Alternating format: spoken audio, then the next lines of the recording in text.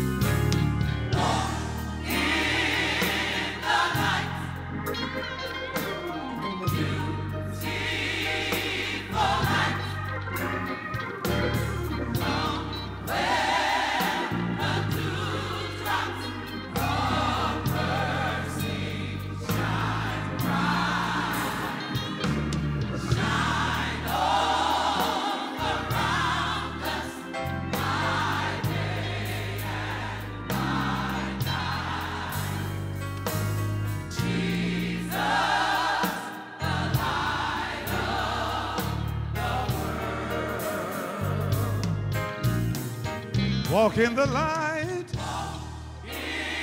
Come on, this is a church service. Lift your voices.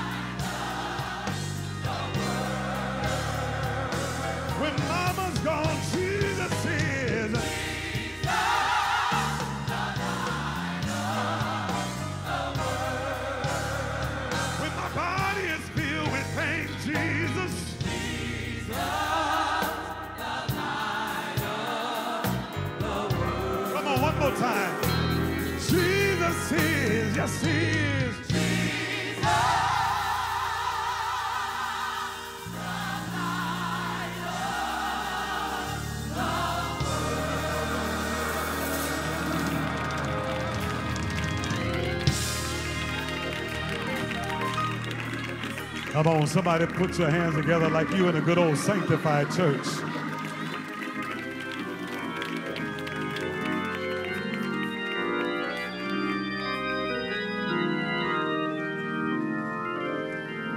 Please come, Reverend Dr. Robert Smith Jr.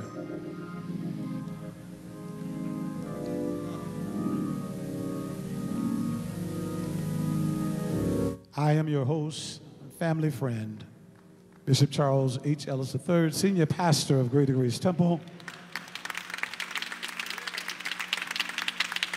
Standing next to me is Reverend Dr. Robert Smith Jr. He is the pastor of the renowned New Bethel Missionary Baptist Church,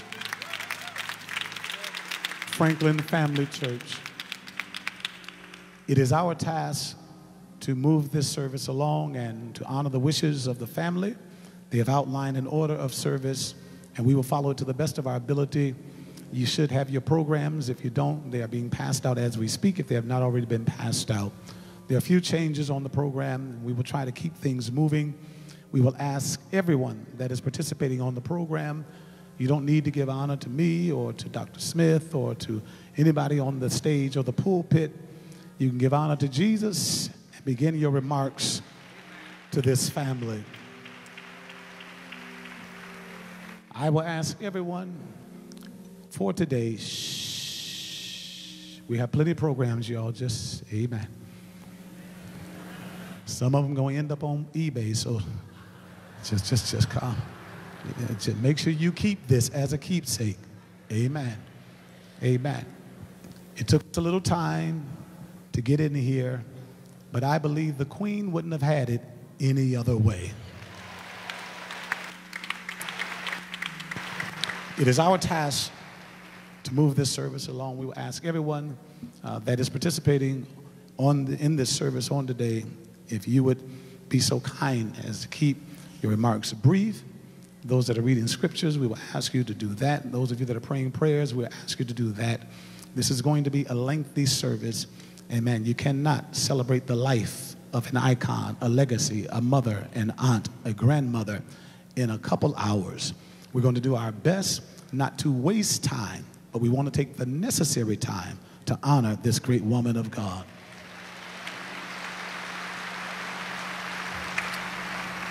I know that you have been standing for quite a while, but I'm going to ask you one last time. Everyone except the family. This family has shared their mother, their grandmother, their aunt, their cousin with the entire world. Let us all stand and thank them for sharing her with us.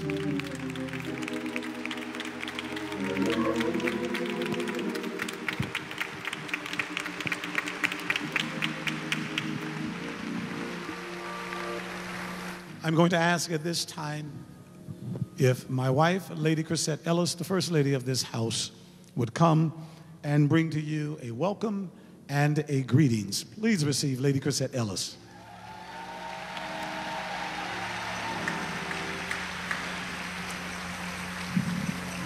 Greetings and welcome to Greater Grace Temple. We are praying for the Franklin family. You have lost a mother, grandmother, and aunt, and the world has lost the Queen. Thank you for trusting us in a final farewell for the iconic Miss Aretha Franklin.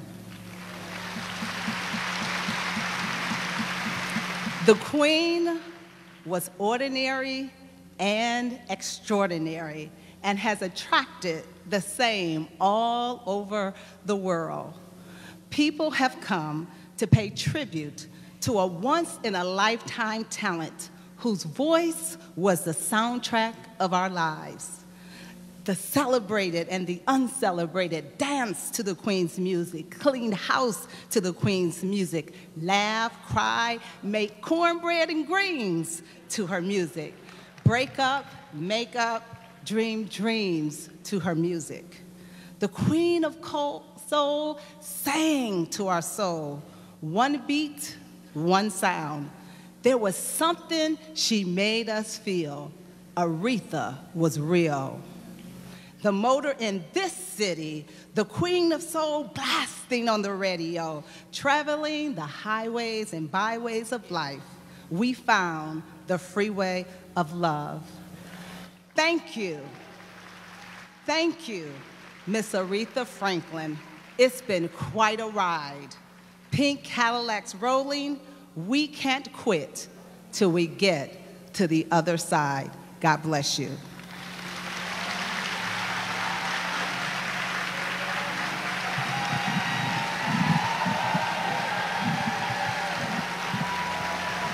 I will call now for the following individuals to come in this order. We will have the prayer of comfort, Dr. E.L. Branch. We will have uh, the scriptures of comfort, the Old Testament, Bishop T.D. Jakes, the New Testament, Pastor Solomon Kinloch, and the Psalm, Bishop P.A. Brooks. After they have concluded, we will receive Miss Faith Hill with a musical selection. Let's receive these in this order.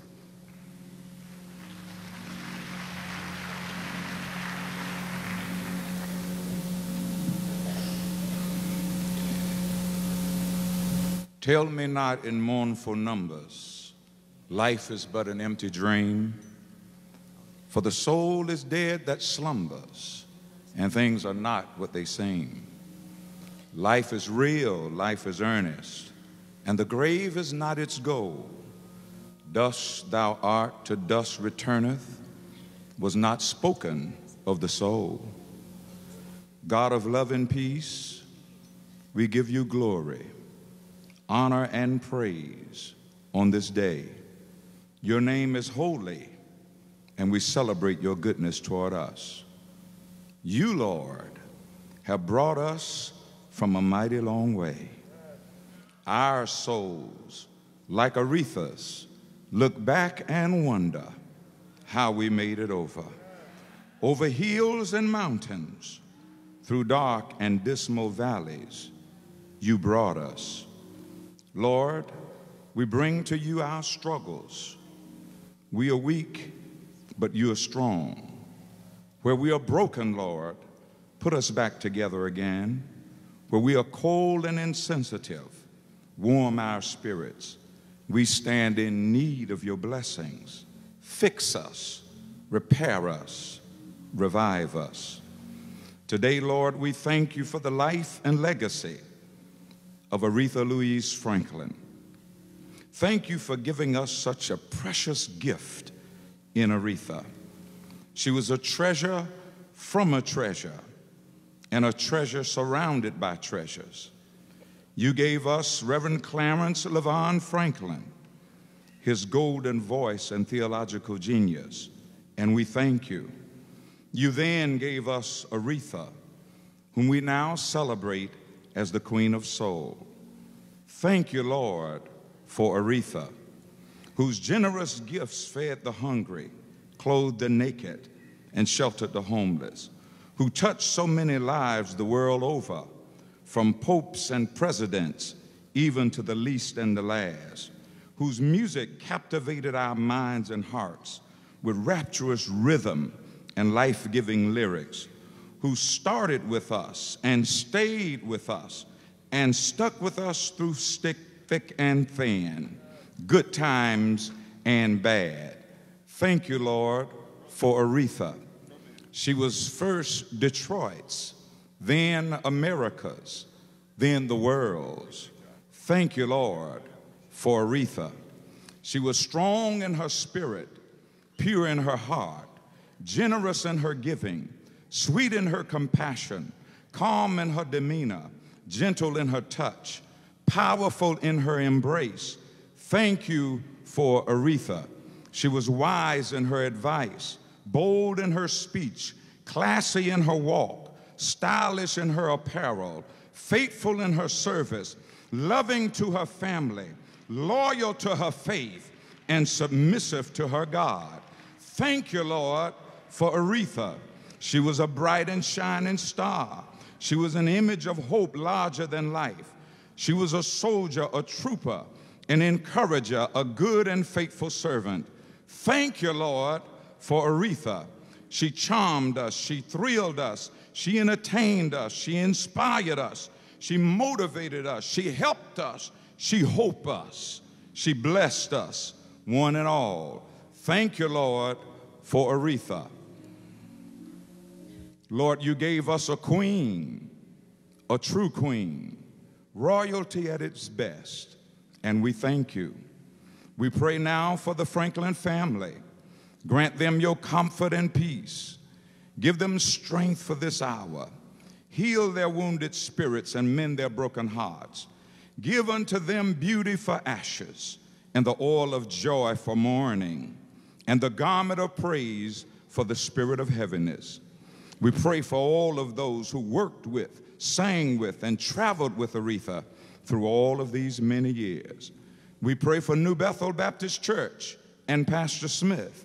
We pray for Detroit and for the faithful fans and followers throughout the entire world. We pray for this church, Greater Grace Temple, and Bishop Ellis. We pray for our eulogist, Dr. Jasper Williams. Feed him that he might feed us. Be his strength, his inspiration, and his joy. We pray for all in this waiting congregation, every person here, that you would meet each of us at the point of our need. And then, Lord, when it's all over here, when we have sung our last song and prayed our last prayer, take us to that land where we'll never grow old. That land where the wicked will cease their troubling and the weary shall be at rest, where all of the saints of the ages will sit at his feet and be blessed. Although we must bid farewell to the Queen of Soul, thank you, Lord, for being our King of Kings, who will be with us forever and ever. Hallelujah and amen.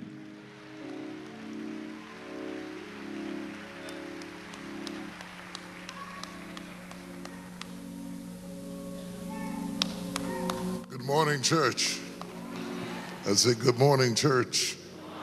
Somebody put your hands together and help me praise our God.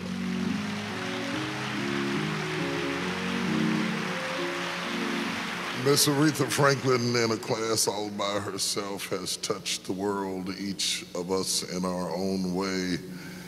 Amazing individual, classy beyond comparison, and yet an earthiness about her that is undeniable. Ubiquitous in her gifting, showing up everywhere, from the palaces in England, singing for the Queen to popping up in the back seat of a car in the middle of a commercial. Aretha was everywhere. she was classy enough to sing on the most prominent stages in the world, but she was homegirl enough to make potato salad and fry some chicken in a class all by herself. In 1989, the first time my wife and I had gone to the Grammys, we had the privilege of going at the right place at the right time Luciano Pavarotti was supposed to perform that night. He got ill and could not perform. And guess who took his place? Miss Aretha Franklin, with class and dignity, took the mic and began to sing in the place of Pavarotti until we forgot he was on the program at all. She sung the Nessun Dorma, which means none shall sleep. And she did it with finesse and power and clarity. And even though it appears that she is laying in a box, the song is true. None shall sleep. She is not here. She has risen. I stand on behalf of the Potter's House and my lovely wife that has joined me to publicly thank her for her service. She ministered for us at MegaFest a friendship evolved. Every time I got a chance to go where she was, I was there. Had the privilege of hanging out in the back, having fun, laughing, talking with her. She shall be missed. I, asked, I was asked to read the Old Testament text. Many people do not realize that the Bible at its core is a love story and that walking with God at its core is a relationship. It is a relationship that starts out where we come to Him. And if we are prayerful and if we are careful, when things get tough and difficult, as it did for Aretha, the God that we came to will also come for us. Aretha, the PK, the preacher's kid, came to Jesus. And when she got in trouble, he came to her. Their relationship was a love story, Song of Solomon 2 and 1.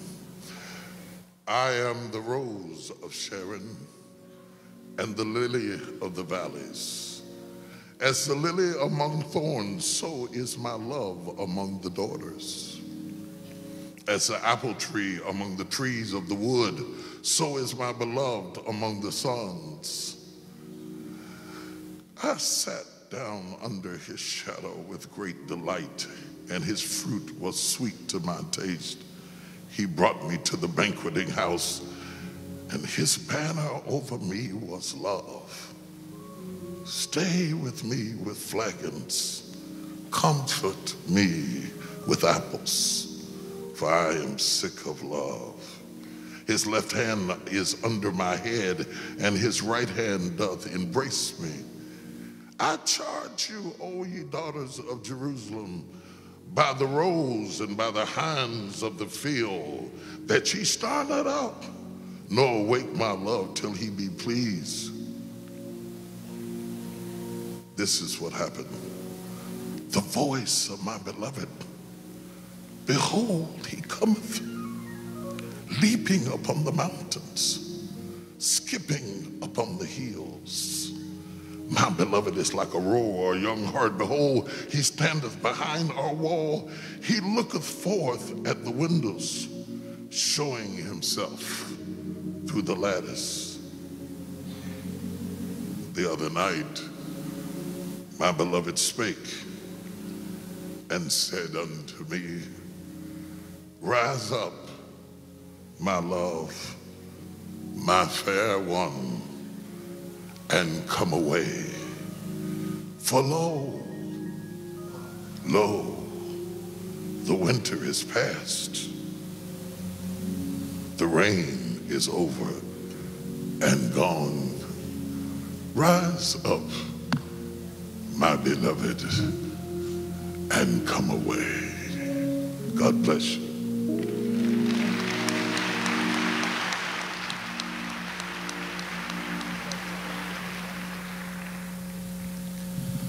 Come, thou incarnate word, gird with thy mighty sword. Let thy people be blessed. Let thy word have success. Holy Spirit, descend. In the Gospel of Luke, chapter 11, evidently the disciples had sense and could see that the landscape of Jesus' ministry was littered with prayer. And so a question was raised Lord, teach us to pray. Jesus taught them to pray in this manner. You don't have to pray exactly like this, but this is a great model for prayer. When you pray, Our Father, which art thou in heaven, hallowed be thy name, thy kingdom come. Thy will be done on earth as it is in heaven. Give us today our daily bread, and forgive us our debts as we forgive our debtors Lead us not into temptation, but deliver us from evil. For thine is the kingdom, the power, and the glory, forever and ever. Let every born again believer shout, Amen.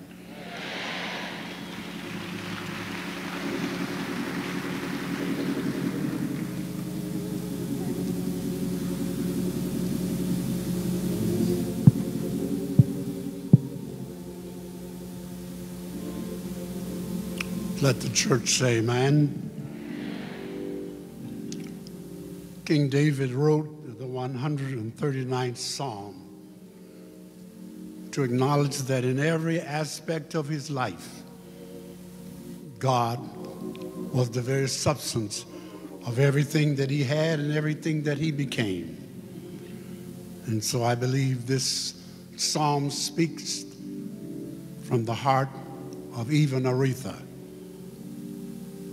I shall read the 139th Psalm with selected verses from the Message Bible. Lord, I am an open book to you. Even from a distance, you know what I'm thinking. I'm never out of your sight. You know everything that I'm going to say before I start the first sentence. I look behind me and you're there. Then up ahead, you're there too, with your reassuring presence coming and going. This is much too wonderful for me. Where shall I go from thy presence to be out of thy sight? If I climb to the sky, you're there. If I go underground, you're there. If I flew on morning wings to the far western horizon, you'd find me in a moment. You're already there waiting. At night, I'm immersed in the light. It's a fact. Darkness isn't dark to you. Night and day, darkness and light they're all the same to you, dear Lord. Oh, yes. You shaped me first inside, then out. You formed me in my mother's womb. I thank you, dear Lord. You are astounding and amazing. I am marvelously made, body and soul. Lord, I worship in adoration. What a creation. You know me inside and out. You know every part of my body. You know exactly how I was, I was made, limb by limb. How I was formed from nothing into something. Like an open book, you watched me grow from conception to birth. All the stages of my life were spread out before you. The days of my life all prepared before I even lived one day. Dear God, whom I worship, let me rise in the morning and live always with you in Jesus' name.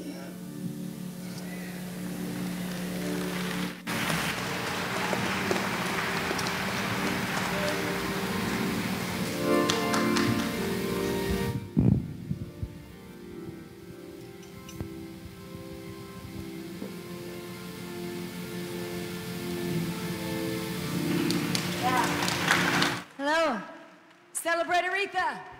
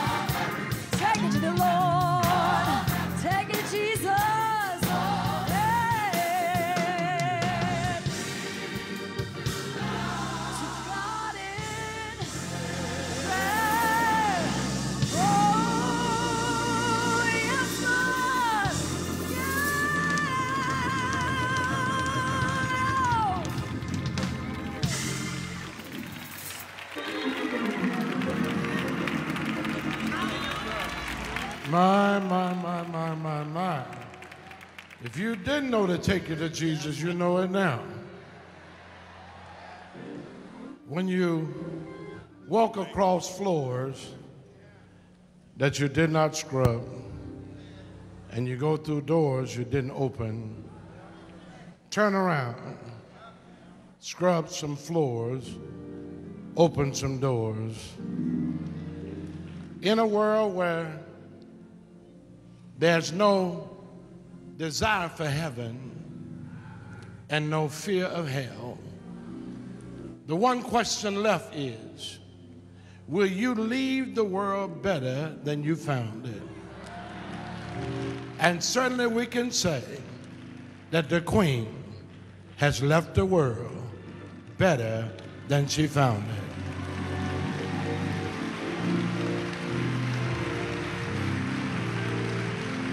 I told the bishop, this was my first and last time up, you know your name and you know what you own to do. Folk know you, don't your name wouldn't be on the program. So there's no need of somebody getting up, calling you, talking about you.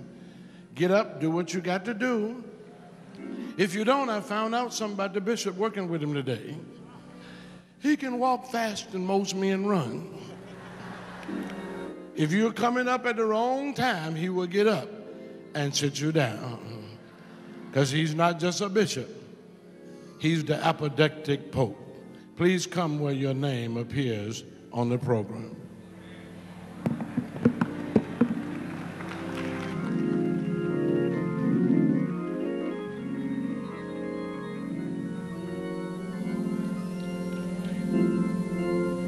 Good morning. Uh, I'm Mike Duggan. I have the honor to be the mayor of Detroit. Uh, and for the last two weeks, Detroit has been the center of an um, overwhelming emotional outpouring with the loss of our cherished daughter, Aretha Franklin.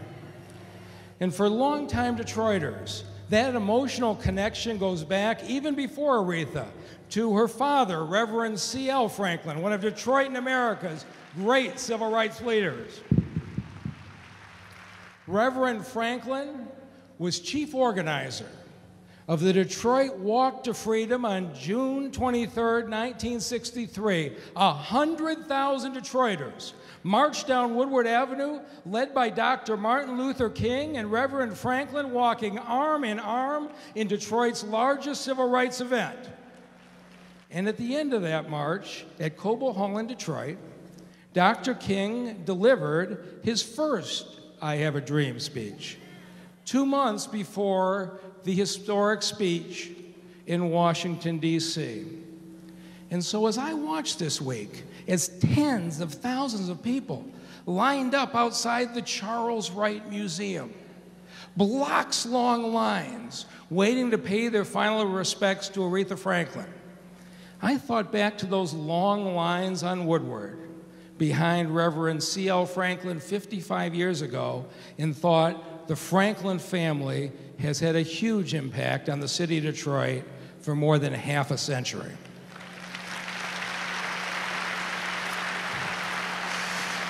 We all know that young Aretha got her musical start right here in Detroit at the New Bethel Baptist Church Gospel Choir, was making her first recordings by the time she was 14, and in each of her 17 top 10 hits, each time she soared, it felt like the people of Detroit soared with her because she never lost her connection to our city. And of course, along with the successes she had in her life, she also suffered real tragedy. And when you listened to the raw emotional power of that extraordinary voice, you could feel both great joy and great loss. When Aretha Franklin sang, it felt like the voice of Detroit, didn't it? Which I'm sure is why every place I've gone the past two weeks, all I get asked is, what is Detroit going to do to honor Aretha Franklin? And I want to talk about that today. Because as we talked to those close to her and her family, one of the themes that kept coming up was that Ms. Franklin loved the Detroit River, that she lived her last months in the riverfront apartments, that she seemed to draw spiritual power from the river itself, and that one of her favorite places in the world is Chene Park. Now, if you don't know the history of Chene Park, it was a project started by Mayor Coleman Young in the 1980s. Because then, right? If you wanted to go to an outdoor concert in the 80s, you had to drive up to Pine Knob, an hour away. It's a beautiful facility, but wasn't accessible to this community. And Mayor Young said, Detroit is the center of music in Michigan. We're going to have our own outdoor concert setting. And so he went and took an abandoned barge dock site on Chene Avenue in the riverfront. And he said, That's where Detroit's going to have outdoor concerts. Now, I went to that first concert season in 1985. It was basically a stage and a bunch of blankets on a hill, right? That's the way it started. But even then, it felt, it felt special because it was ours. But over the next five years, Mayor Young built an amphitheater that could accommodate 6,000 people and a beautifully landscaped park uh, that was an attraction to the city. And with the leadership of Shahida Mausi, Chene Park has hosted many of America's great entertainers Stevie Wonder and Jack White, Earth, Wind, and Fire, Diana Ross, Run DMC, B.B. King, Ray Charles, and so many others. But the single largest event ever held was the 30th year anniversary of Chene Park, August 22nd, 2015. And the performer that evening was, of course, Aretha Franklin. And what makes Chene Park truly unique is we've kept to the original mission that even with all those world class performers, half of our concerts are either free at low cost ticket. So it's a, a place that belongs to all Detroiters. And those concerts are now drawing nearly 100,000 concert goers a year. And anybody that was at last night's event knows it is now one of the finest outdoor music venues in the United States. And so I met with President Brenda Jones and talked to my partners on Detroit City Council. And today, it is with their strong and enthusiastic support that I can tell you that on Tuesday, I will be sending City Council a proposal to rename Chene Park.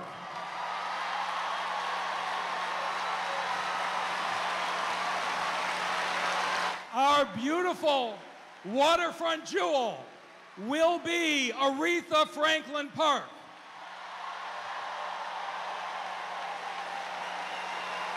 And when performers from generations to come from around the world come here, they'll be reminded that they are performing at the home of the Queen of Soul. God bless you.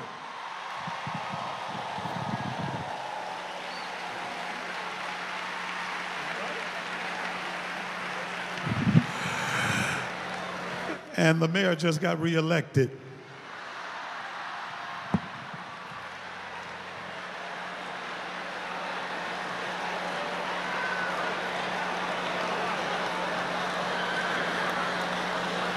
Afternoon to everyone. I would like to ask, I am Detroit City Council President Brenda Jones, and I would like to ask my colleagues to please stand. My colleagues of Detroit City Council, we follow the mayor with a resolution requesting the renaming of Chene Park to Aretha Franklin Park.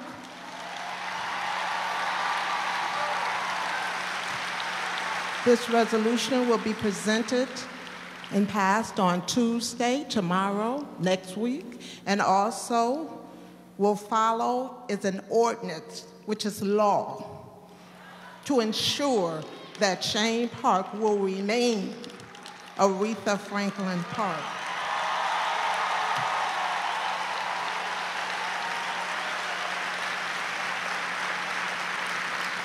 Aretha was world famous, but she was more than just a singer or a recording artist. Her humanitarian efforts, larger than life heart, and silent generosity will forever be remembered. Whether you met her personally or just heard her distinguished voice on many of her hits, Queen Aretha touched us all. from the boardroom to the plant floor, from the east side to the west side. She united us all under a banner of R E S P E C T, respect. Although Aretha received many different awards and recognitions, she texted me and indicated the greatest was having a street, Aretha Franklin Way, named for her in the city she loved. And I am humbled to have led that effort to honor Aretha and give her her flowers while she was living. I am also proud to present to the family the highest honor bestowed by the Detroit City Council, a resolution and memorial, and I have one for all of her sons.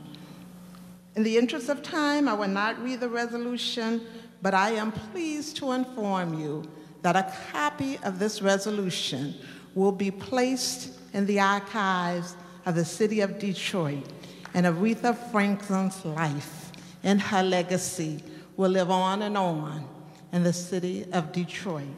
And also, there are many things about Aretha that are displayed in this testimonial resolution in memoriam.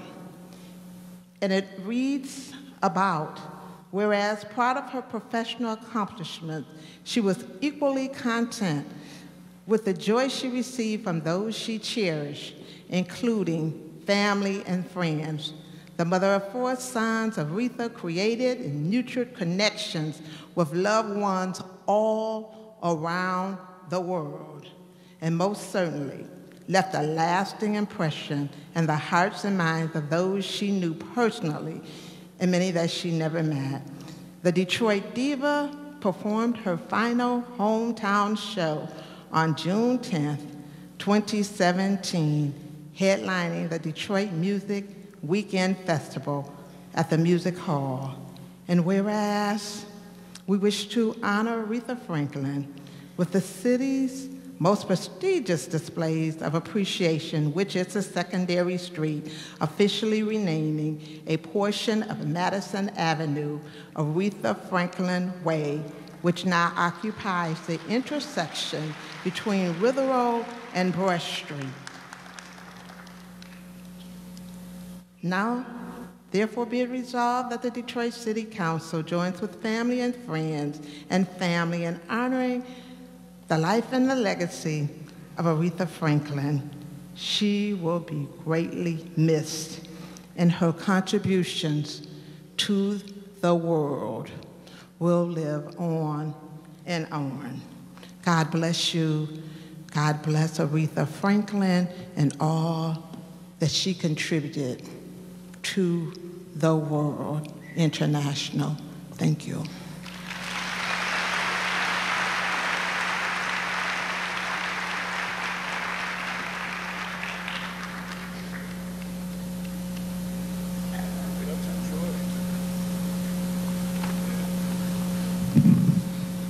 Good morning. I'm Reverend JoAnn Watson.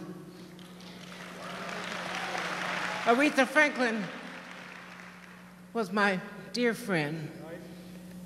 She loved Detroit. She loved her family. She loved her father especially. She loved New Bethel Baptist Church, where she grew up singing and supporting the ministry of Reverend Dr. C.L. Franklin. Aretha also loved the civil rights movement. She loved the human rights movement. She loved the women's rights movement. She loved the environmental justice movement. She loved the reparations movement. Whenever I'd go to a reparations meeting somewhere in the nation, she'd say, JoAnn, tell them to bring me back a check. She asked me to attend the premiere of Selma with her in New York City. What a blessing to be there. And she whispered to me in New York, I, I brought you here so you could represent my father. She never relied on anyone else to tell her story.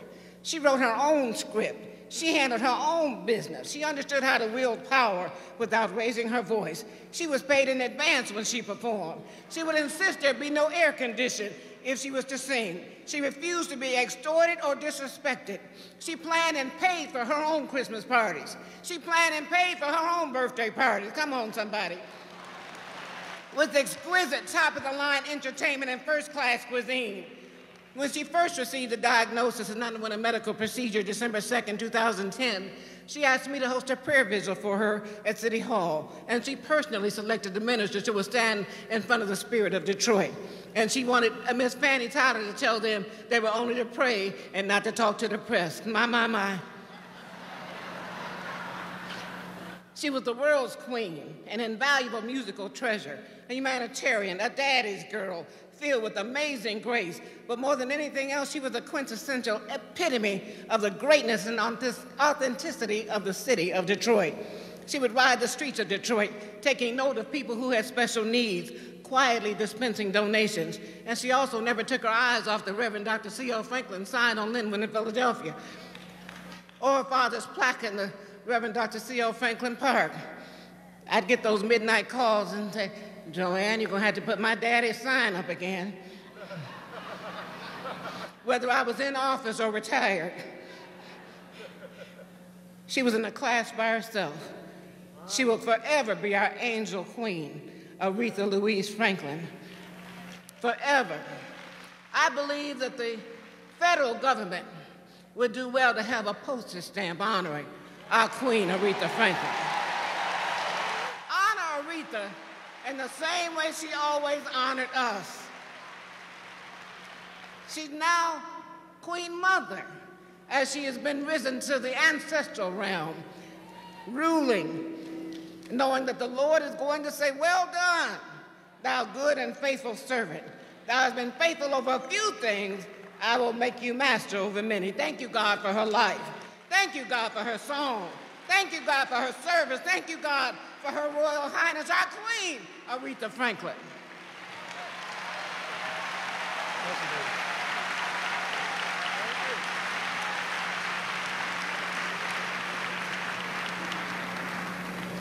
Well, good afternoon.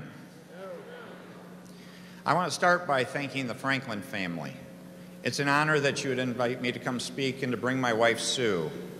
And on behalf of every citizen of the state of Michigan, our thoughts and prayers are with all of you. Aretha was a special person to the state of Michigan, to all of us in the state. Uh, many of you know how many awards she won, and she deserved every single one of those. But I'm going to mention an honor you may not have ever heard of, but it reflects our feelings for her. And it gets shown in the outpouring and love and support you've seen this week for all these wonderful events. Back in the 80s, under Governor Blanchard, the Michigan Department of Natural Resources actually declared Aretha's voice was a natural resource of the state of Michigan.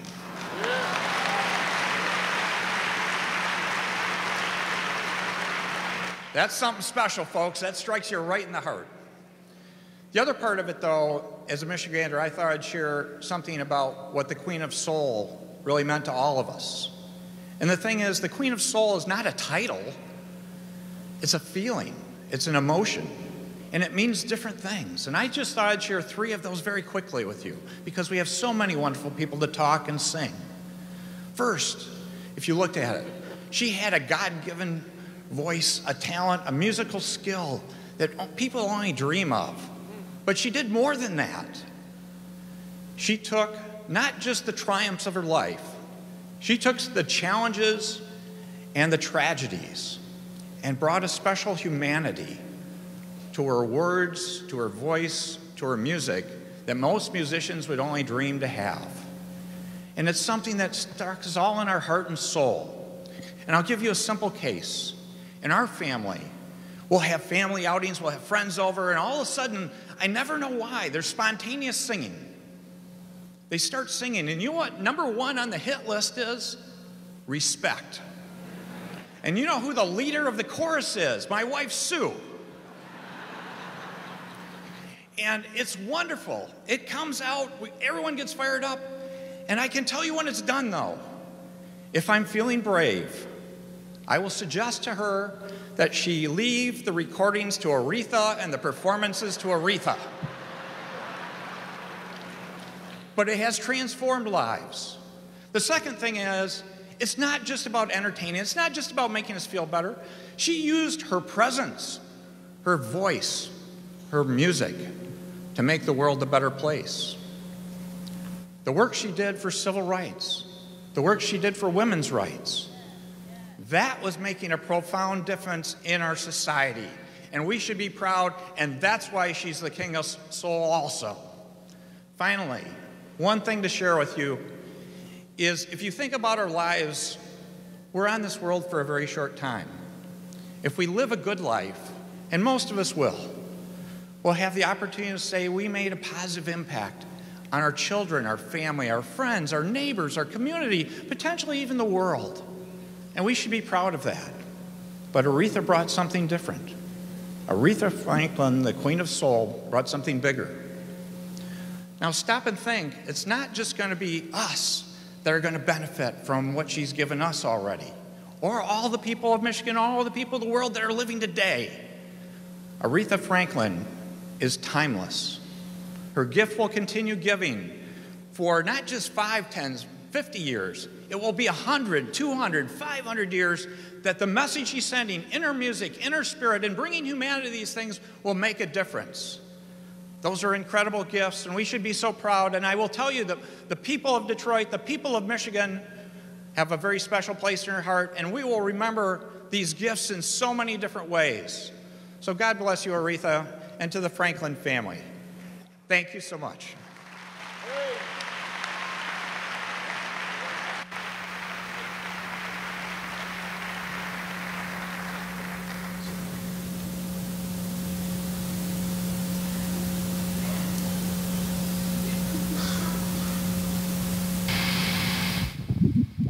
Please receive at this time the music ministry of Ariana Grande.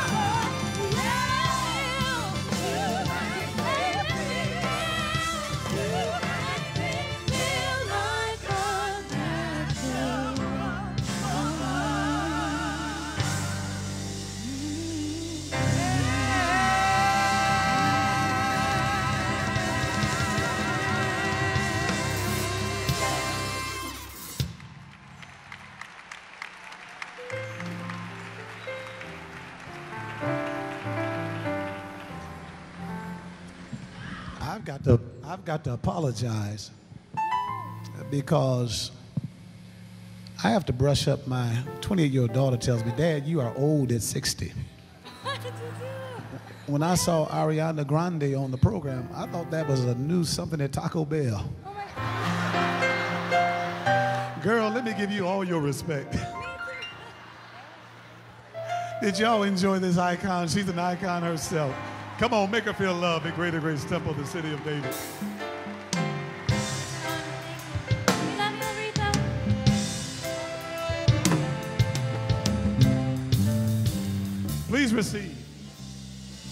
Of the greatest voices for the urban community.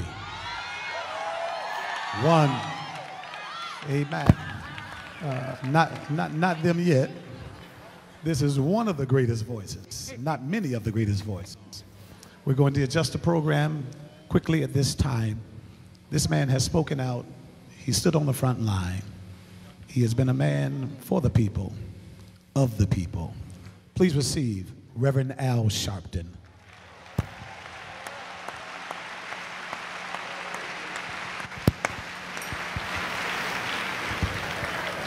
Thank you, Bishop, to the Franklin family and to all of us gathered. Aretha Franklin was not only an unparalleled artist, she was a civil rights activist and freedom fighter. It is easy to celebrate the gifts that God gives.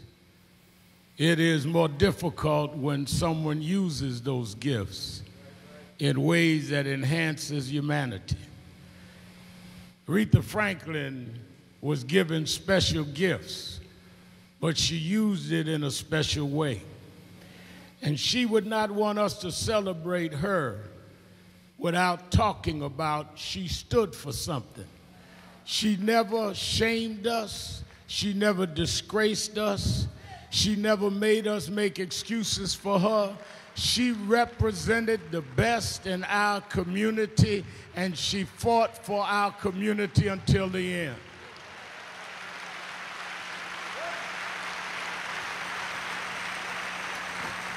I first met Miss Franklin when I was a teenager. I'd become youth director of New York Operation Breadbasket, and she would come to the strategy meetings with Reverend Jackson. And I would hear the stories of how when Dr. Martin Luther King could make payroll, Harry Belafonte and Aretha Franklin went on an 11 city tour to raise money for Martin Luther King.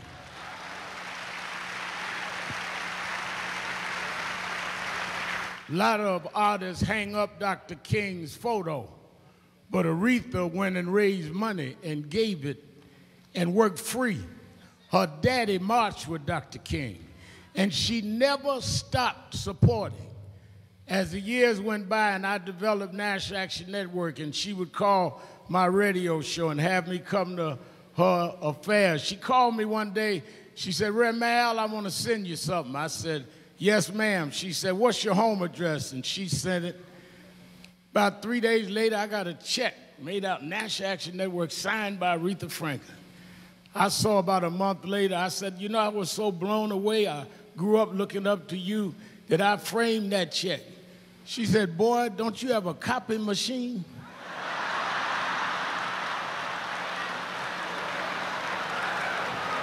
She said, You don't know how I am with my bank accounts. You better cash that check and.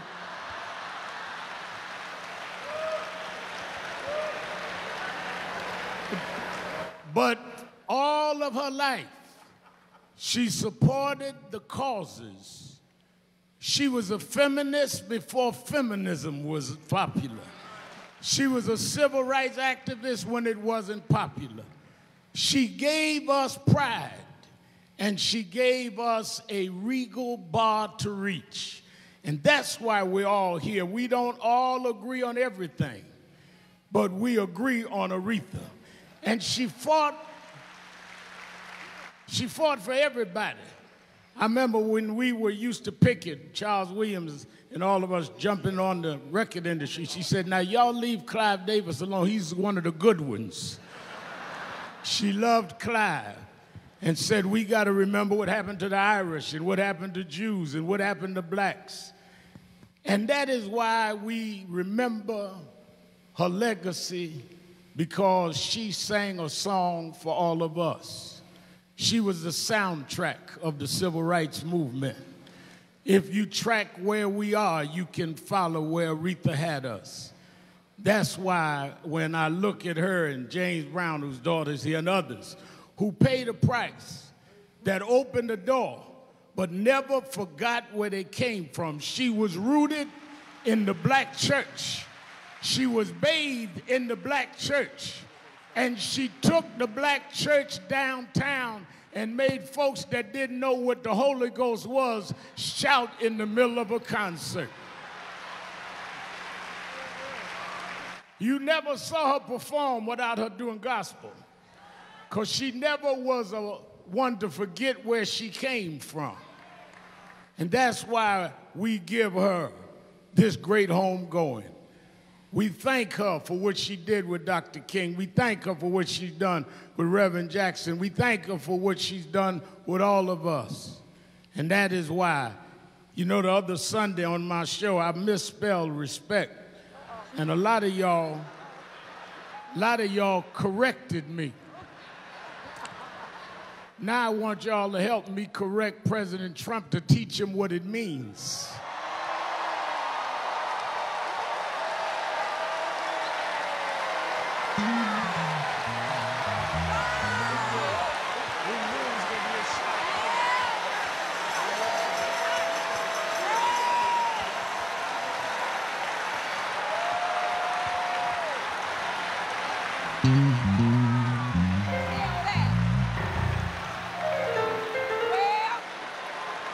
And I say that because when word had went out that Miss Franklin passed, Trump said she used to work for me. No, she used to perform for you. She worked for us. Yes.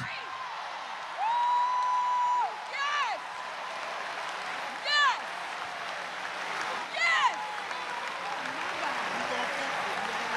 Yes. Retha never took orders from nobody but God.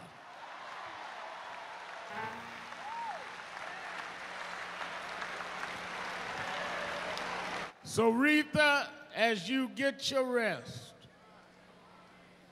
my mother passed about six years ago. President Clinton, my mother and I had a deal. She said, I'll meet you on the other side. You live the way you're supposed to, and I'll see you in heaven. I said, Well, Ma, they, they tell me there is no bodies in heaven, just spirits. How am I going to know you? I know her sons are. How will I know her? She said, I tell you, you meet me at the exchange counter. I said, exchange counter? What is what kind of exchange counter? She said, Well, right after you get through the Golden Gates, there's an exchange counter. That's where you hand in your cross to pick up your crown. We watched Aretha bear her cross down here. She had to sing with a broken heart. She had to work when she didn't get paid. She was a black woman in a white man's world. She bared her cross. She fought a good fight. Now it's time to crown the queen. I'll see you at the exchange counter where you can now hand in your cross. Ain't no cancer over there, Aretha. Hand in your cross and pick up your crown.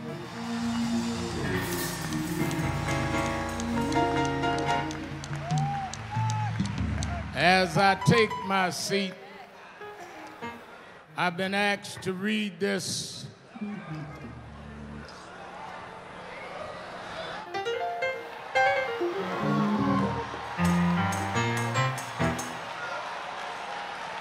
Don't, don't, don't do that. Because I only have five minutes and y'all will make me go into something else.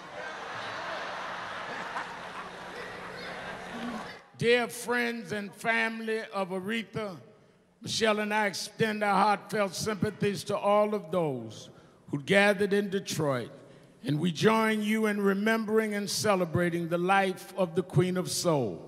From a young age, Aretha Franklin rocked the world of anyone who had the pleasure of hearing her voice, whether bringing people together through thrilling intersections of genres or advancing important causes through the power of song. Aretha's work reflected the very best of the American story in all of its hope and heart, its boldness and its unmistakable beauty. In the examples she set both as an artist and a citizen, Aretha embodied those most revered virtues of forgiveness and reconciliation. While the music she made captured some of our deepest human desires, namely affection and respect. And through her voice, her own voice, Aretha lifted those of millions, empowering and inspiring the vulnerable, the downtrodden, and everyone who may have just needed a little love. Aretha truly was one of a kind. And as you pay tribute, know we'll be saying a little prayer for you, and we'll be thinking of all of Aretha's loved ones in the days and weeks to come. Sincerely, Barack Obama, 44th President of the United States.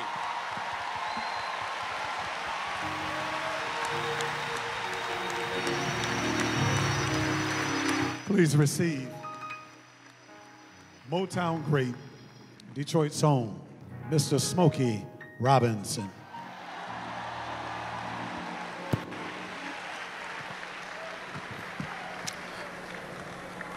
At Levi Stubbs, the Four Tops funeral a few years ago here, Smokey had all of the Motown uh, recording artists to come and to stand at the casket. And I looked in, I saw Kings and walkers and, and gray hair and no hair. And I kept looking at them and looking at Smokey. And I said, I want what you drinking and eating. Give Smokey Robinson a hand. He'll be followed by the Clark sisters.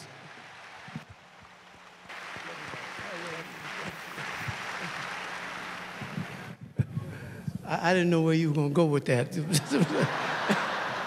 um, so I'm about um, eight years old,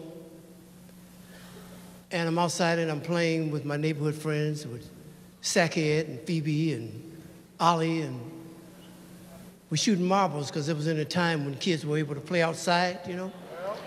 So I don't even know if boys know what that is anymore, but um, Richard Ross, another one of our friends, came around, and there's a new guy with him. And he introduced him. He said, This is Cecil. So we all, you know, like boys do, we started playing. And after a while, we went around to see Cecil's new house because they had just moved to Detroit from Buffalo. And we go in and we're walking around the house looking at, it, and I'm seeing stuff that I had never seen because it wasn't nearly like my house. Because you know, somebody broke in my house, they better be bringing something.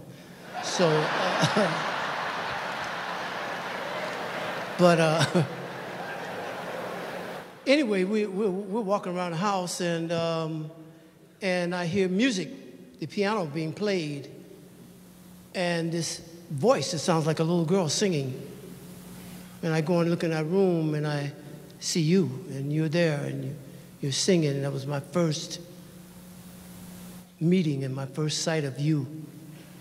And um, from that moment on, almost we have been so, so close and so tight. And um, I, I didn't know, especially this soon, that I was going to be having to say goodbye to you or farewell or whatever. We've seen everybody, all the people that I mentioned earlier pass on and go. And we talked about it many times how we were the two who were, who were left out of all our neighborhood friends. Uh, we were the longest ones. We weren't the only two left, but we were the longest ones. So now my longest friend has gone home, and you went to be with our Father like we all have to do one of these days. And I know you're up there and you're celebrating with your family and with all of our neighborhood friends who have gone. And you're going to be one of the featured voices in the choir of angels because, you know, you'd have to be.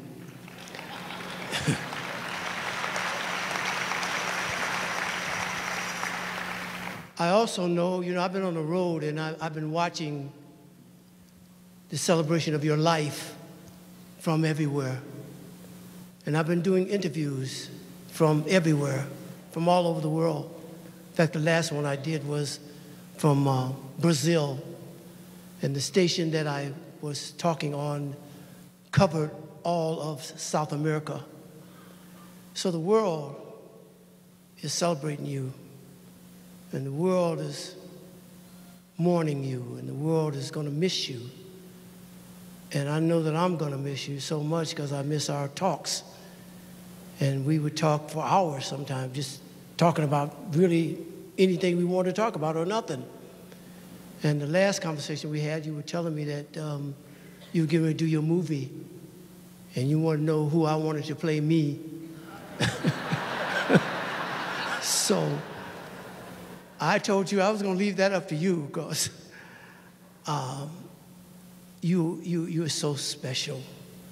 And um, a while back, we did a, a mini series on uh, the Temptations life. And um, for that movie, I, I, I, I, did a score. For, I did the score for the movie, and I had to write a song for Melvin Franklin, who was another one of our close close people. And um, I'm sure he won't mind if I sing a little bit of it for you because it fits you so perfectly in my life. Really gonna miss you. It's really gonna be different without you. For the rest of my life, gonna be thinking about you. I'll miss you, my buddy. I'll miss you, my friend. I know that my love for you will never end, will never end. And I'm gonna love you forever.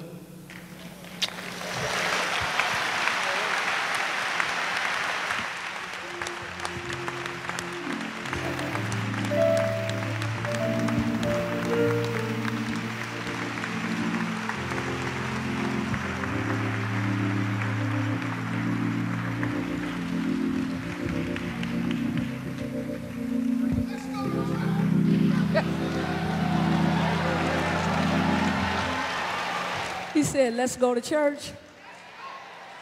Let me just say this. This is on behalf of me and my sisters. Miss Franklin has just been a jewel to us. The world is watching. Many of you are from all over the world. But I want to hear from Motown tonight. Let's salute the Queen tonight. Can we, Detroit, can we salute the Queen?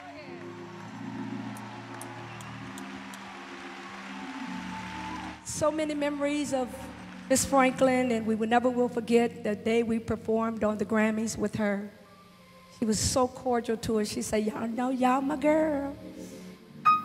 And um, it was just so many great memories. Of course, uh, Karen, she will not talk, but it's okay.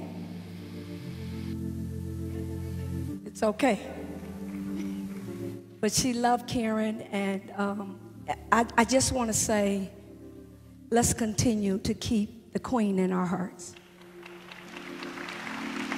Twinkie wrote a song, says, Is my living in vain? Is my giving in vain?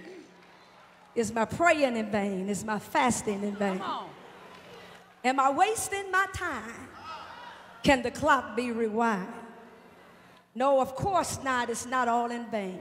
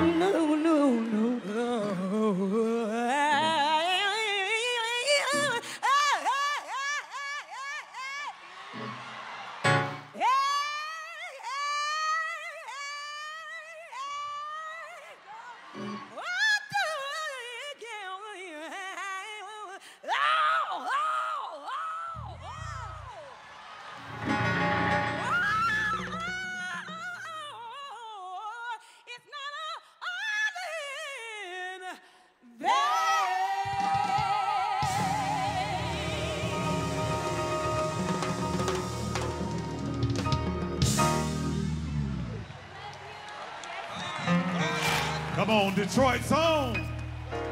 The Clark Sisters. Northwest Detroit. Sorrento. Aretha Franklin lived on Sorrento long before blacks could live in Grosse Pointe and Bloomfield Hills and Birmingham. We couldn't go out of town, but we could go on Outer Drive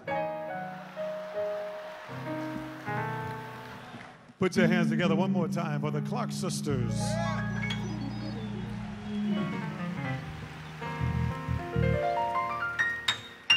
At this time, Barbara Sampson is coming with the acknowledgments and condolences. Receive her at this time.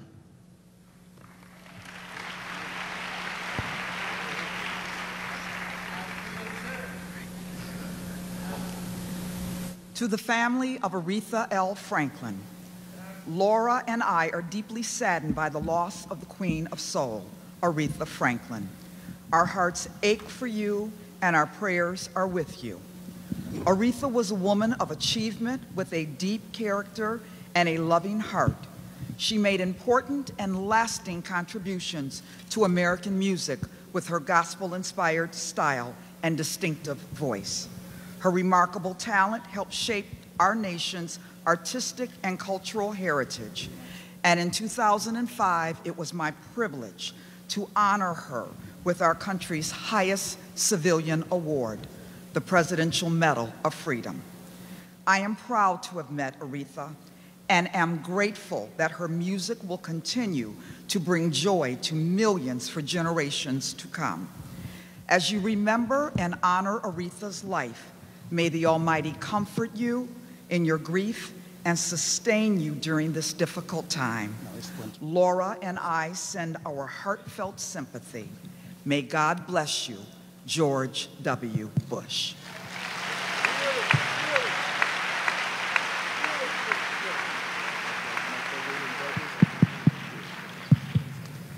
The family would like to recognize and offer a special thank you to the following friends and medical professionals who went above and beyond the call of duty to offer their services and comfort to Ms. Franklin. Dr. Donald Weaver and Dr. Don, John Barnwell, DMC. Dr. Philip Phillips, Karmanos. Dr. Manisha Shaw and Ashamal Guyal, Ohio State. The nursing staff of the DMC and Hospice of Michigan, Connie Raban and Lori Hughes. Caregivers, friends, Beverly Bradley, Dolores Yancey, Karen, Karen Bootsy Smith, and Angela Mason. Gwendolyn Quinn, publicist. Tracy Jordan, Sirius XM Radio. A. Curtis Farrell. Brian Dickens, Bishop Charles H. Ellis III and staff, Alexis Wiley and staff of Mayor's Office, Captain Conway Petty, DPD, Zaretha Coleman, George Hamilton and staff of the Charles H. Wright Museum of African American History.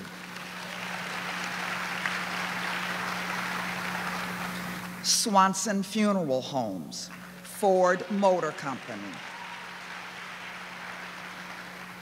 Tribute host and sponsors, Shahida Mausi, Chene Park, Chemical Bank, Judge Greg Mathis, Isiah Thomas, Marvin Beatty, Greektown Casino, Minyon Moore, Donna Brazile, Yolanda Caraway, Tina Flournoy, and Leah Daughtry.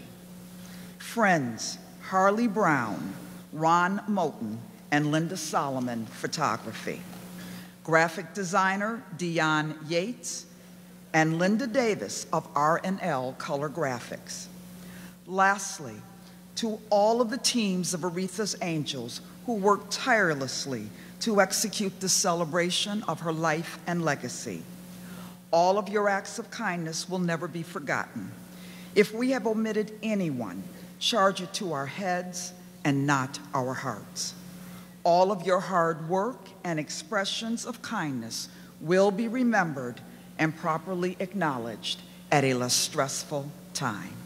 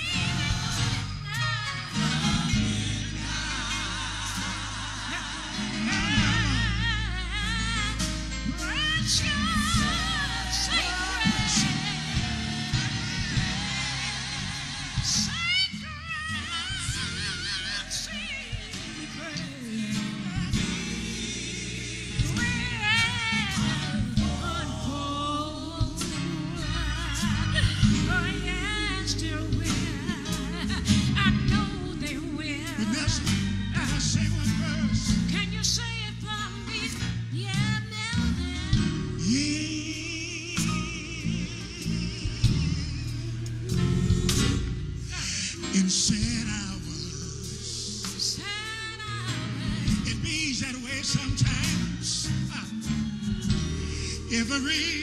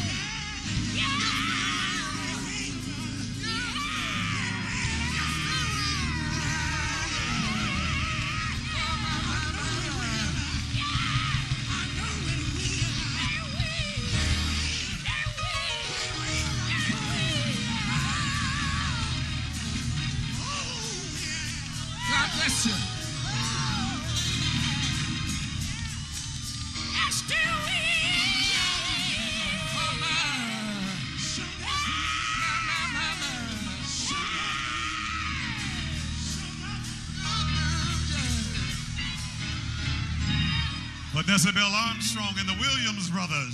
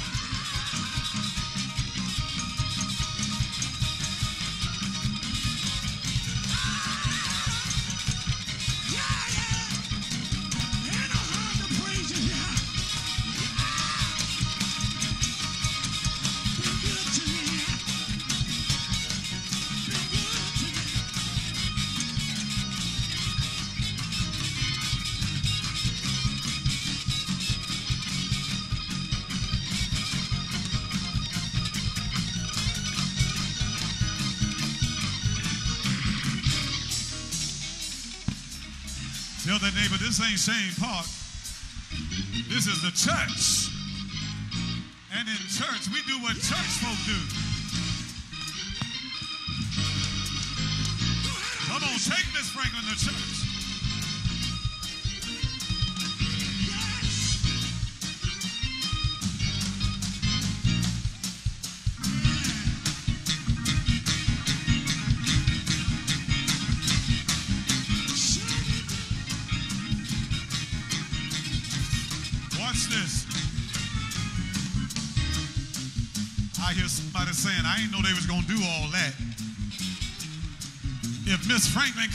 dance on the stage, somebody ought to be able to dance in the church. You got 60 seconds.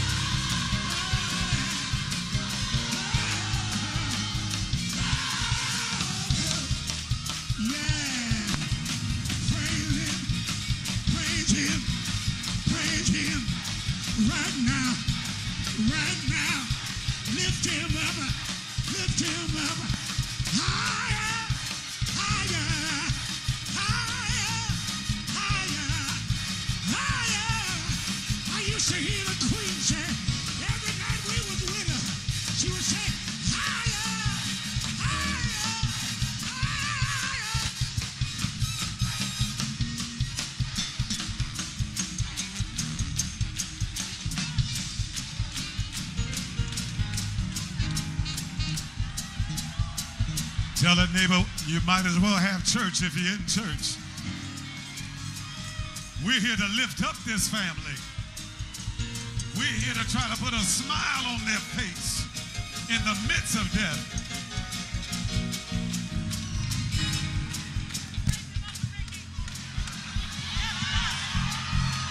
Precious memories. Oh, how they linger. Oh, how they ever my soul.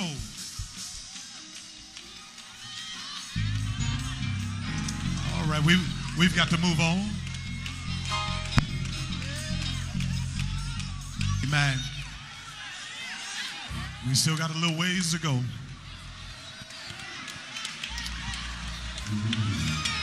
I had to I had to give y'all 60 more because I looked over and saw Councilwoman Debbie Dingell. She was on the 1 3. And I was trying to ask uh, Congresswoman Sheila Lee Jackson, get on that 2-4. Uh, We're going to make her an honorary member of the Sanctified Church. All of those congressional individuals that are here on tonight, on today rather, please stand. We don't have time to call everyone's names, but those who are serving in the United States Congress, please stand. Give God praise for all of these men and women. Our own Congresswoman Brenda Lawrence, who's on the program.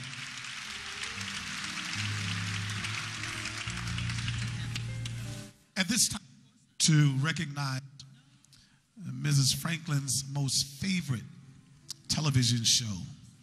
And we're so honored that most all of the cast have taken time out of their busy schedules just to honor her and to pay tribute to her with their presence. Please acknowledge and give God a great big thank you for the cast of the haves and the have nots.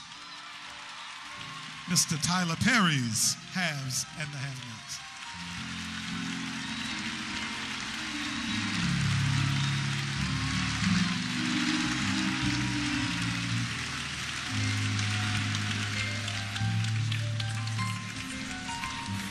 Time, we'll receive family reflections. I ask for your undivided attention. We don't want to lose sight in the midst of all of this that she was more than an icon. She was more than the first woman inducted into the Rock and Roll Hall of Fame. She was more than one of the greatest gospel and secular artists ever. But she was a real woman, a real mother, a real grandmother, a real aunt. Receive Franklin family representatives Vaughn, Crystal, Victoria, and Jordan Franklin. I will ask them all to come at this time.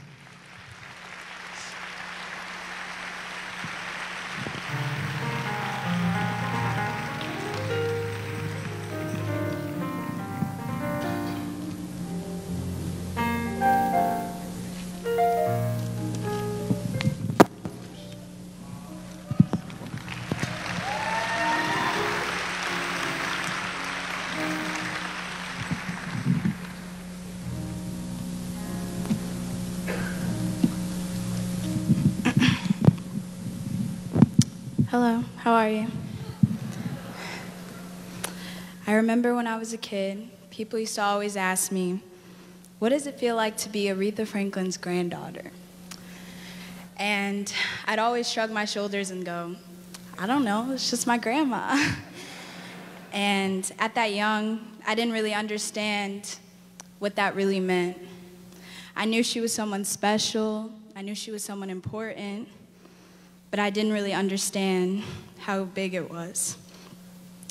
As a kid, I've seen some of the greatest things, I've met some of the greatest people, and it was crazy because these amazing people were excited to meet me.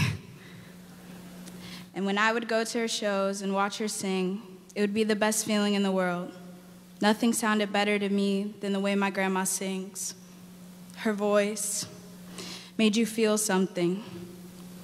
You felt every word, every note, every emotion in the song she sang. Her voice brought peace. And watching her on stage from a young age to the last performance I saw her at, I knew that performing was something I was born to do. As a kid, I couldn't understand what it was like to be Aretha Franklin's granddaughter. But I did know, oh, I didn't know what that meant, but now I know what it feels like. It feels amazing to see a woman so fierce, so courageous, gifted, so respected.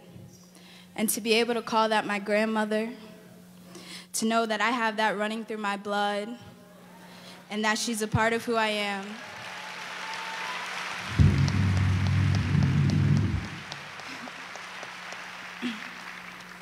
And to know that she's a part of who I am, there's nothing like that. Every time I learn something new about my grandma, I see that I have so much of her in me, and it makes me smile. I'm so proud to have had someone like her in my life to pave the way for me.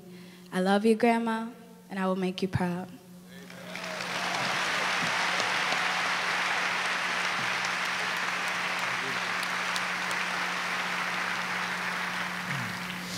Good afternoon, everybody. Um, I prepared something from my grandmother that uh, I wanted to share with everybody. Dear Grandma, I love you. I know in my heart that you're happy now, and that's all that I care about. No amount of words can articulate what you mean to me, Grandma. Thank you for loving me. Thank you for believing in me as much as you did. And thank you for always putting the family first and showing us the right way to handle success. I'm sad today because I'm losing my friend, but I know that the imprint she left on this world can never be removed.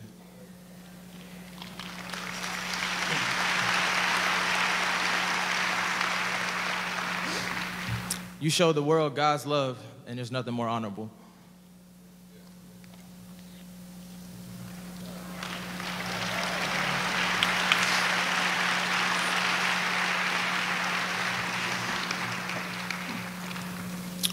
I'm so proud of you. I know you'll be watching me from the windows in heaven. And I promise to carry our family legacy with pride and joy. Long live the Queen.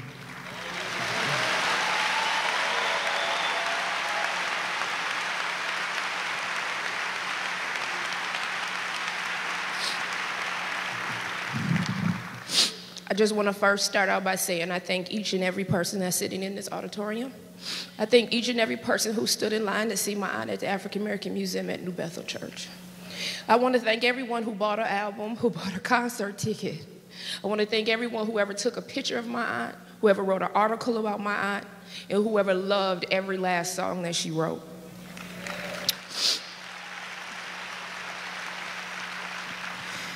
When I was born in 73, she always was the queen. She was already the queen of soul. Had won eight Grammys, had top 10 hits on the top 100, but to me, she was just my aunt, my father's sister, and I was her namesake. I was given the name Crystal Robin Aretha. I was named after my mother's younger sister and my father's famous sister. My aunt Robin never let Aretha forget that her name came first, but Aretha would laugh and say they saved the best for last. To the world, she was known as the Queen of Soul, but to me, she was just my aunt. The one who gave birth to my first road dog, Kelf. My aunt who came to live with us at the age of six with my Uncle Vaughn, who I had no idea was a big movie star. The aunt who sung at my high school gra- graduation taught me my bad shopping habits and took her granddaughters, my daughters, and I to see Disney on ice. My aunt who taught me that emeralds were more, more than diamonds when we shopped for my graduation gift that I'm wearing today. My aunt who gave me my open house for college and cooked dinner for my roommate and I when she came to visit Detroit for spring break. My aunt who had a picture of my best friend and I on her piano for over 20 years. The one who listened to me when I told her she had to have Jill Scott and Mary J on her Diva special, and she had to go on Wendy. My aunt who chartered a bus so, so our family could go to President, President Obama's inauguration and made sure I was front and center for the swearing in. The one who taught me the importance of capturing every moment with a picture or two. And after every award ceremony, she was my gossip girl. The one who could bring grown women and men to tears but from the sound of her voice, and the only person on earth that could call me Chrissy. I will be forever grateful for every road trip, every person I ever met through my aunt, and I'm grateful for most of all that she had a loving brother who loved my mom, and they got married and made me. And in turn, I made my daughter Brooklyn, who is now graduating from Howard this year, and that's all possible because of my aunt. One of the most important things to our family is education. My daughter goes to Howard, and Victory goes to Howard too. And their children will continue the legacy of education because I will continue in my family name of doing the foundation so that children will never forget who my aunt was, never forget who my grandfather was, never forget my aunt Carolyn, never forget my aunt Erma, never forget my father, and never forget my uncle Vaughn. And again, I just want to say to everyone sitting here, everyone watching in the world, thank you.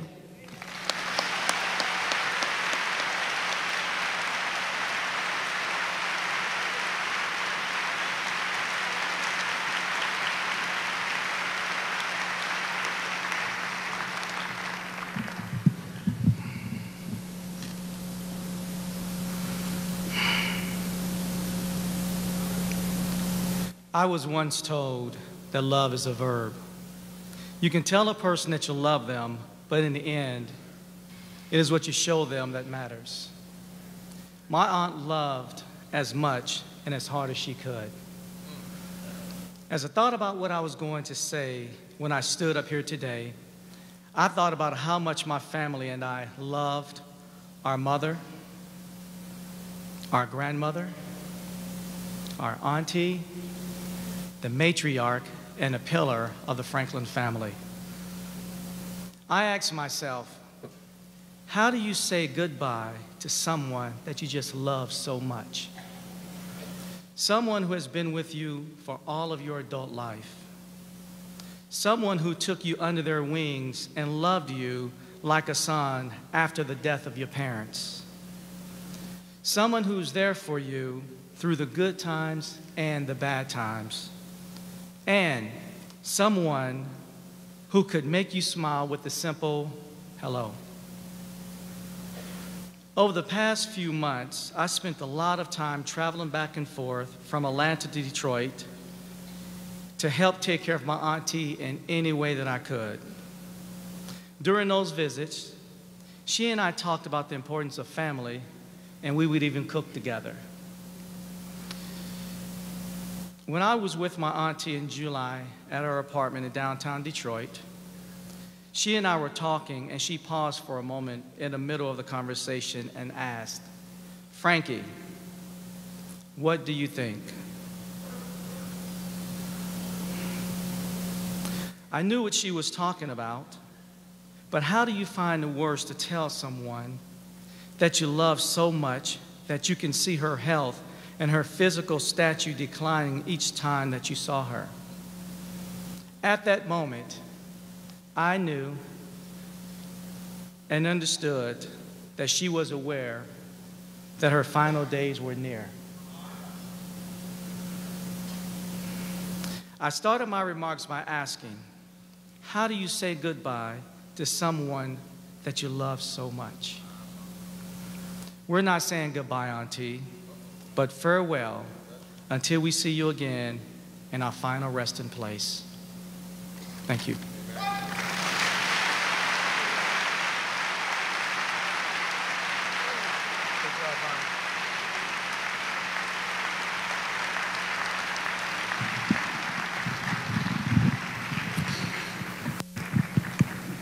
Please receive a musical tribute from Miss Franklin's son, my friend.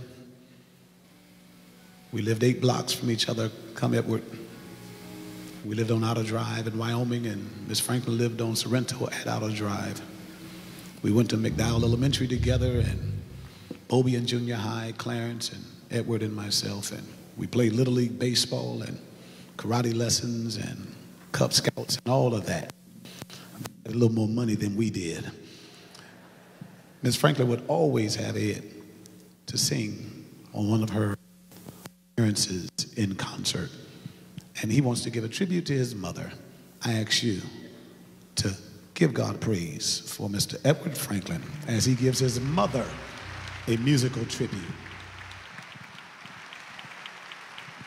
Thank you.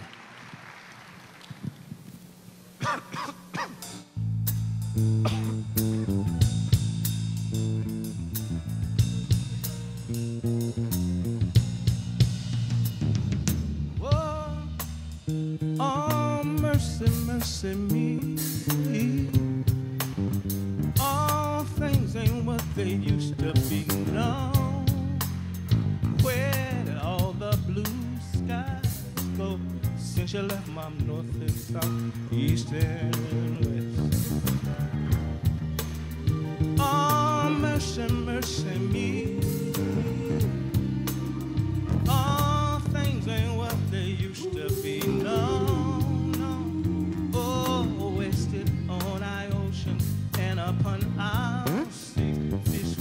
full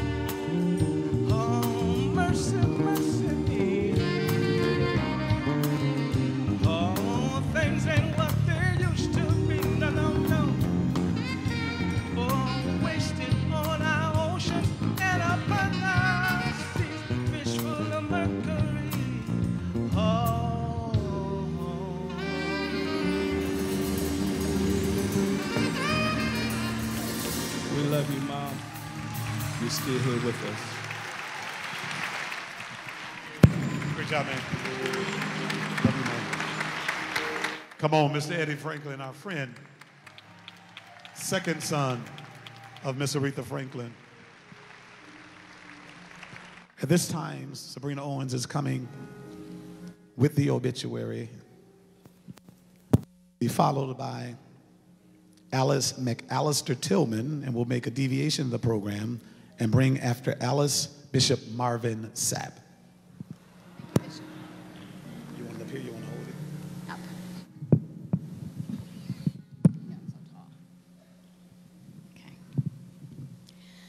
Aretha Louise Franklin. Aretha Franklin is a giant of soul music and an American national treasure who continues to be revered around the globe. One of the best selling musical artists of all time, having sold more than 75 million records worldwide, the undisputed Queen of Soul. She created an amazing legacy of more than six decades. She has sung before heads of state and foreign royals and gained admiration from fans, colleagues, and fellow artists across all genres. She is both a 20th and 21st century musical and cultural icon who is known all over the world simply by her first name, Aretha. Her vocal mastery and artistic excellence have been recognized numerous times over the course of her distinguished career. Aretha is the recipient of the USA's highest civilian honor, the Presidential Medal of Freedom, as well as an 18 time Grammy Award winner, the recipient of the Grammy Lifetime Achievement and a Grammy Living Legend honor. She was the youngest individual ever to receive the coveted Kennedy Center honor, the first female inductee into the Rock and Roll Hall of Fame, the second female inductee into, into the UK Music Hall of Fame, and an inductee into the Gospel Music Hall of Fame. Aretha was the first woman and fourth artist in history to achieve 100 R&B Billboard charted singles with her version of Rolling in the Deep. Aretha has been proclaimed internationally as the voice of the civil rights movement, the voice of black America, and a symbol of black equality. In 1968, her spiritually uplifting voice was heard around the world singing at the funeral of civil rights icon Dr. Martin Luther King Jr., and in 1972 at the funeral of Queen of Gospel Mahalia Jackson. Aretha's acclaimed voice was declared a natural resource of the state in 1985 by the Department of Natural Resources of the state of Michigan. Aretha would later reach a milestone in her historic career by singing at the first inauguration of President Barack Obama. Aretha's powerful, distinctive gospel home vocal style has influenced countless singers across multiple generations and musical genres, justifiably earning her the number one position on Rolling Stone magazine's list of the greatest singers of all time. Aretha Louise Franklin was born on March 25, 1942, in Memphis, Tennessee, the fourth of five children born to Reverend Clarence LaVaughn C.L. Franklin and Barbara Vernice Siggers, and was raised in Detroit. Aretha's father served as pastor of New Bethel Baptist Church in Detroit, Michigan from 1946 to 1979.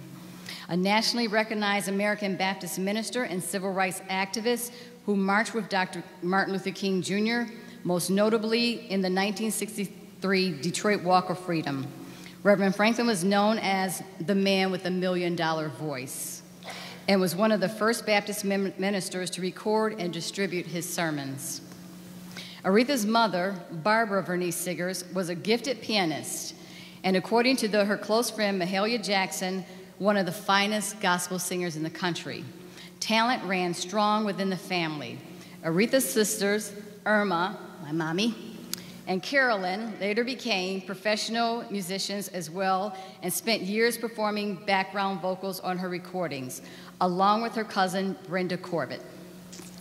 Her brother Cecil became her manager and maintained that position until his death in 1989.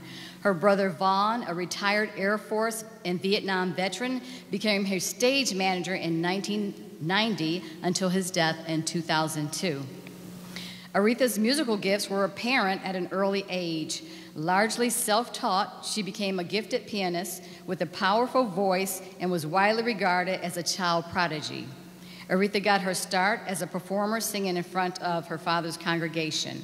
By the age of 14, she had recorded some of the, her earliest tracks at her father's church, which were released by a small label as the album Songs of Faith in 1956.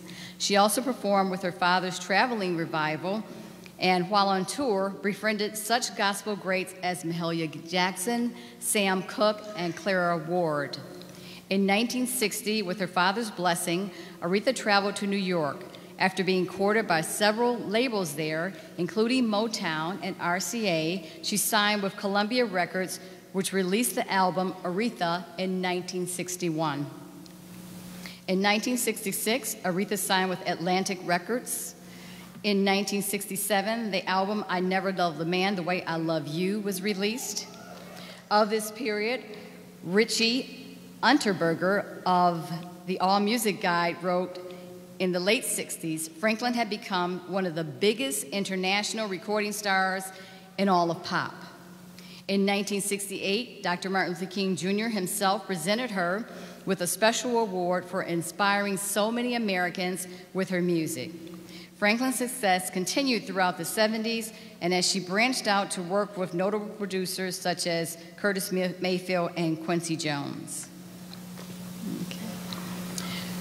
Her string of top charting hits during the decade included Call Me, Don't Play That Song for Me, Spanish Harlem, Bridge Over Troubled Waters, Angel, and Daydreaming, just to name a few. In 1985, Aretha returned to the top of the charts with the platinum certified album Who's Zoomin' Who. In 1987, Aretha became the first female artist to be inducted into the Rock and Roll Hall of Fame. Aretha continued to amass Grammy milestones. In 1991, Aretha received the Recording Academy's Grammy Legend Award. In 1993, Aretha was invited to sing at the inauguration of Bill Clinton, and the following year, she received both a Grammy and a Lifetime Achievement Award. In 2003, she released her final studio album on Arista, So Damn Happy. Okay. In 2008, she received her 18th Grammy Award for Never Gonna Break My Faith. In 2009, she performed My Country Tis of Thee at the historic inauguration of President Barack Obama. Over the course of her career, Franklin was, I mean, has supported a large number of charities and av- advocacy organizations, including the NAACP, Special Olympics, Feeding America, the Rainforest Foundation, and the Barbara Davis Center for Childhood Diabetes. Aretha's artistry has also earned her a number of academic distinctions. Among them are honorary degrees from both Harvard University and New York University. Aretha transitioned this life on Thursday, August 16, 2018, in Detroit, Michigan, surrounded by her friends and family.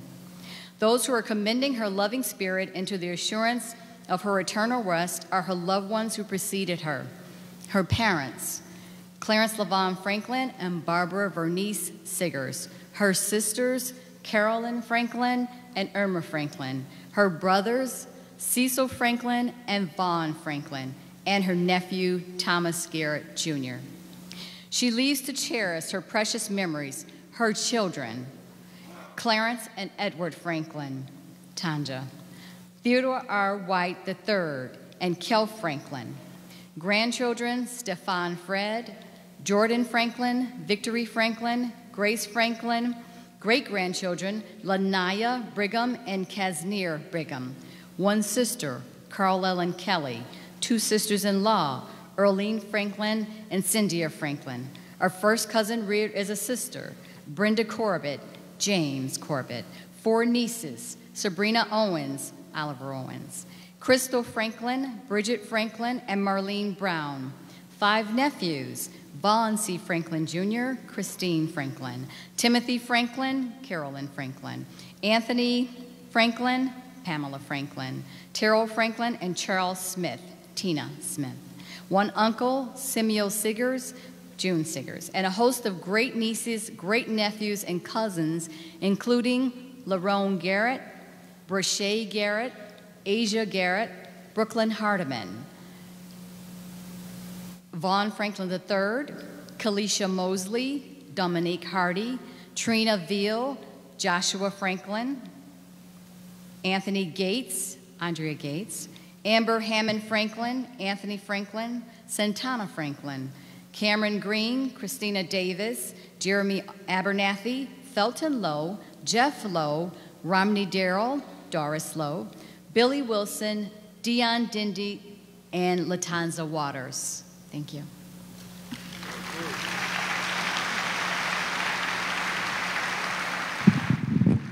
While they're setting the harp in place, I want all pastors and ministers who have come from all over this country, please stand at this time and just acknowledge all of these men and women of God who have come to be a part of this great celebration. We thank God for each and every one of you. I know we acknowledge all of our congressional delegation as well. And I didn't look and see to my right. I was looking and I didn't see the councilwoman, I'm sorry, congresswoman, who has been attacked like never before.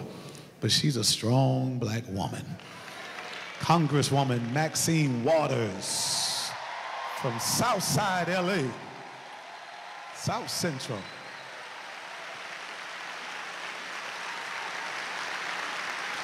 Everybody just point over there. Tell her we got your back. Come on, say it till everybody hear you out there. We got your back.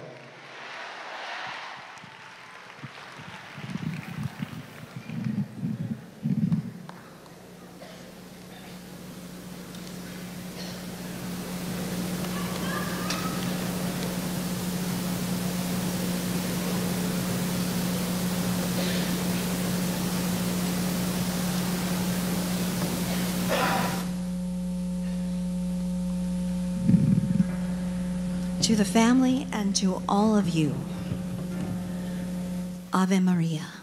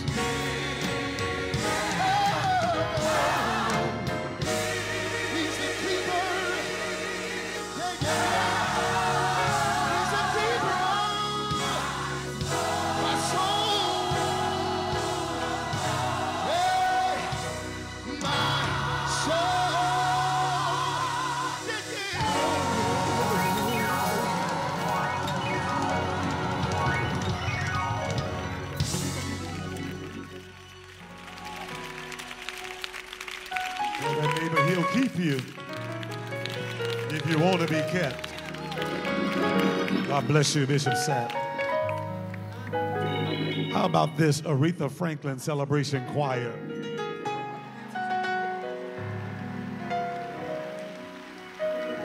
At this time, we call to this podium and to this desk the former U.S. Attorney General, Eric Holder.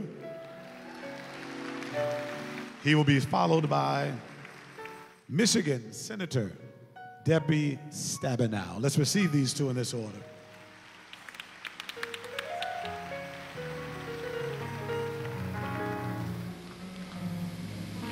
Good afternoon.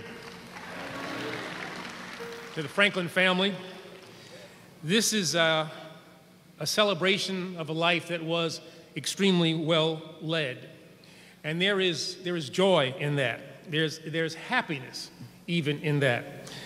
But I, I cannot ignore the sadness that I feel in saying goodbye to a woman I was privileged to know and who I long admired before I ever had the chance to meet her.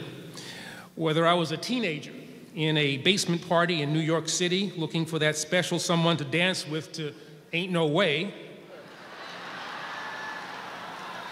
or a departing Attorney General of the United States surprised and delighted that she came and sang America at my farewell ceremony.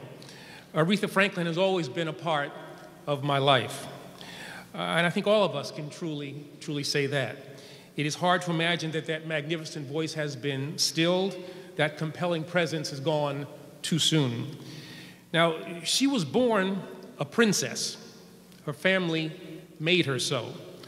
But it was through her talent, determination, and care for others that she became a queen. Her, her family shared her with Detroit. Detroit shared her with America. This nation shared her with the world, but she was always ours. She was always ours, our princess and ultimately our queen. The issues that mattered to her were the same concerns of a people proud of her and who she never forgot. She was that rare queen who never lost the common touch. She could drop her fur coat on the stage of the Kennedy Center in front of those with great power and great wealth and continue to care about the plight of poor, unfairly treated people in forgotten parts of this country. In her voice was shared the joys, the sadness, the pain, and the faith of a people. Through the power of her artistry, her voice became universal for all people. Now, you felt that in her music. It was lyrical, it was sweet, it was earthy, it was sensual, it was righteous, and it was powerful.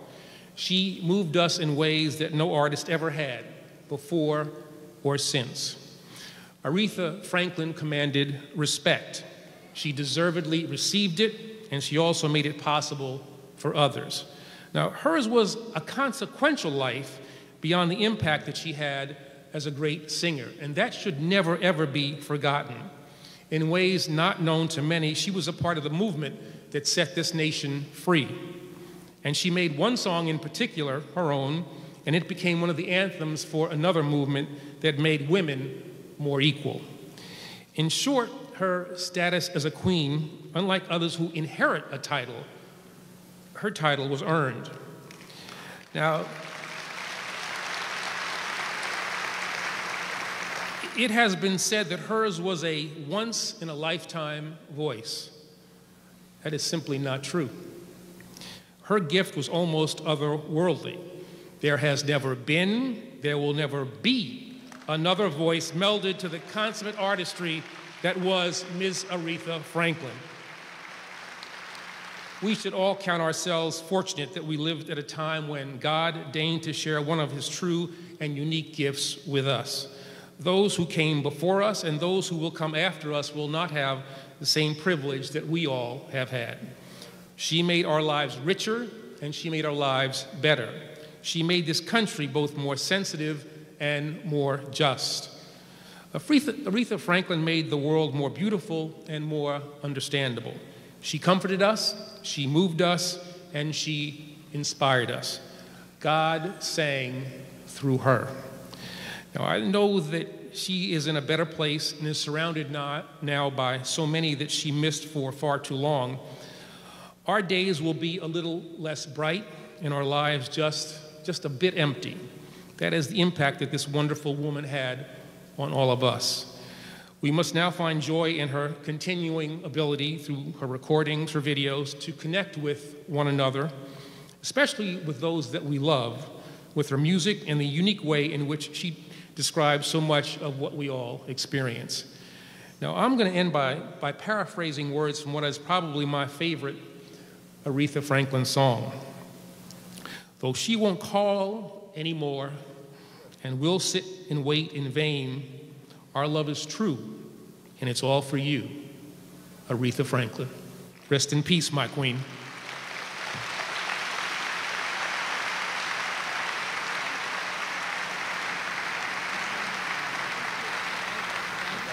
Thank you, Bishop.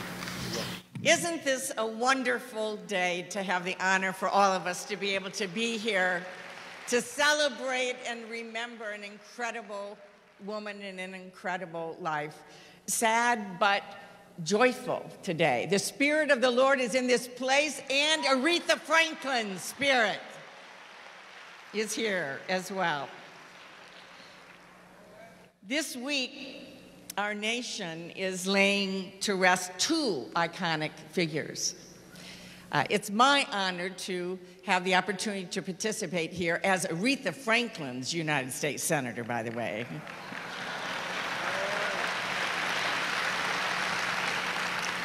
In a while, I'll fly back to be a part of Senator John McCain's funeral tomorrow.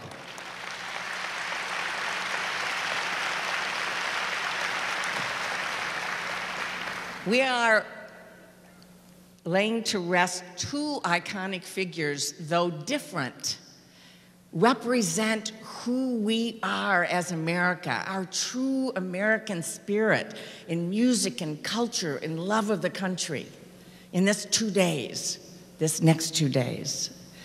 America is big, America is bold, and nobody had a bigger voice or a bolder soul than our Aretha.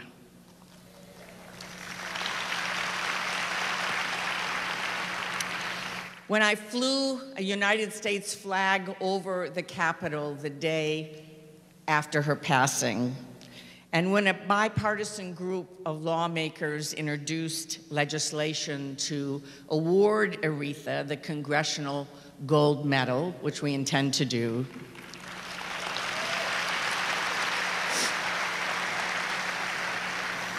we weren't only honoring her legacy as a musician, as you know. Instead, we were honoring her remarkable voice, a voice that stood up for justice, that stood up for equality, that stood up for civil rights, for doing the right thing for people. When you see it and when you don't see it, quietly and loudly, doing the right thing while touching the hearts of the world. I treasure each and every opportunity I've had over the years to witness and to be with Aretha, watching what she did best.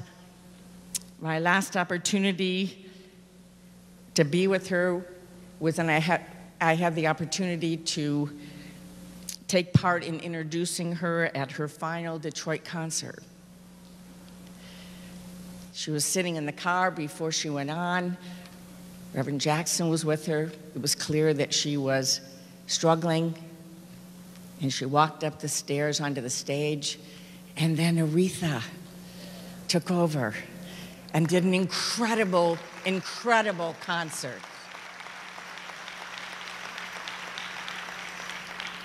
And I was there in 2015 at the Kennedy Center Honors when Aretha strolled onto the stage with jewels and furs and floor length fur, sat at the piano,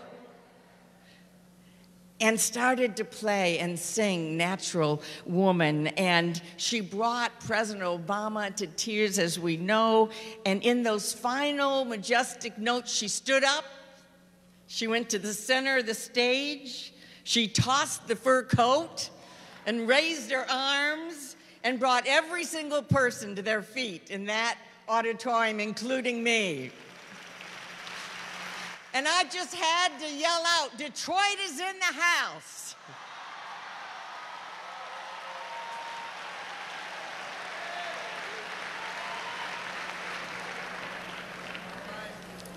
We've lost a legend. Yet we can take comfort in the fact that Aretha's voice will always, always be with us in so many different ways. Aretha Franklin was the undisputed queen of soul, and this city, this city is and will always be her kingdom. God bless each and every one of you in the Franklin family.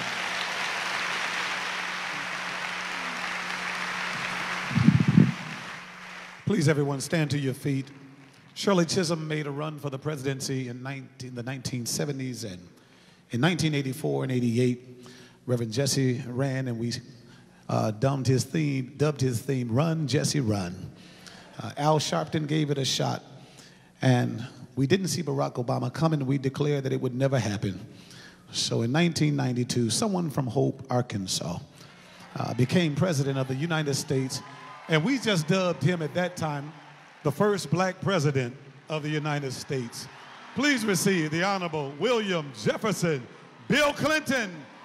Give God praise for Lady Hillary Clinton here as well.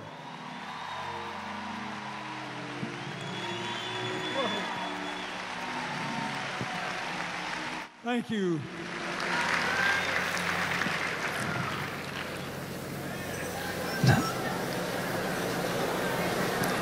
Thank you, Bishop. Reverend Smith, Mrs. Ellis, members of Aretha's family, for giving Hillary and me a chance to show up and just say,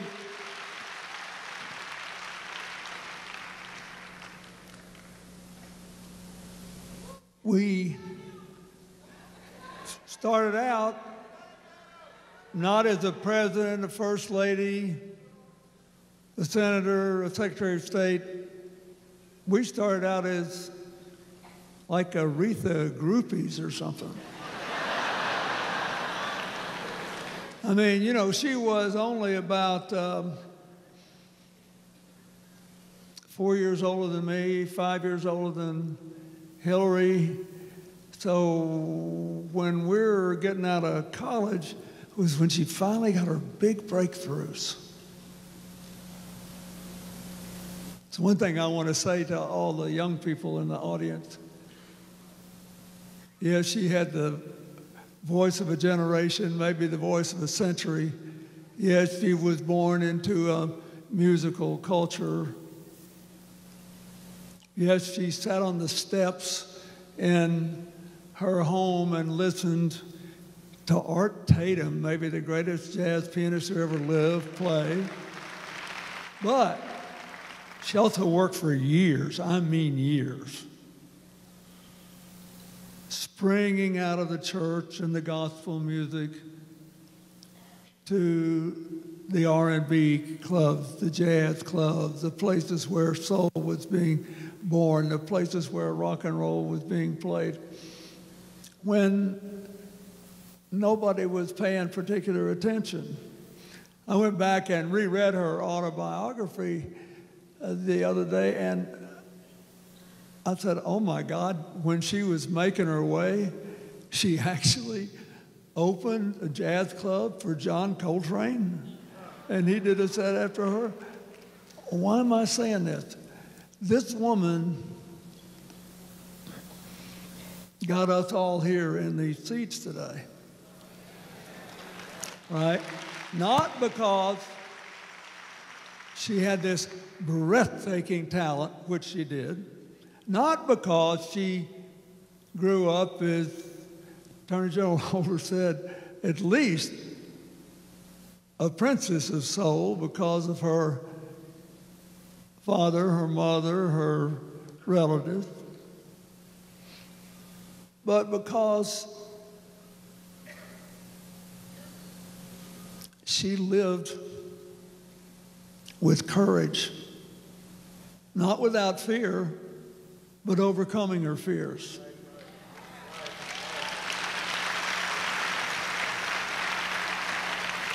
She lived with faith, not without failure, but overcoming her failures.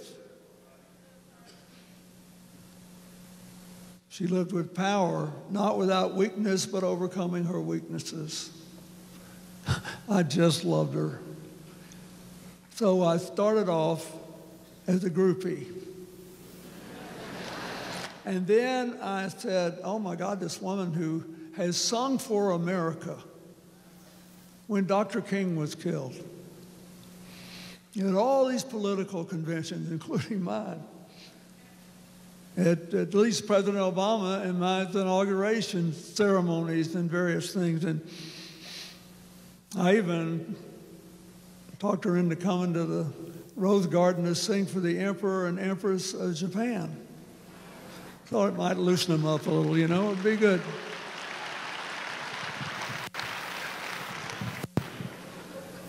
Okay, so I figured out, I think, that the secret of her greatness was she took this massive talent and this perfect culture that raised her and decided to be the composer of her own life song. And what a song it turned out to be.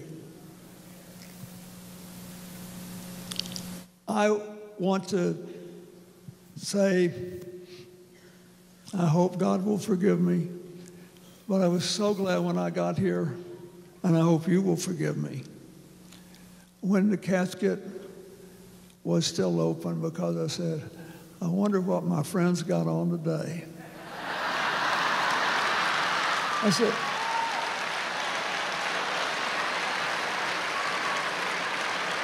I want to I want to see what the girl is carrying out. One last thing. For all the wonderful things Aretha did for me, all the great events she appeared at, my most enduring memory of her was almost happenstance, for I was there at what turned out to be the last public singing she ever did. At Elton John's aid benefit last year, in the Cathedral of St. John the Divine in Harlem, just a couple of blocks from my office. So Elton John and I had done a lot of work together for a long time on AIDS, and he asked me to come. I showed up, and I said, "Well, you know," and he said, "Aretha's the, the talent," so I showed up a little early. And I was like a grade school kid. Here I am, you know, old gray-haired guy. So sure enough, she heard I was there, and she summoned me back. And she's sitting there, I mean, obviously desperately ill, gaunt. She stood right up and said, How you doing, baby? I said, Well, I'm doing, I'm doing better now. And she said, she said, Well, look at me. I finally got thin again. I took a lot of guts to say that. And then she went out into this setting. And all these people who loved her and were awestruck and said, Can you believe she showed up? And she sang not one song, not two songs, not three songs. She had to bring a chair out and she sang for 45 straight minutes.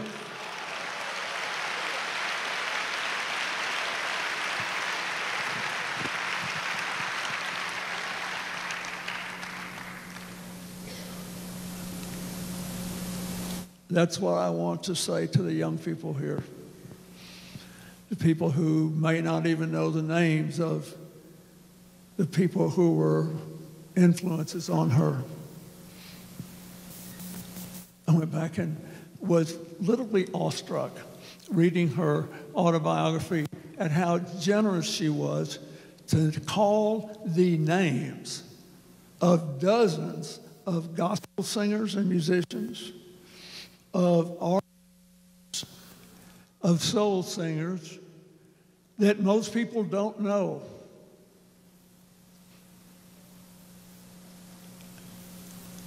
And to say they're underappreciated. She kept filling out her life. But I'll never forget her. She stood up singing in that cathedral when she could. She sat down when she got tired. She even went over and played one song on the piano just to make sure none of us forgot that she was real good at that.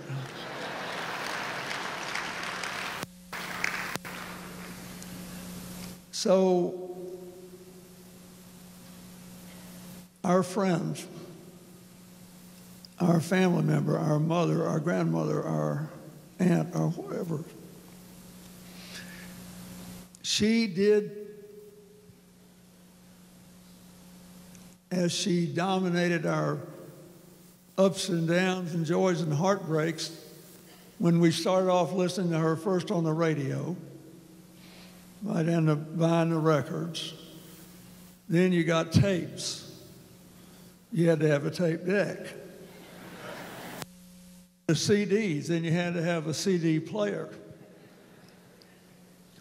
Now all you need to do is carry one of these little phones around. If you're as ancient as I am, it seems incredible, all the music in the world right here. But she did this great thing, knowing she could not live long. And she even told the audience that that day she had gotten a good medical report. I have no idea if it's true or not because it was after I left her. But I know one thing she wanted them to sit back, relax, feel good, and listen to her sing and not worry about how long she was going to live. Now, we're living in a time where a lot of the virtues I just described to you are not very much in fashion. She cared about broken people. She cared about people who were disappointed. She cared about people who didn't quite succeed as much as she did. She wrote about them all in her book.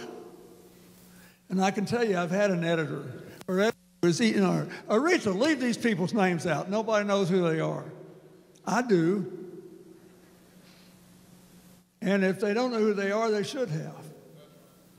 So, this is what I think you should remember in this time about this magnificent woman. She worked her can off to get where she was. She took the gifts God gave her and she kept getting a little bigger every day. So, it's the best I can do.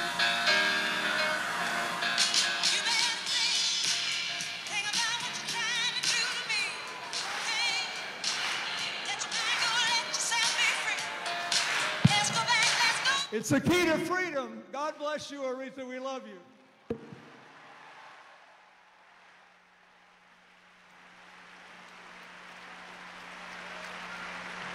the one and only President, the President of the United States, President William Jefferson Clinton. At this time, Audrey DuBois Harris is going to bring to us one of the hymns of the church.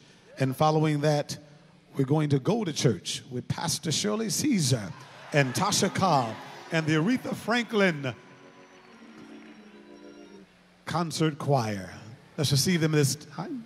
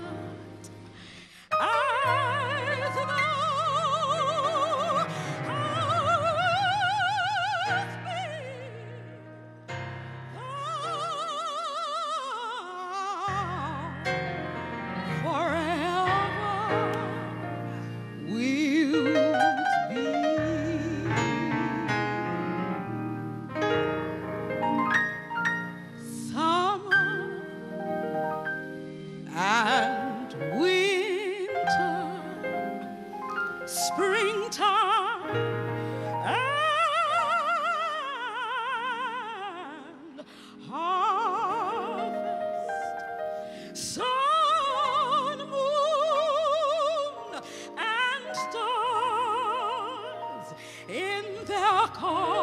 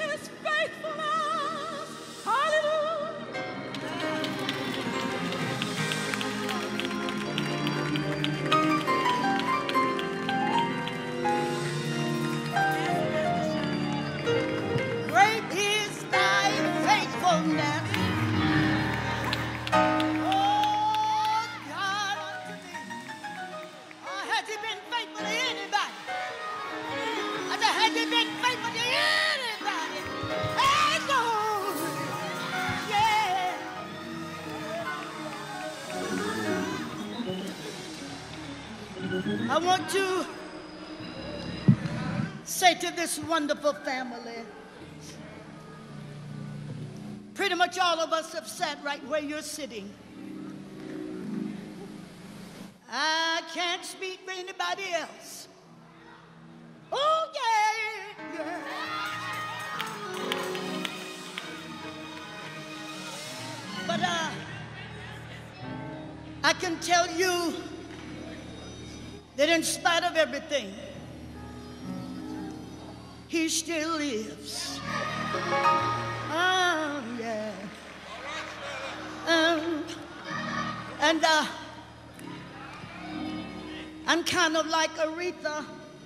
When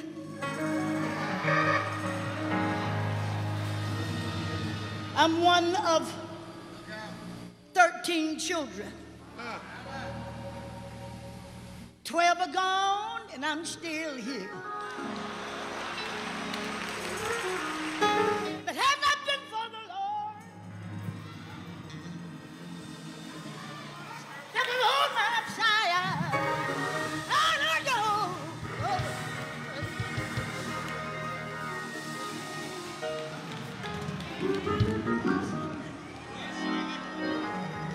To say to the family to be absent from this clay house is to be in the presence of the Lord. All we can say is sleep on Aretha. There's nothing that we can do to turn it around. I often wonder when I see people on their deathbed and they breathe their last breath. I just have to believe that God grabs that last breath. I saw my mom when she breathed her last breath. When she let it go, God grabbed it. So I want to say to the family, be not dismayed. Whatever tired, God will.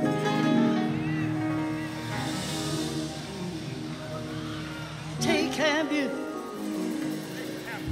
I want to say to the family, I can't tell you not to cry because God knows how to take those tears, wash our misery away.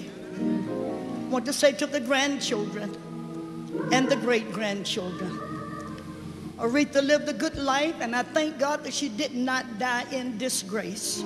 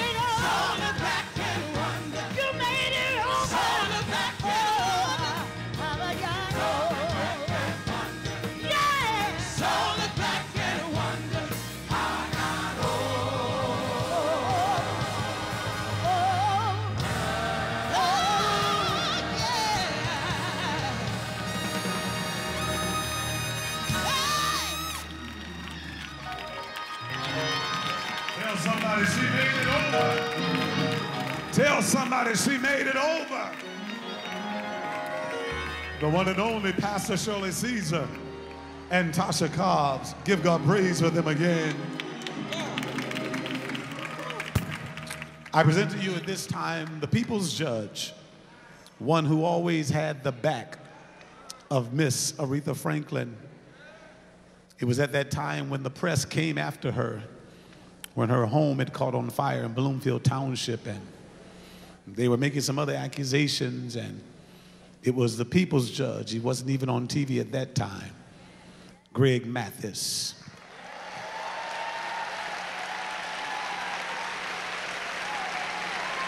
He called me at that time and he said, Bishop, we need to call Reverend Holley and we need to call a press conference because we need to take the press to task for Miss Aretha Franklin Give God praise for one who had her back. Judge Greg Mathis. He'll be followed by Reverend Dr. Jim Holley, who will be followed by Brenda Lawrence, and then the Reverend Donald Parsons. Let's receive them in this order. Thank you, Bishop. As you heard, we call him first. Give a big hand to Bishop Ellis. Brought my program up here. Tyler Perry tried to buy it so I wouldn't sell it to him. I better keep it in my hand. Aren't, isn't this a great privilege to be able to participate in the homegoing of the woman who has been named by every credible source as the greatest singer of all times? Isn't it a great privilege? God has blessed us to be here.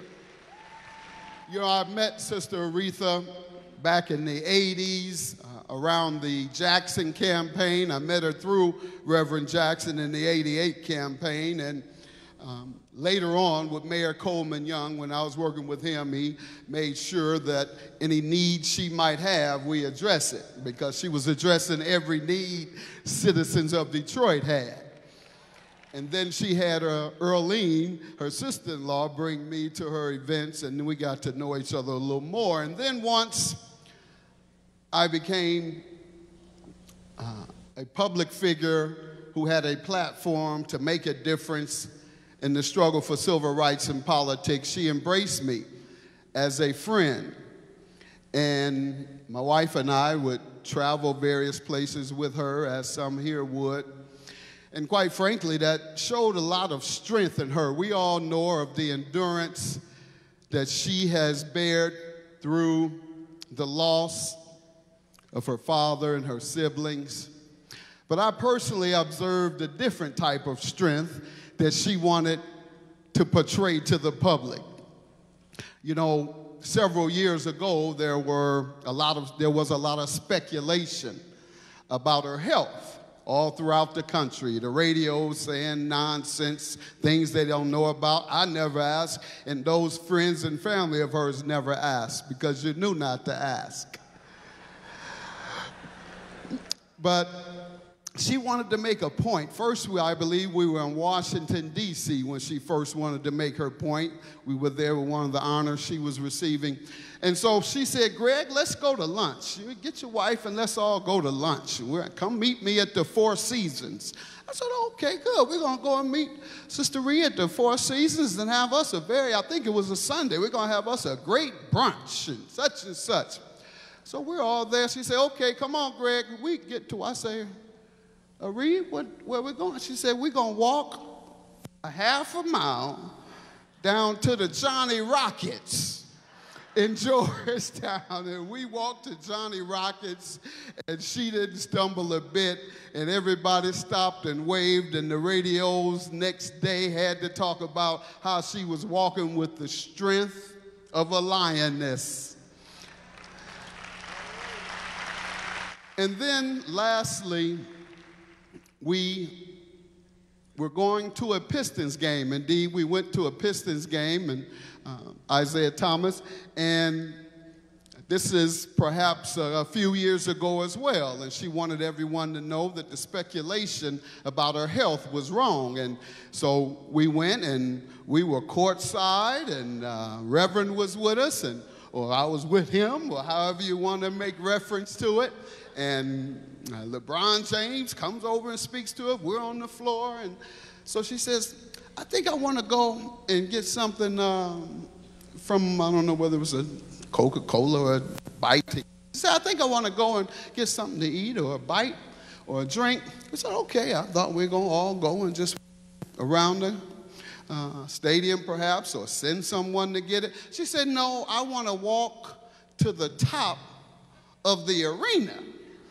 Let these folks know how I really feel.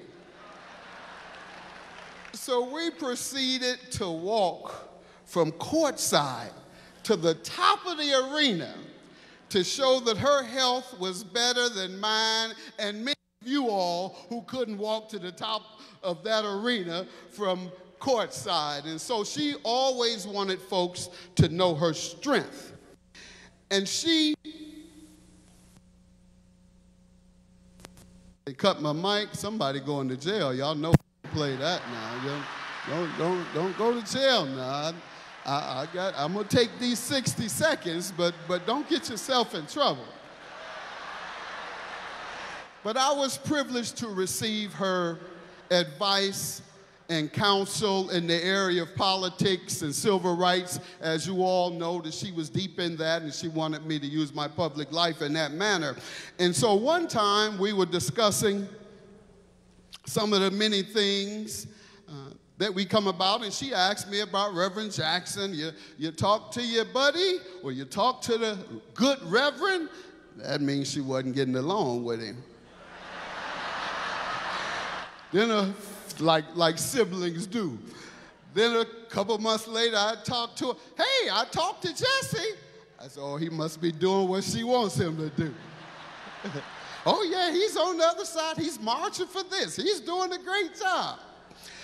And so she would call me quite frequently, about monthly, and I, most for the most part, had to wait on her call because the few times I'd call her, I'd get my feelings hurt because her number had been changed.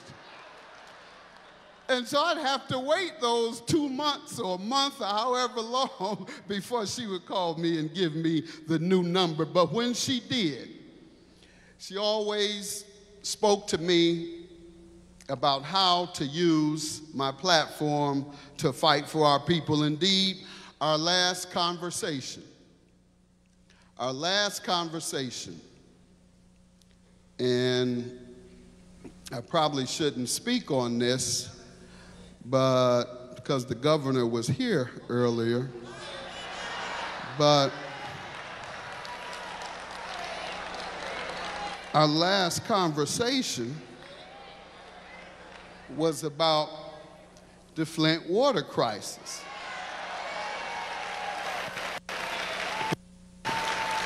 Where we know now that the governor's office ordered that the city of Flint be taken over, they changed the water supply and it poisoned the people. So we talked about how in the last couple of months they stopped distributing bottled water. Have not replaced the pipes, maybe 5%, but distributing bottled water. So we discussed it, and I, she said, yeah, they've stopped distributing the water, Greg. I said, well, yeah, Sister Ree, I may have to get on up there and fight again, and such, cetera. I say, but you know, they got me a little bit last time on television. They said, the judge, you out of your, oh, you out of order. That's not your fight. Stay on television and he, he, and ha, ha, and entertain us. So I said, I don't know, Ree. She said, what are you, you scared? You're supposed to be from Detroit. What you scared of? So, in that vein, her last words to me were taken, and this is the honesty. This is honestly the case. Her last words were taken from the greatest song she's performed. And somehow it made me feel that she respected me. Because the words she gave, when I told her, okay, I'll go back up there, she said, yeah, Greg, you go back up there and you sock it to him. So, in honor of my sister, I'm going to Flint and I'm going to sock it to him, sock it to him, sock it to him.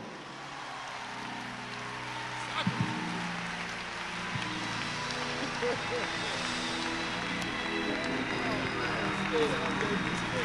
job, baby. Let the church say amen. Let the church say amen again. My sisters and brothers, we are here today not because Aretha died, but because she lived. I worked three days working on my remarks. Shirley Caesar got up and I was shouting. Somebody took my marks. I've been looking for them. Evidently, I just need to tell you it comes off the, off the cuff. I think it was a great wise woman by the name of Maya Angelou that said, I think it's still, the words that she said is still the test of time. She said there will be people that you will forget how they make you, how they really, what they do for you. Uh, every now and then you'll find people that they may do other things for you, but they'll never make you forget how they make you feel. And I think it's true with Aretha. We'll never forget how she made us feel.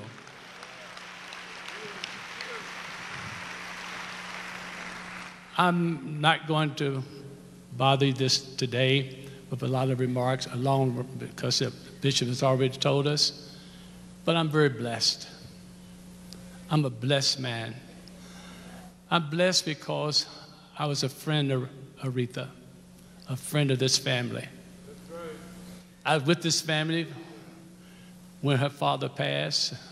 I was with her, with her two sisters, her brother, and I was with her when she passed. I'm a blessed man because of my relationship with the family. I love me, Sarita. Let me tell you again, I really love me, Sarita, Aretha. And Aretha loved her some Jim Holley. Finally, I had told my church that I was having a, had to have an operation, a reconstruction of a stroke that I had. And they were basically wanting to do another reconstruction of, a, of the surgery. And lo and behold, guess who called me? She had her caretaker, Beverly, to call me and ask me how I'm feeling. That's like three weeks prior to this. She was asking me how I was feeling. I said, Retha, surely that's not, yes, I'm asking you, how do you feel? That's the kind of woman she was. I just want you to know, my sisters and brothers, that we all have different experiences. And we're here because of how she made us feel. But I want you also to know that she's been in some of the most sacred and most profound places in this world. And she never forgot Detroit. Yeah, yeah.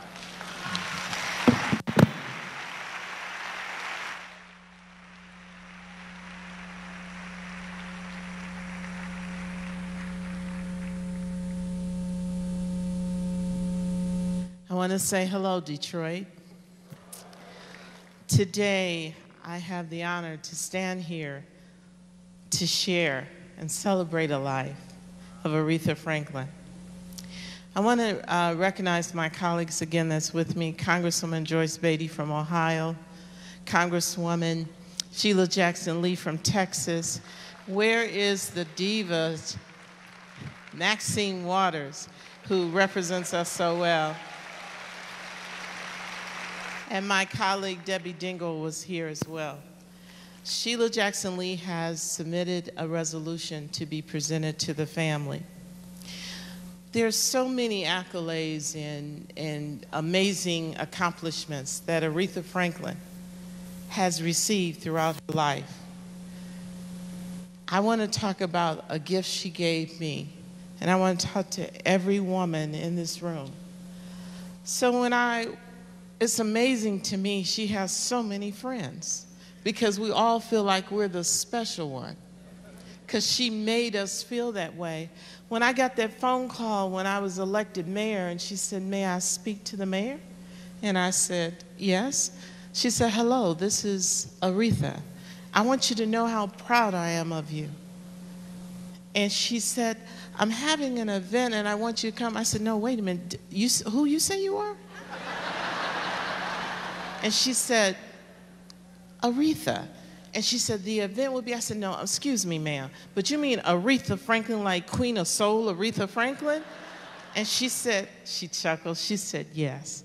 I said, oh my goodness, anywhere you want me to be.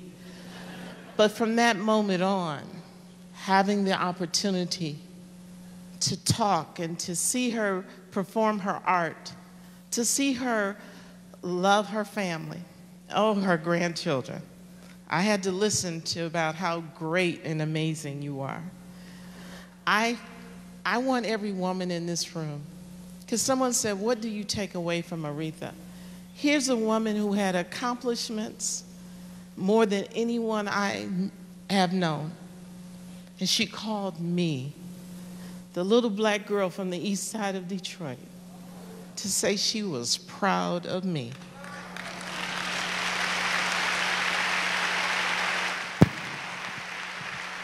So, to every woman in this room, it's about a woman being strong enough and confident enough to put her arms around other women.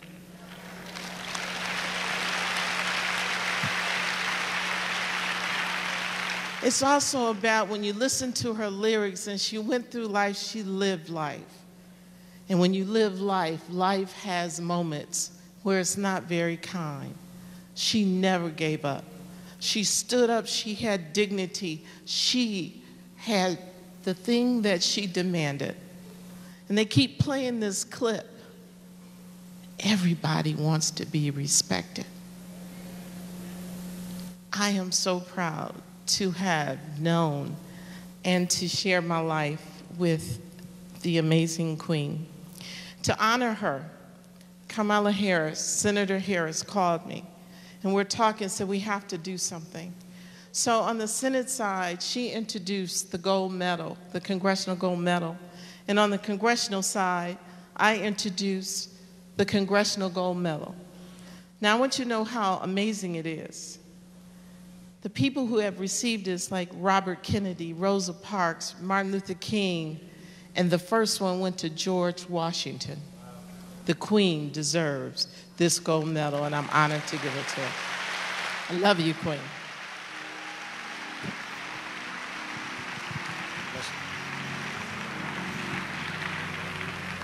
Thanks, Bishop. God bless you. It's a wonderful time to celebrate the life and times of Aretha. My reason for standing here is because Aretha was an awesome individual, Aretha the unique, Aretha the incredible, uh, Aretha the incomparable, uh, Aretha the rarest gem of all, with amazing abilities to make all of us feel exceptionally special. She was a special person. I've always felt uh, from a lot of years a part of this family. I met Aretha a couple of years ago when I was 17. what happened? it seems like only a couple of years ago when I was 17 and met Aretha after one of those youth days on Fifth Sunday at New Bethel, way back in the day with Sister Lucille Lemon and Thomas Shelby and Pastor CL. That was a whole lot of years ago. I felt a part of this family since that point. Uh, I had a lot of meals at the Queen's house. When I wasn't there, I was over at Cecil's eating uh, Earlene's croquettes. Awesome times with this family. I'd look up a lot of sons, and Eddie sneaked over from Detroit over to Chicago to church. We'd get him back and put him on the bus and send him back home after church was over. This family was, was my family, but Aretha left a tremendous legacy, a legacy of unique skills and abilities, the way she nuanced the notes and cajole, cajole of the words and the lyrics, her ability to move at any register and shape the tone to her own voice and take ownership of the song was an amazing skill. There was absolutely no one like Aretha. She was our musical therapist. With the fingertips of her melodies, uh, she touched our passion, our pain, and our protest. She had this unusual ability to to take you to church no matter where you were. And she'd find a way to get you to church, whether it was I never loved a man or do right woman, it didn't matter. Before it was over, Aretha was going to say, The doors of the church are open now.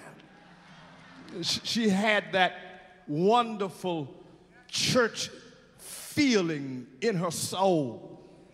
There was no one like her, and I don't believe there will ever be another like, like Aretha. She left us all, we believe, too soon, but she gave us enough to make it on uh, in her absence, and we've got to thank her for that. The celebration is amazing, but when the celebration is over, I can tell that some of you are going to have moments when you're going to find yourself at a place and time of reflection, and those moments are going to challenge your emotional strength. And I thought that a lot of other people will come and they will continue to augment what we already know about Aretha. But for her global fan family and for the families situated here in this room today, I'd like to just give you a little medicine for your mind and a strategy for your grief. I, think it's important that you not just leave here with memories of the celebration as the only echoes of Aretha's presence, because many of us have not found out yet how to manage our misery. And I thought I would just give you a few pointers along the way, if it's okay. I first want to just suggest that most of us have spent so much time thinking about living, we've not thought about dying at all. And so I'd just like to remind you that sleep is a death you wake up from every morning. And death is a sleep you'll have to be resurrected from. I- just thought you'd like to know that God has given us the ability to share intimate moments with people we find a part of our uh, genetic pool and we're bound together by commonality of blood, personality, and family roots. Thank God for all of this. But at some moment and time in life, these earth suits we have, just like a person needs a space suit to escape the atmosphere, you cannot survive in the genetics of our own atmospheric conditions without an earth suit. And at some point in time, you will have to give up the earth suit. Because after all, we're only spiritual beings having a human experience. And I thought it would be important if I just told you a couple of things to put you at ease. Death one is the admission we pay for living, except we pay on the way out instead of on the way in. What I'd like to tell you is this. First, death does not hurt, life does. Scoot your chair up and stay awake. Death does not hurt. Dead people don't cry. Dead people don't have pain. Thank God that God has given Aretha the freedom she needs to soar. After all, you'll remember, and I remember, that Aretha had phobias, and we discussed it about flying. She took a lot of lessons, invited me and a lot of others to come over and get on that flight with her from Metro Airport, then she changed her mind. I remember that, but I'm here to tell you she's lost her fear of flying today. She's no longer afraid to fly. Matter of fact, I've simply come to tell you I know that we've spent a lot of time saying she's departed. But I've come to tell you she's had a status change. She's no longer with the departed, she's now counted among the arrived. So, whatever you do, don't play that departed song no more. Because she's arrived. Well, how do you know she's arrived, Pastor? The, the scripture says to be absent in the body is to be present with the Lord. let me tell you these three things before I use my, my time allotted. Death does not hurt. Life hurts. So don't, don't have any fears or any apprehensions about Aretha's state of mind. She's free from hurt at this moment. And authentic love has a desire for the one who is loved to have what is best for them and not what is best for us. We've got to want what is best for Aretha. Secondly, I would tell you that the people who leave us are happier than the folk they leave behind. She's the only, she, she's excited about where she's gone. And the only reason you are not is because perhaps you've never read the brochure. If you'd read the brochure, then you'd want to go where Aretha's gone. Finally, I would say to you, she has not gone to some place. She's gone to someone.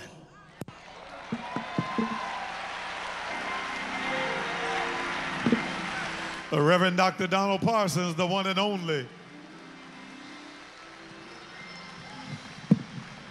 At this time, while we're ready and preparing to receive the music ministry of Chaka Khan and Ronald Isley, I want to just have bring uh, Mother Fanny Tyler up quickly. Uh, Mother Fanny Tyler. And listen. God bless Miss Aretha Franklin uh, to rise to an astronomical height where she has met all kinds of individuals, including presidents of the United States, kings and queens. But she never forgot those individuals who she counted on back at home. This is Mother Fanny Tyler. This is the one that Miss Franklin trusted to send her messages. This is the one that Miss Franklin trusted to deliver the mail. This is the one that Miss Aretha Franklin wrote checks to and gave to, and she delivered to many of us. When they called me and would tell me that there's a Fanny Tyler at the front desk, I say, send her up. Because I know she didn't want no counseling. She had a check from the Queen, 10,000, 5,000. She'd hand me that envelope and say, the Queen says she still hear them joy bells. Keep on doing what you're doing.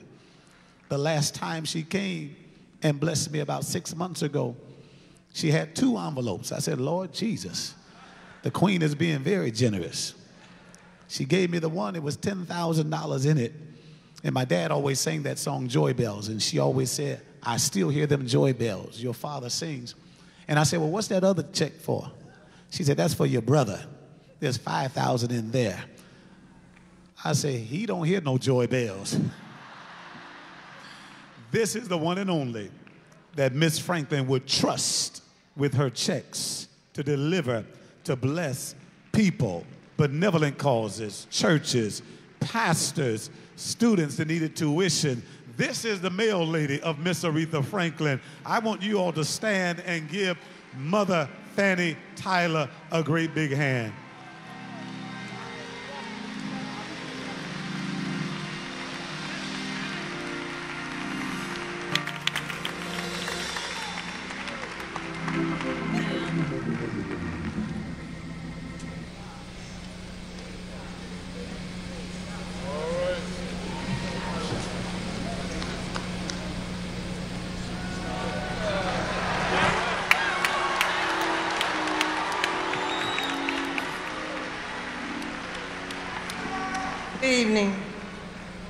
Afternoon.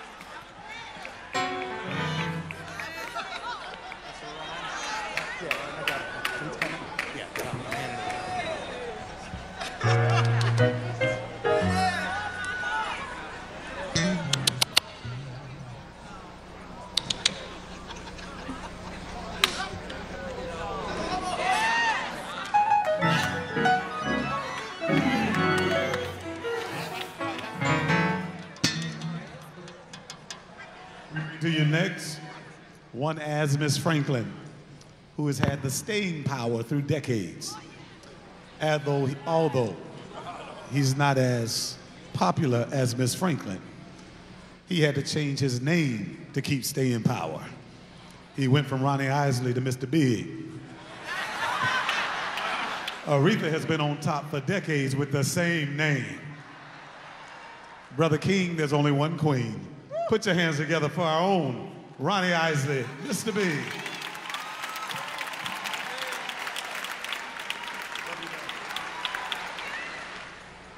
Lord have mercy. you know, Aretha, she would ask me, what you gonna sing? I say, well, uh, I'm gonna sing something soft or something. You know, have you ever heard the Clark sisters? Lord have mercy. And I just just the celebration here tonight is just ooh.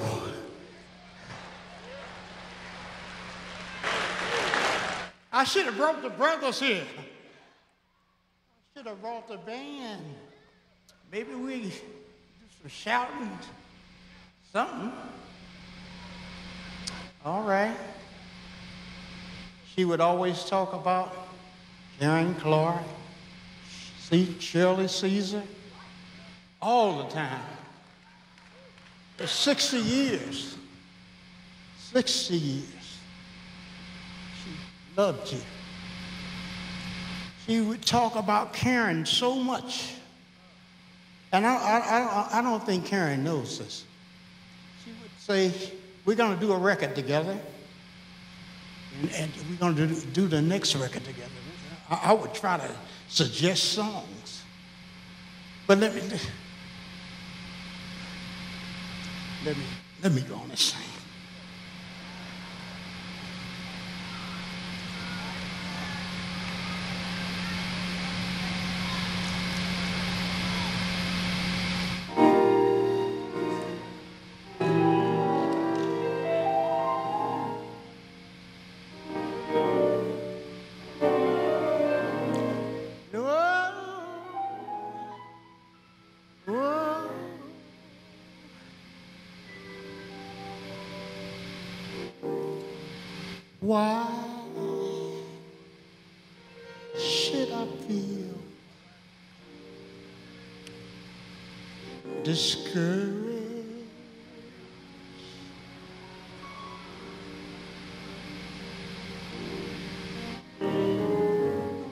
Why? Why does the shadow shadows all come? No, why does my heart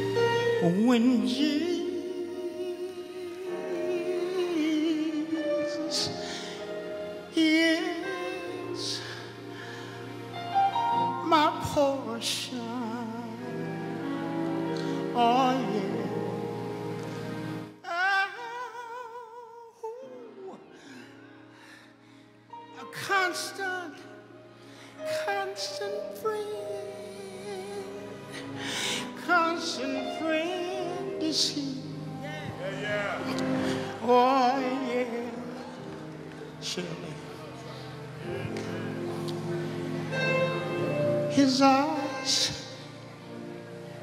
All right, His own sparrow. Sparrow. And I know he watches, watches me.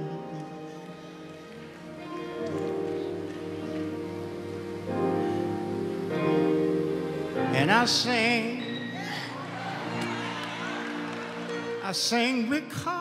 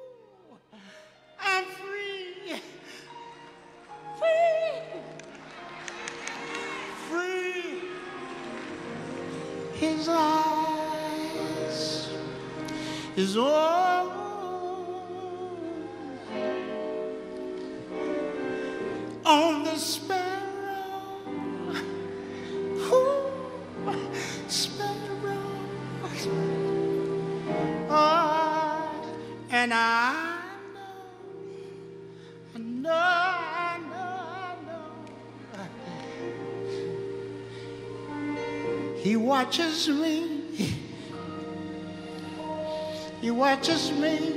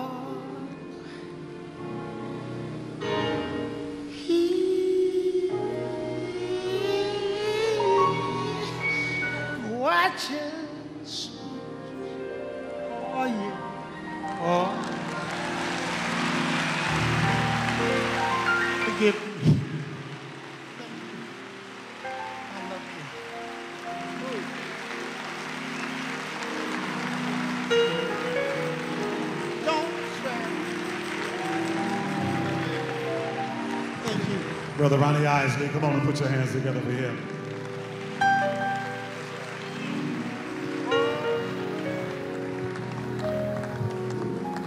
Miss Franklin, when she decided to move back into Detroit, she moved back into Detroit in the early 90s on the Detroit Golf Club course.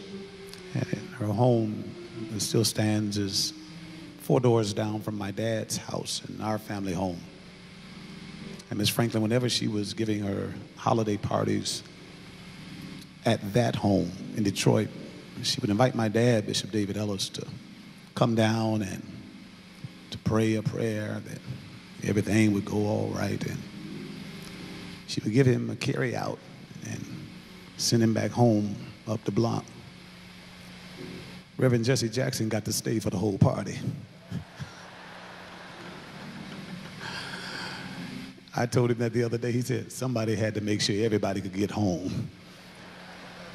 He has been a champion for civil rights down through the years.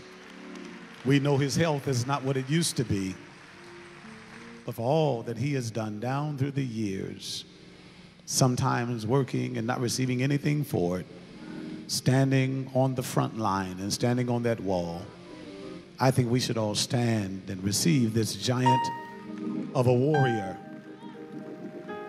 for the urban community, for those who cannot speak for themselves.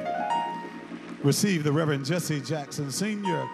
He'll be followed by the Reverend Dr. William J. Barber II.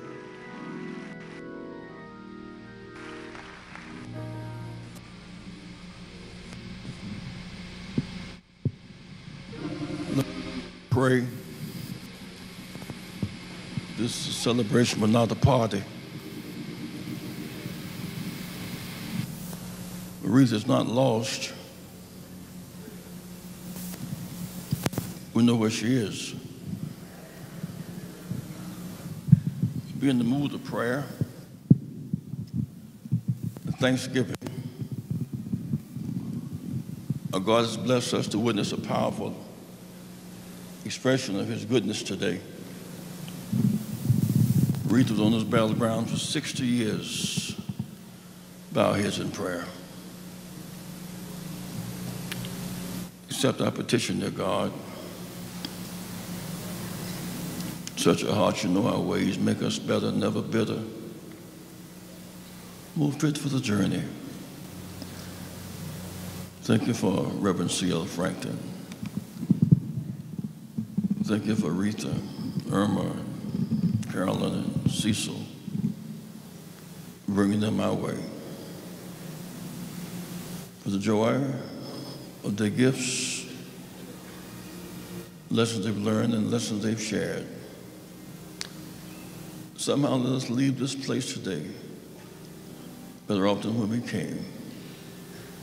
We fall down, we get back up again because the ground is no place for champions, and so we rise to higher heights. Amen. I was asked by the family to give some personal reflections. Known the reached almost 60 years, a lot of reflecting. I want uh, Sabrina to stand again after these months of uh, decline and going down the hill. The one to put all this stuff together has been Sabrina. Give Sabrina a big hand, won't you please?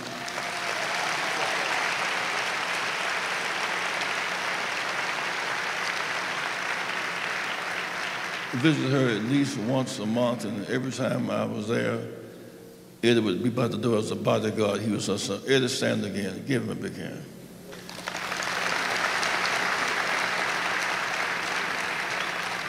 Cousin Brenda. Send send Brenda, just singing, Sam.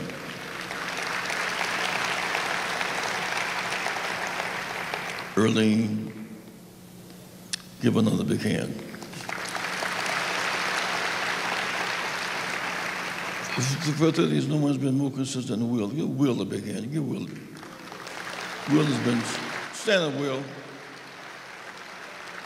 He's been a trooper. Also want to, in the pastoral sense, thank the, uh, the funeral home. Uh, Aretha was very sick to the end. Uh, I was sus- suspect that we should not open the body. But this funeral home, the Swanson, they've done a tremendous job. A big hand for O'Neil Swanson and his family. Big hand for O'Neil Swanson and his family.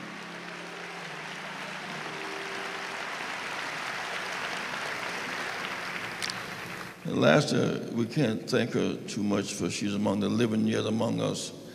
Another hand for Maxine Waters. Maxine, stand again, please.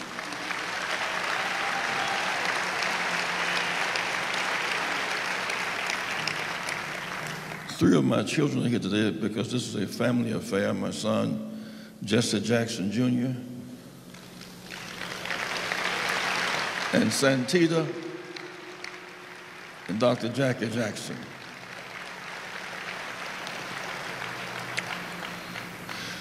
It is a holy privilege to stand before you today. Painful to stand before Aretha, this hour of celebration. I want to honor the family's wishes and protocol and keep my remarks as brief as I can, but it is about reflections, and I want to give the room for Reverend Jasper Williams, one of the most profound preachers of our time. Uh, Reverend C.L. Franklin's funeral was, was conducted by Reverend Williams, and he maintains that authority in the family. As we enter the next phase of the phenomenal Aretha Franklin, there's much to be said and done built on this legacy that can't be appropriately said today. Death has caused another unplanned family reunion. We wouldn't be here if Aretha were not dead today. We give death too much power. We should be able to call each other and have a meeting like this and share.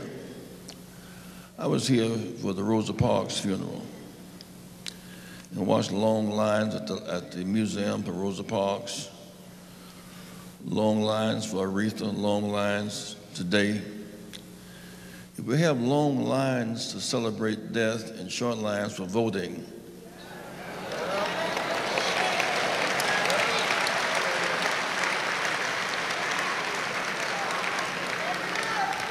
we lost Michigan by 11,000 votes. 100,000 Detroit unregistered. Long lines at the death of the icons and short lines for voting, something is missing.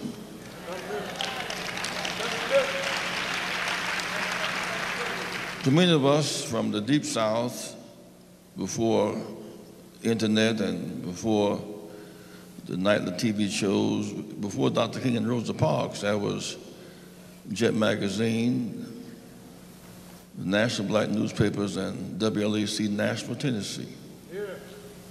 Every Sunday night at 11 o'clock, Big Hoss Allen from Nashville would put on a- an hour of C.L. Franklin. Uh-huh. He was our hero. The traditional sermons, Eagle Stirreth the Nest, Prodigal Son,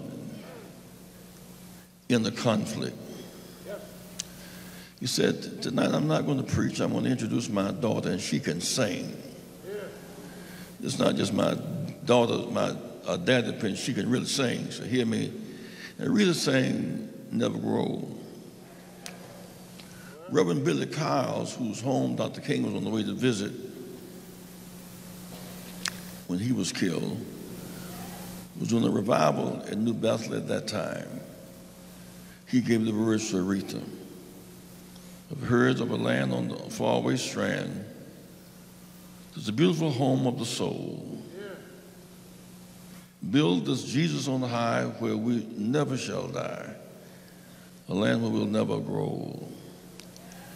It was a dark Sunday night in South Carolina, yet when it's real dark, the stars shine most clearly. That night, a star was born. Somewhere between Nashville and eternity, we heard a voice from heaven, 14 years old. Aretha was our queen. She belonged and belongs to us. She was blessed to have the powerful gift of singing, perhaps the most remarkable voice, unique the world has ever heard. Arturo Toscanini, the Italian conductor, said of Marian Anderson that a voice like Marian is heard once in a thousand years. Aretha's in that zone of once in a thousand years. And she did not shy away from Ave Maria. Uh, from that point on, she only required to be called Aretha. Reverend Franklin sent her to school and she took music lessons and cultivated in the warmth, in the womb of most soulful singers of our time. New Bethel, Sam Cooke and the Soul Stirrers, Clara Ward and the Ward Singers, Mavis and Pop Staples. These are her. She came out of that womb. Lou Rawls and the Pilgrim Travelers, Madam Moss Clark, Ira Tucker and the Dixie Hummingbirds, Alex Bradford, Too Close, Sister Houston, Whitney's mother, sang in the background, the Winans and Reverend Craig, the Gospel Harmonettes, Mahalia Jackson, Dinah Washington, the Canton Spirituals, The Mighty Clouds of Joy and Joe Ligon. Reverend James Cleveland directed the choir at New Bethel. I really came out of this womb, Reverend Gaither and Reverend Clay Evans. She had the gifts, but she had an environment that loaned itself to her developing. She was baptized in singing, struggle, and service. In 1942, when she was born, not in Detroit, she was born on the Mississippi River in Memphis, Tennessee. The river that carried our people up and down for 246 years. Where does Aretha's soul come from? The Mississippi River. And it's cradled between Tennessee and Arkansas and Mississippi. 233 blacks were lynched in Tennessee, 492 in Arkansas, 654 in Mississippi. She was 13 when Emmett Till was lynched. What does her civil rights commitment come? She had money and could not buy ice cream. Had a car and could not stop to buy gasoline. Aretha came out of the bowels of our struggle. Her father led the big march in Detroit, 1963. Led the groundwork for Dr. King, who stayed at his home until um, March on Washington. Along with Harry Belafonte, Dr. King was facing bankruptcy. We couldn't go any further. Where was the money coming from? Couldn't get from the banks. Black banks were too small. White banks were very hostile. And so Rita and Harry Belafonte said, we're taking an 11 city tour, raise money and give you the money. But Dr. King was so unpopular, he was under such attack, we couldn't, we couldn't fill up an auditorium this size with Aretha Franklin and Harry Belafonte. We stepped on the stage in Houston, Texas. On that stage, they put tear gas in the fan where they evacuate the building. She kept right on singing. She sang for Carter, Mandela, Clinton, Obama. But she felt as comfortable singing for Albertina Walker. Because after all, before we had this level of technology, there was a Albertina Walker and Shirley Caesar and Cassietta George in the same group called the Caravans. I was called last week uh, to see Aretha. I've met with her at least a month for the last three years. Called me tonight. Jackie would say, get the phones. Aretha's on the phones. We're talking two to five. We pray a while and cry a while. When I came last Wednesday, uh, Aretha was in a coma and had not been able to wake up or move in some days. And uh, I was with Earlene. Uh, and I said, read, read, wake up, baby, wake up, baby. She opened her eyes. I rubbed the warmth of her hand one more time, kissed on the forehead, and said, it was a hard goodbye. We came back that night with Sabrina and had another prayer meeting with her. Her father's records were playing in the background. I thought as I left the last time, Shakespeare said, when, when she shall die, take her hand and cut it up in little stars, and she will be, make the heavens so fine that all the world will be in love with night. Aretha had the power to make the film directors cry. She touched all of us in a very deep and profound kind of way. As she got sicker, we would talk more and more. She would call late at night, and are you coming? I said, yes, I'm going. You bring Greg, and I'm, I'm not going to bring, bring Greg. I don't be bothered Greg.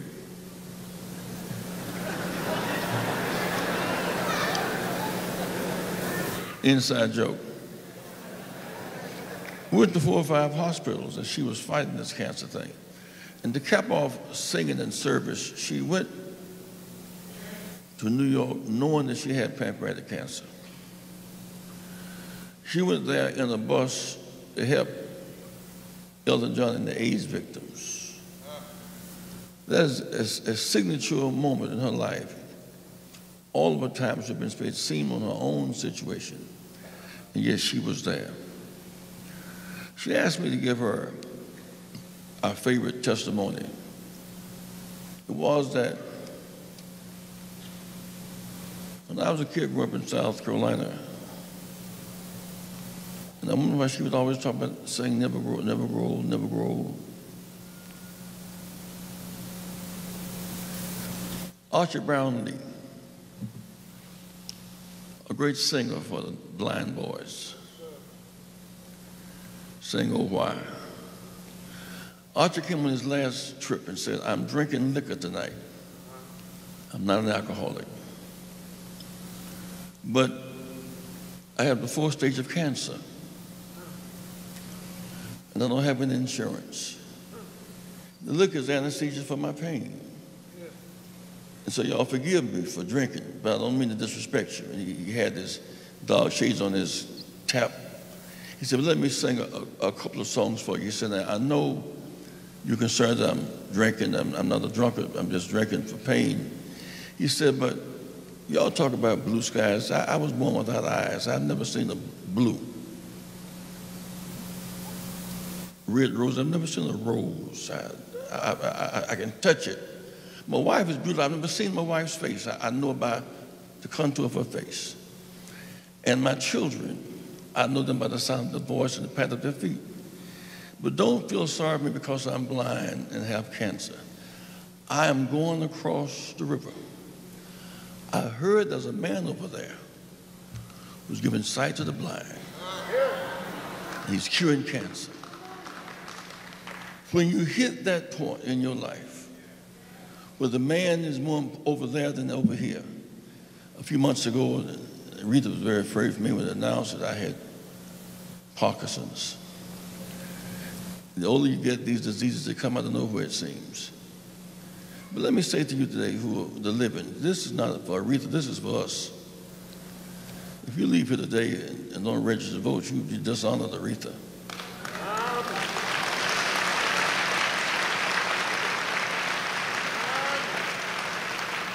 Heard all this singing and don't feel something, something wrong with you. I can only say now, when we met, we were maybe 15 years old. I'm, I'm now 77. Be 78 in a few weeks. Parkinson's is in trouble. I have the faith. I, I, the doctor said Parkinson's will knock you down. It will, but there's a God who's the doctor of doctors. Don't fear these diseases when you're getting ready to change your clothes and move into a different transition. I can say now with a level of certainty I couldn't have years ago. I once was young. I've traveled to China, I've traveled to Japan, I've traveled to the Caribbean, all around the world. I've seen, I met, worked with Dr. King, worked with Mandela. I've seen a lot and been a lot of places, but I've never seen the righteous forsaken, nor the seed beg for bread. Just sleep on, Aretha. See you in the morning.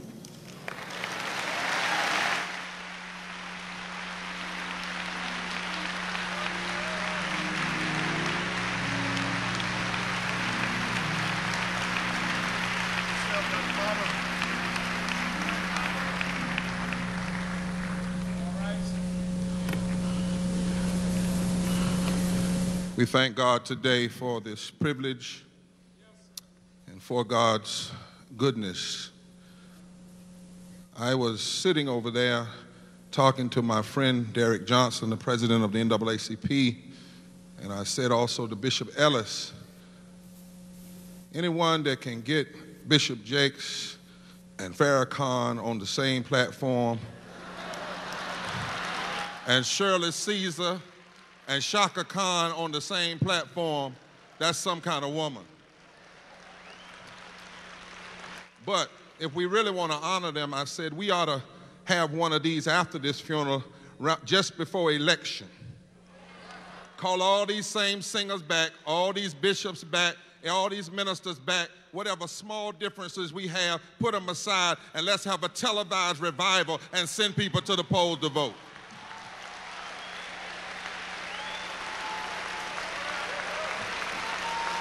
I'm ready, Bishop. Are y'all? We can call it here today in the name of Aretha. The woman who won the popular vote for president invited me to the 2016 Democratic Convention, and I spoke about this heart business. And afterwards, I got a call, and the call said, This is Aretha Franklin. I'm from Piney Woods, North Carolina. I'm not from the big city, Detroit. I hung up. I thought it was a prank call. She called back and said, Is this Reverend Barber? I said, It is. She said, This is Aretha Franklin. I said, Prove it. She sang, and I said, Good God from Zion, it's Aretha Franklin. She said, I've been watching you. You're going to preach my revival in Detroit. I said, Yes, ma'am. And we became text partners and prayer partners, and we would talk. On January 13th, she sent me a text I'll never forget. I'm working with the Poor People's Campaign, a national call for moral revival with Liz Theoharis. And she said, Doing a good job, praying for you. I want you to do my last revival at New Bethel. The next text I got from her was, I'm postponing them. Maybe we'll get them to them till next year. But I need people like you who know the power of prayer to go to the throne. In the book of Kings, the scriptures record that there was a time when the prophets of old could not declare truth and justice until the right singer sang. A certain music was needed to not only set the mood for the moment, but to open up the windows of heaven so God's voice could be heard on earth. Aretha was that kind of singer. She sang, Dr. Dyson, what W.B. Du Bois called the siftings of centuries, the sorrow songs that rose from the rhythmic cries of enslaved people. Du Bois said they are the music of an unhappy people, of the children of disappointment. They tell of death and suffering, of unvoiced longings toward a true world, truer world, of misty wanderings and hidden ways. And yet, Du Bois helped us to see through all the sorrow there breathes a hope of faith in the ultimate justice of things. The minor cadences of despair are changed into the triumphant major key of calm and confidence. Sometimes it is faith in this life. Sometimes it is faith in death. Sometimes it is assurance of boundless justice in some fair world beyond. But whichever it is, the meaning is always clear. That they, we, they sung in a way that said, sometime, somewhere, people will be judged by their souls and not by their skins. When Aretha sang, she lifted the downtrodden spirits and challenged presidents to remember the voices of millions because she sang the hope of the sorrow songs. Her voice was mixed with the joy and sadness, the tears and screams of her people down through the ages. She sang in our key, and she taught the world how to hear it. In Aretha, the holiness of the sacred and the secular came together in a way that could only be ordered by the Lord. Some say that even as the world spins, there is a certain tune to the world's orbit. Aretha tapped into that tune and taught us its rhythm. Somehow she gave you the feeling down on the inside that you were listening, as Dante said so long ago, to the love that moves the sun and the other stars. In the midst of a broken world, Aretha was our preeminent theomusicologist. She specialized in singing that moved the soul, stirred the spirit, and made us aware of a divine presence that could not be denied. And that was no matter where she sang, there was a certain sacredness. To hear Aretha in concert or at a church or on a record or on the radio in a football stadium or at the forefront of the civil rights movement was a religious experience. Whether she was singing gospel, soul, pop, or opera, there was some theos, some God in her musicology. Recently, a brother of mine, Jonathan Hartgrove, reminded us Aretha's singing flowed out of an interpretation of the Bible that condensed the collective wisdom of black people's faith rooted in resistance to white supremacy. For Aretha to have a relationship with Jesus was not to have a relationship with Trump, but to have a relationship with Jesus was always to necessarily engage in a quarrel with the systems that oppress poor people and black people and the disenfranchised. This is why Aretha's music did more to transform society in the 20th century than many Americans realize. Before Obama said, Yes, we can, Aretha sang, We can conquer hate forever. Yes, we can. Our holy, holy, oh Lord, we can rock the world's foundation. Yes, we can. Better believe it. Holy, holy, together and holy, holler love across the nation. In the midst of our nation's current moral crisis, we need again that gospel that Aretha sang. So don't put it up, keep playing it. Her singing was both spiritual revelation and skilled interpretation because she was singing from that sacred place carved from the moans and the music of the ancestors. Because she was singing the experience of a people who had to cry in order not to die. Because she was singing in the spirit, the Holy Ghost of those who sang in order to be saved. Aretha's singing challenged the dangling discords of hate and lies and racism and injustice. Her singing was liberation and was revolution in the major key. It carved out sacred space wherever she went, from the church to the club to the White House. Aretha showed us how the sorrow songs might yet save America, save this democracy, and keep us from bowing down to the structures of this world. When Aretha sang, the Holy Ghost came.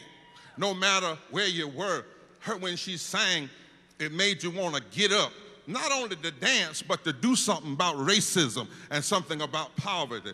When she sang, whether it was at a big concert for a civil rights rally or for an uh, inauguration, her singing made you want to fight on a little while longer.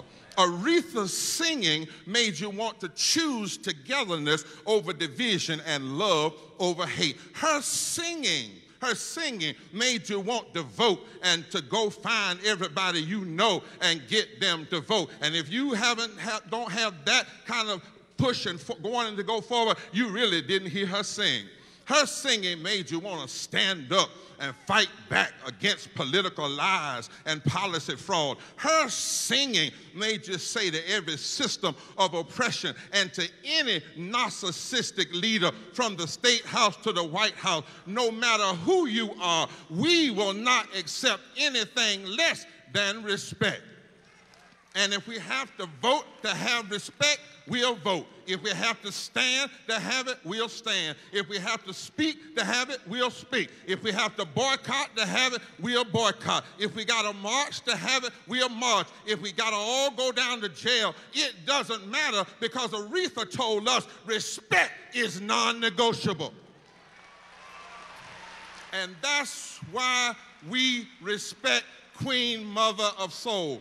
That's why the world reveres her, and it's why we will never stop remembering her and will never stop singing her song. And for the worshipers in here, those of you that know the way of the Spirit, if right now you would just tilt your spirit toward heaven a little bit, you will find out she's still singing. Lord have mercy. If she's crossed over to heaven, she's still singing. Now, she did have to go by the exchange counter and exchange her cross for a robe, but then she picked up a robe. Lord have mercy. And she went to sing with the choir in heaven. Can't you hear her still singing? Can't you hear her still moaning? Holy, holy, holy, holy, holy, holy. Lord God Almighty, she's still singing.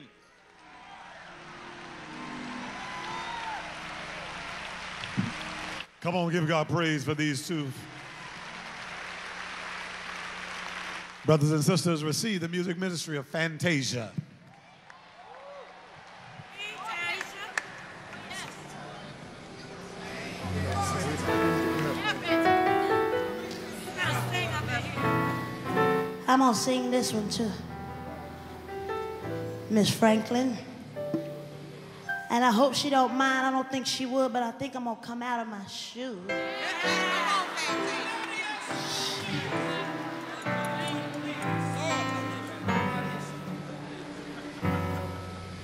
When you're down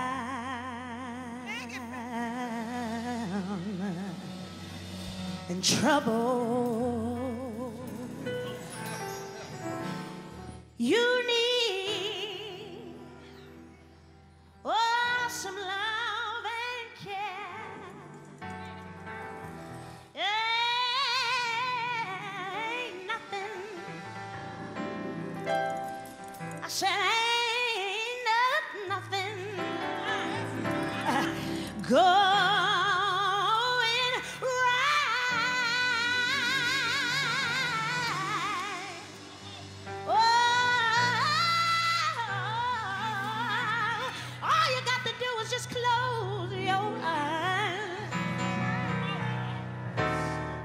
meditate on him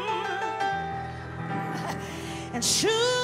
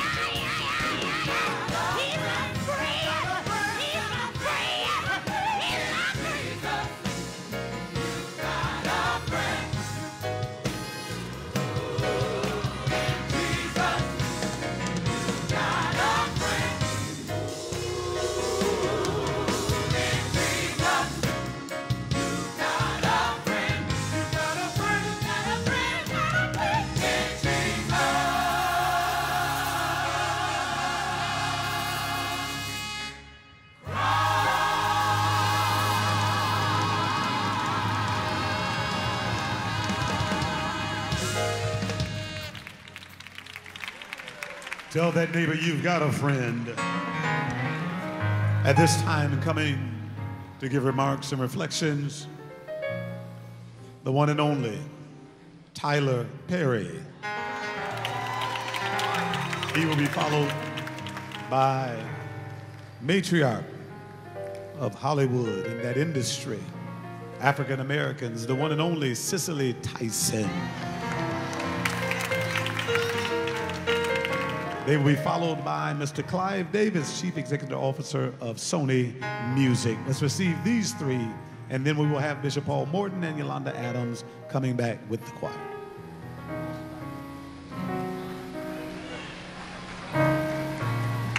God bless you, everybody.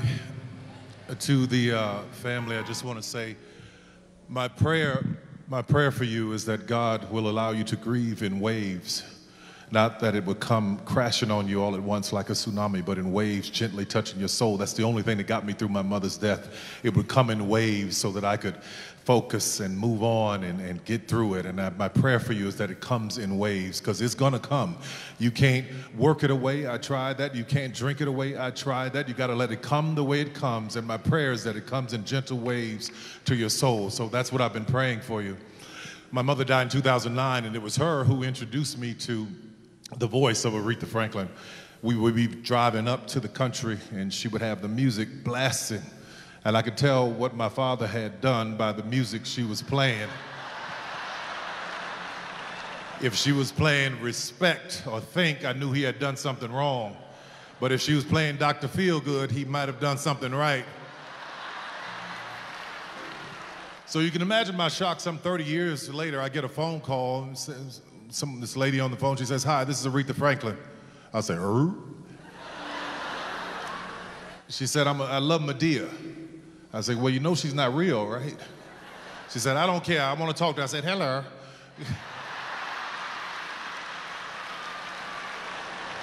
She, she loved to laugh. She would invite me to things over the years, and we would sit and talk.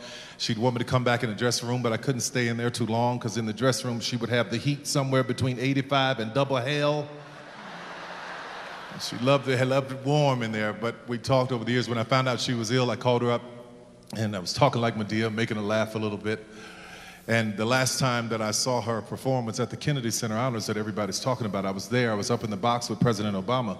She comes out and she starts singing, and all of these upright, stiff politicians are all over the place. And, but when she sang, all of that went away. All that pomp and circumstance and pretension went away. She brought them all to their feet so they can bow to the Queen of Soul. It was a wonderful moment. And as I'm standing there and I'm applauding, Pre- President Obama's in front of me, he turns to me and said, That's why she's the Queen of Soul. And I started thinking about that when I found out she was ill. The Queen of Soul, the soul, the soul, the Queen of Soul. What does that mean? Well, the soul is the spirit created by God which dwells in our flesh. So if she is the queen of soul, every what, what happened was, and we know that she was the queen of soul, what happened was every time she sang, she sang from her soul. She sang from this special place that was in her soul, be it gospel, be it jazz, be it blues, be it R&B, it was always from her soul, whatever the music genre was. But when Aretha sang gospel, uh-huh, something happened something would shake the room. When Aretha sang Amazing Grace, how sweet the sound, it never sounded any sweeter than it did coming from Aretha. When Aretha sang gospel, when she said, Oh Mary, don't you weep, oh Martha, don't you moan. I believe that Mary went somewhere and dried her own eyes and Martha went over and stopped moaning in the corner because when Aretha sang gospel, what happened was she connected with the creator, with the created. So there she was calling on the name of Jesus. When Aretha sang gospel, something shifted, something happened in the atmosphere. And what I'm glad about is that I had an opportunity to know this woman, to know that she had this power to stand in between all these different genres and touch us in all these different ways. I am grateful to her. Family, my prayer for you, I want to be very brief because I know we've been here for a while. My prayer for you is that you that, that the grief comes in waves and you can make your way through it. And I'm so grateful to God that Aretha walked this earth. I'm grateful to God that we had the fortune to be on this planet at the same time as Aretha Franklin. So God bless you. Thank you for asking me to be here. Thank you for this moment. I love y'all so much. Take care.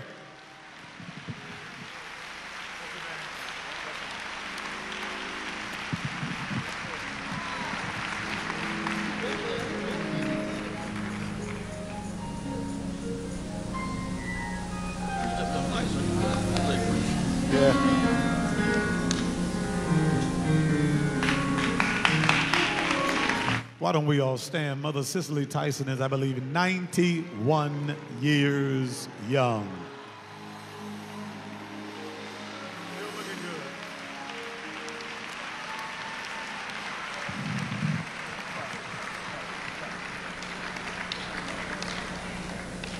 God knows we have been blessed.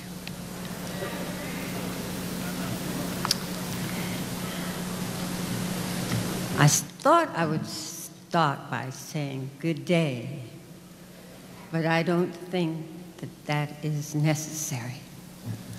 We all know what a great day this has been and how blessed we are to be here on this day. I want to offer my condolences to the family.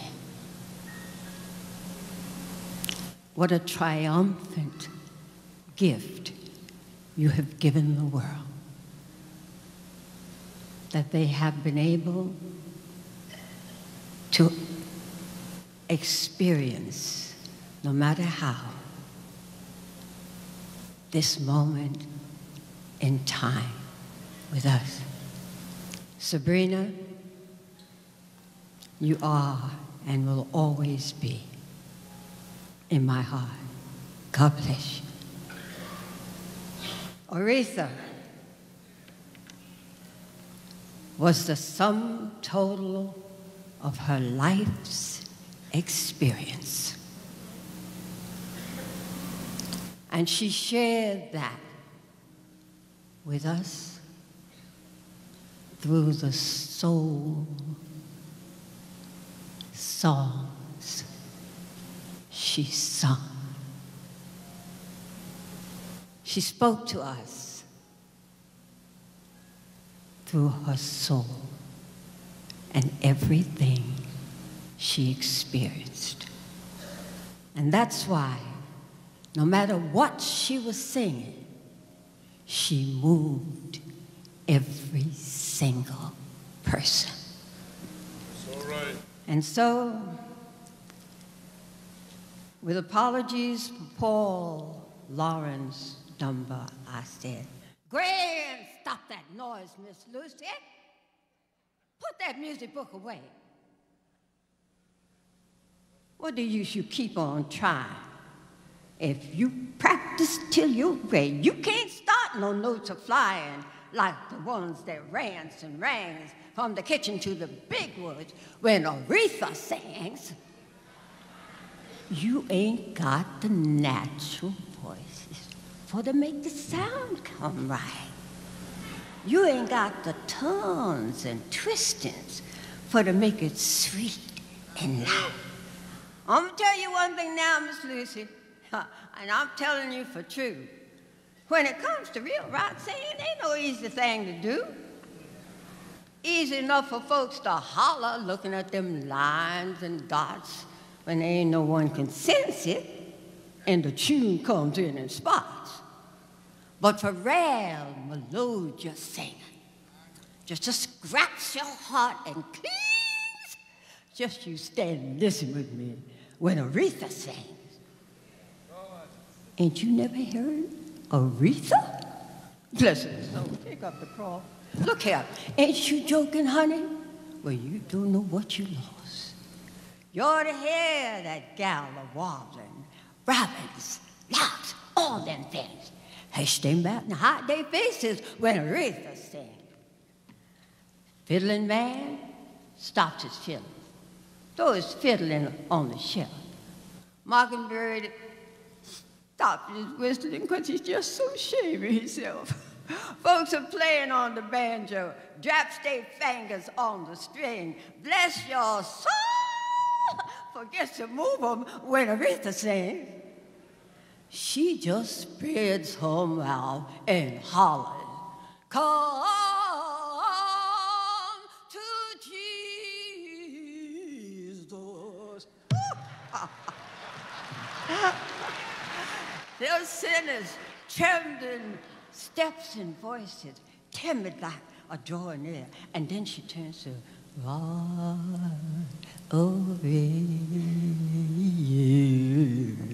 Or simply to the cross you cling. And you find your tears are dropping when Aretha sings. Who that say that on the praises with a master never works? Hush your mouth. I hear that music. Is it rises up in mountains, floating o'er the hills and valleys, way above this burying soul, until it makes its way in glory to the very grace of God? Oh, it's sweeter than the music of an educated band. And it's dearer than the battle song of triumph in the land. It seems holier than an evening when the solemn church bell rings as I sit and calmly listen while Aretha sings. Darcy, quit that bark and hear me. Maybe make that child keep still. Can't you hear the music from the valley to the hill? Oh, well, let me listen. I can hear through the breasts of angels ring. So and sweet.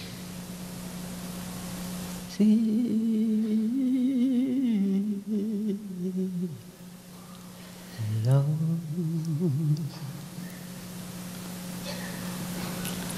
Sweet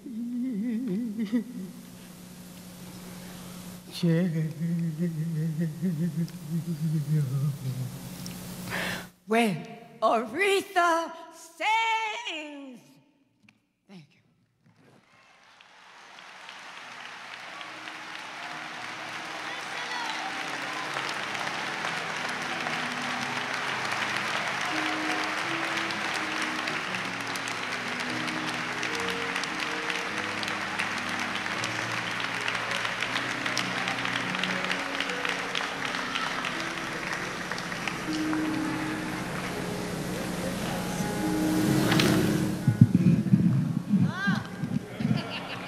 Our final speaker before we go into Bishop Paul Morton and Yolanda Adams is the collaborator and guardian of Aretha's music for the last 40 years. Need I say more? The legendary Clive Davis.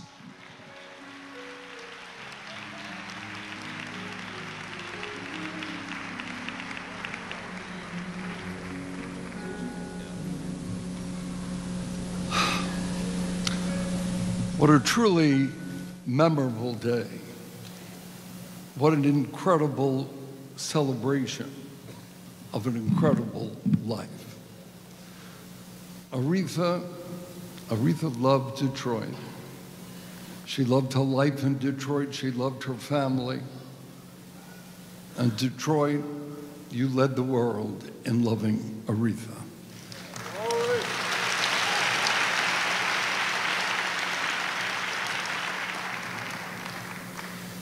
When I sat down in her kitchen, when I had dinner with the Aretha in 1979, she, she already was, of course, the Queen of Soul.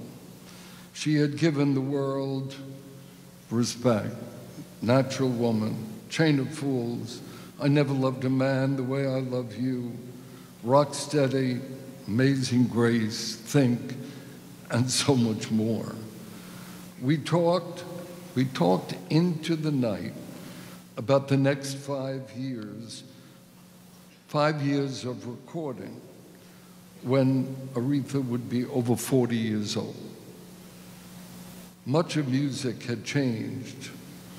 Could she still compete? Well, there was no doubt in Aretha's mind, and frankly, there was no doubt in my mind. I signed her to Arista Records, and five years turned into more than three decades.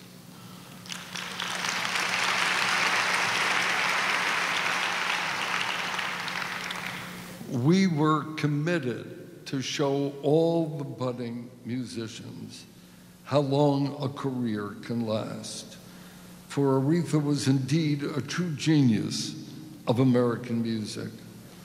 Every time, every time I was with her, whether professionally or personally, I was conscious that she was and would always be a significant part of history.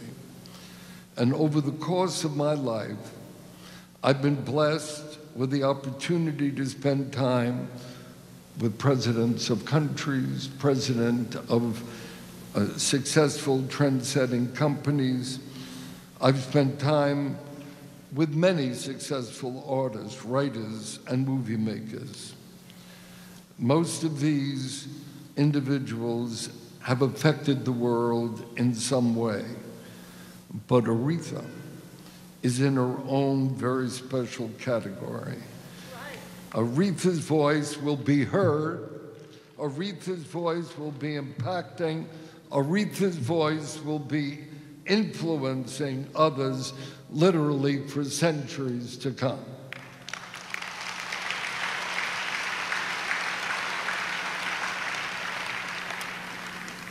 And so we got to work year after year, well into her 40s, yes, well into her 50s and beyond.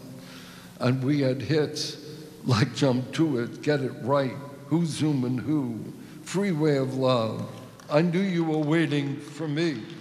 Sisters are doing it for themselves. A rose is still a rose. Aretha would once again have number one records, gold albums, platinum albums, and several new Grammy Awards. She relished, she really relished and cherished every moment of it.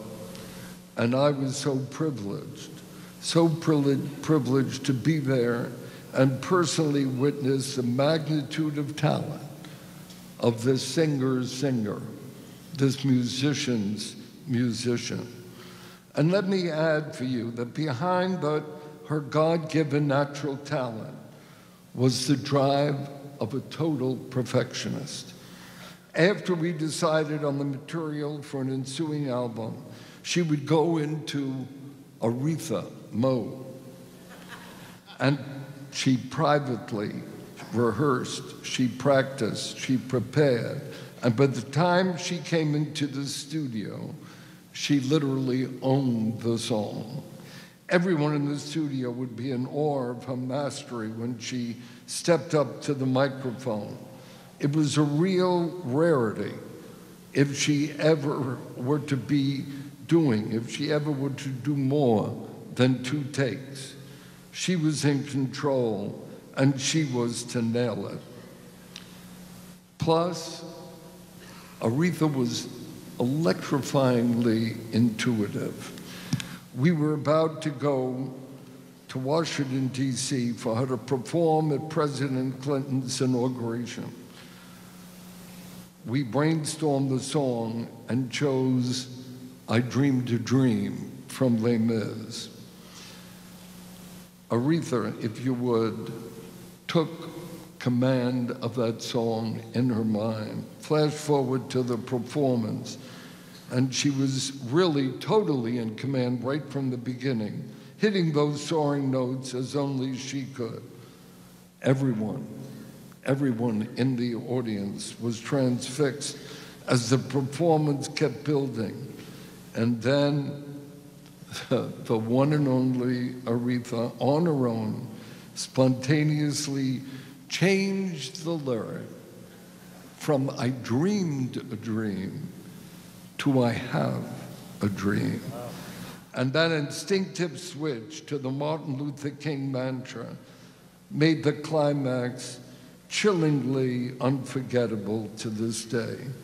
Aretha was being Aretha in a class by herself. So today, Today, on this very special day, permit me to talk of Aretha, the person.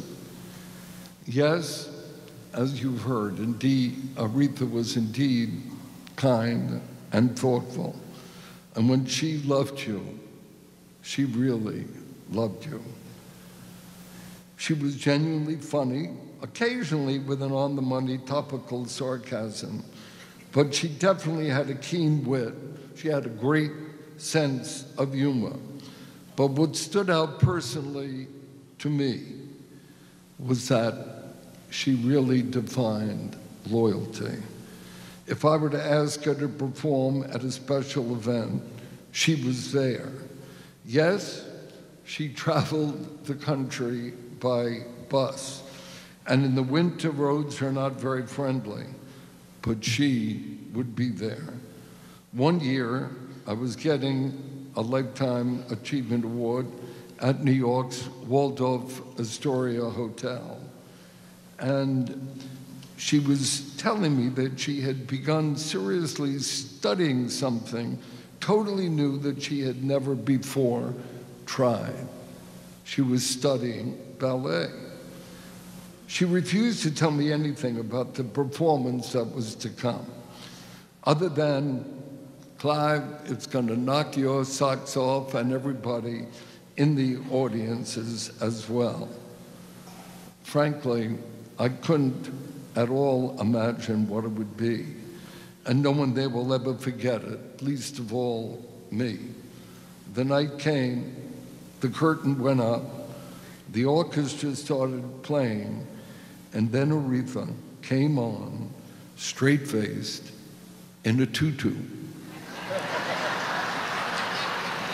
yes, a tutu. There was the Queen of Soul, accompanied by members of the City Center Ballet Company, she doing well rehearsed pirouettes and dancing with most impressive agility and dignity. It was wonderful. My friend Aretha was going to extraordinary lengths to make sure the night would be a night always to be remembered. And hopefully, this reveals to you the incredible wide ranging quest for knowledge that Aretha had. She studied classical music at Juilliard. She loved opera, and of course, her performance without notice of Nessun Dorma at the 1998 Grammys. You all remember that, you'll never forget it. That truly will always show that there is nothing that Aretha could not inimitably master. And of course, her commitment, as you've heard all afternoon, to political activism is well known, as is her famous quote I have the money, I get it from black people, and I want to use it in ways that will always help our people.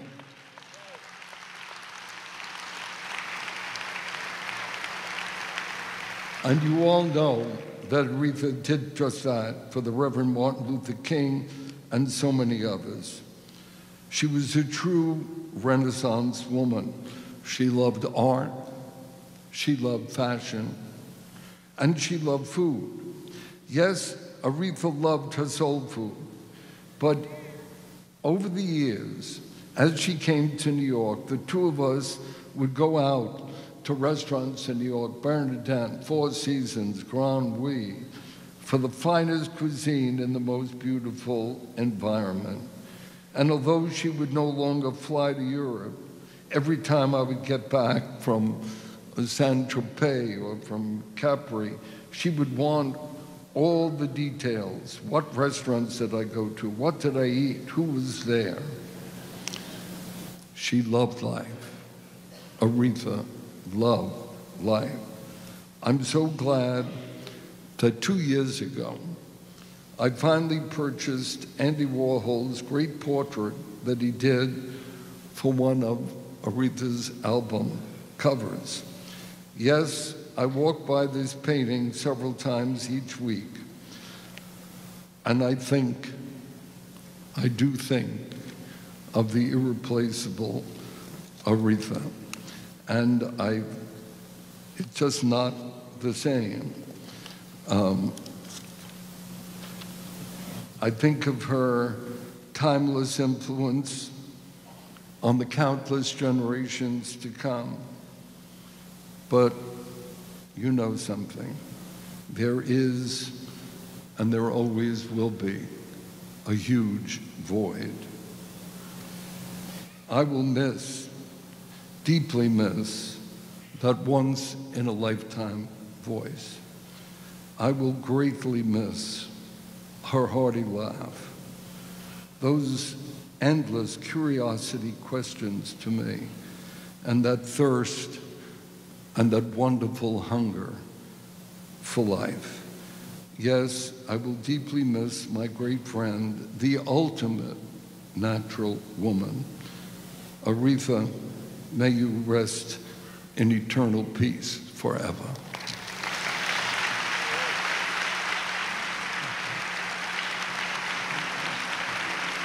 Would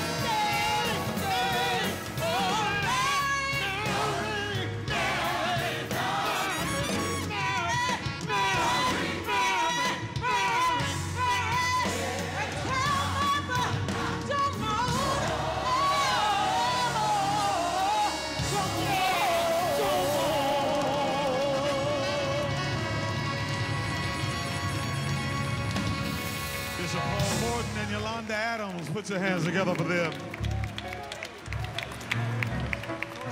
Coming now to the close of our remarks, we call on now for the queen of the radio here in Detroit, Mildred Gaddis, to come. She'll be followed by the best point guard, pound for pound, ever to play in the NBA. Detroit's own two time champion, Isiah Thomas. He'll be followed by Ron Moulton, personal friend, franchise owner, McDonald's Restaurants. And then the one and only Michael Eric Dyson, professor of sociology, Georgetown University. Let's receive these four. Give them a hand, please.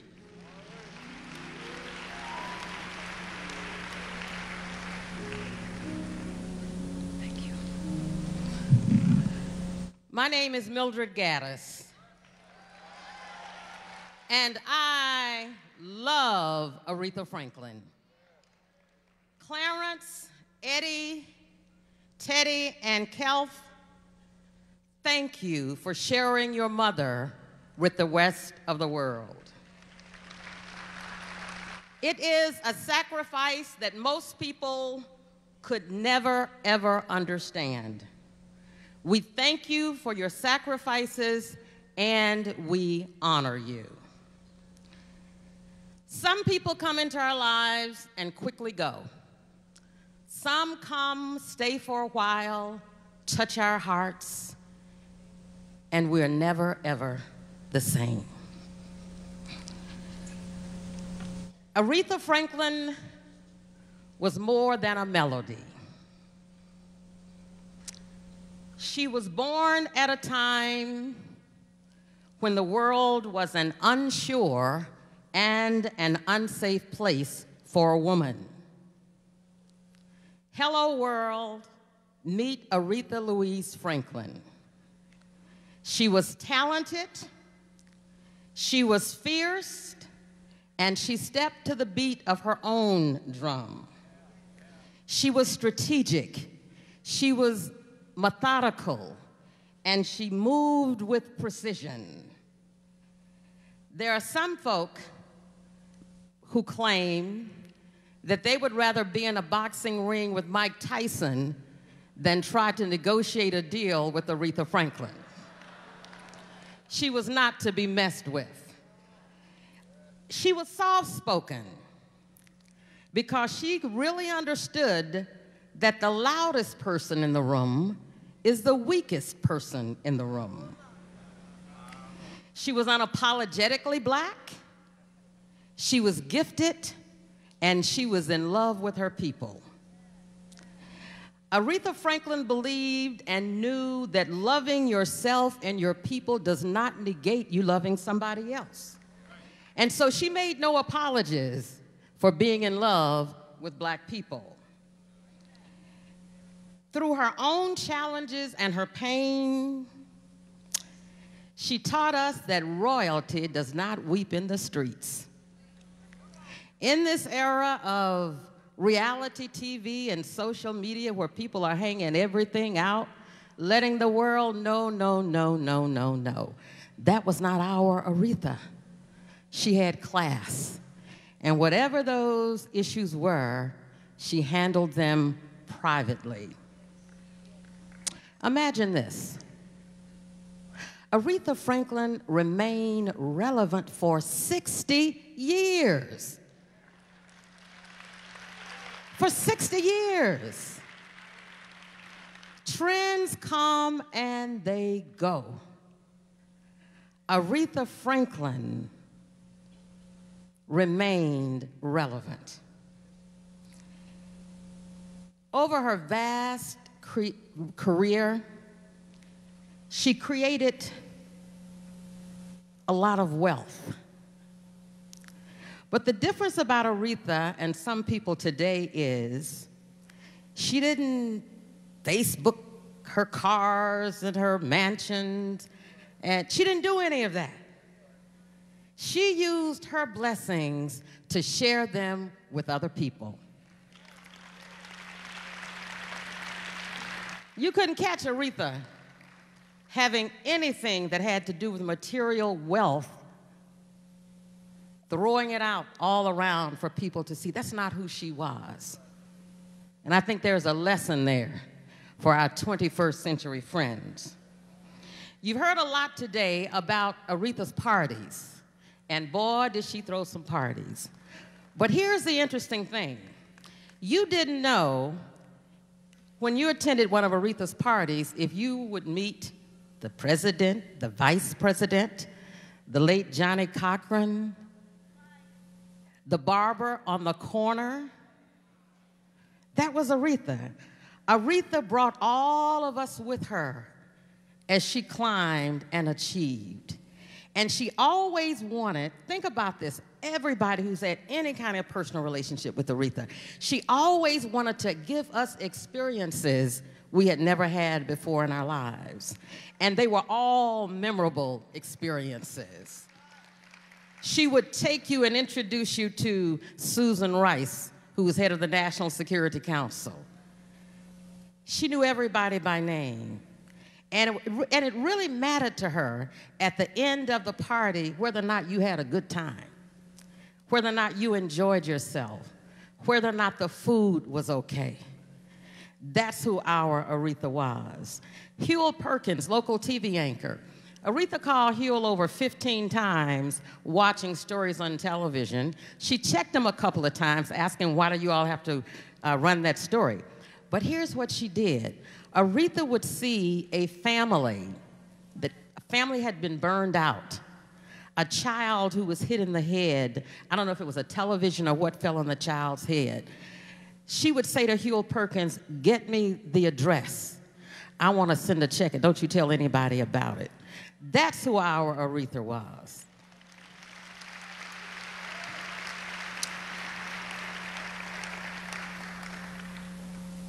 Not very long ago, Aretha called me one night. And the, the first call was, and whenever we talked, it would be a brief, most of the time it was a brief phone call. This night, it was a five minute call. And within three minutes, Aretha called me back. And during that call, she talked about friendship. She talked about loyalty. And she talked about the future. It was a long conversation. And she talked about her long, long, long friend, Beverly Bradley, who, who was more like a sister friend as opposed to just a friend. And ladies, I want to tell you, we all need a Beverly Bradley in our lives. Because it was Beverly Bradley who, near the end, stopped her life, moved in with Aretha, and took care of Aretha and loved her and nurtured her and kept her happy. So much to the extent the nurses reveled at what they saw whenever they would come to check on Aretha. That's what true friendship is about. That's what loyalty is about. And that is what love is about. And when it became clear that the end was near and that there was a need to stay close to Aretha, Beverly told Aretha, I'm going to ride this one out with you. And she did just that. Beverly, we love you. We thank you.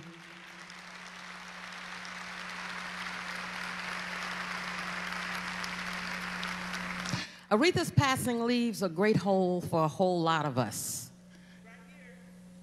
For a whole lot of us.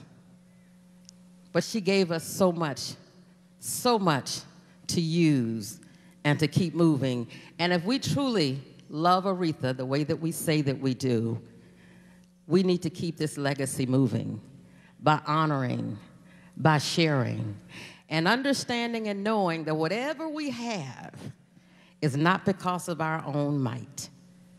Like Aretha, God gave it to us for us to share. I will, I am grateful for the friendship, Aretha, for the love that you've shown me. I bid you a good moving.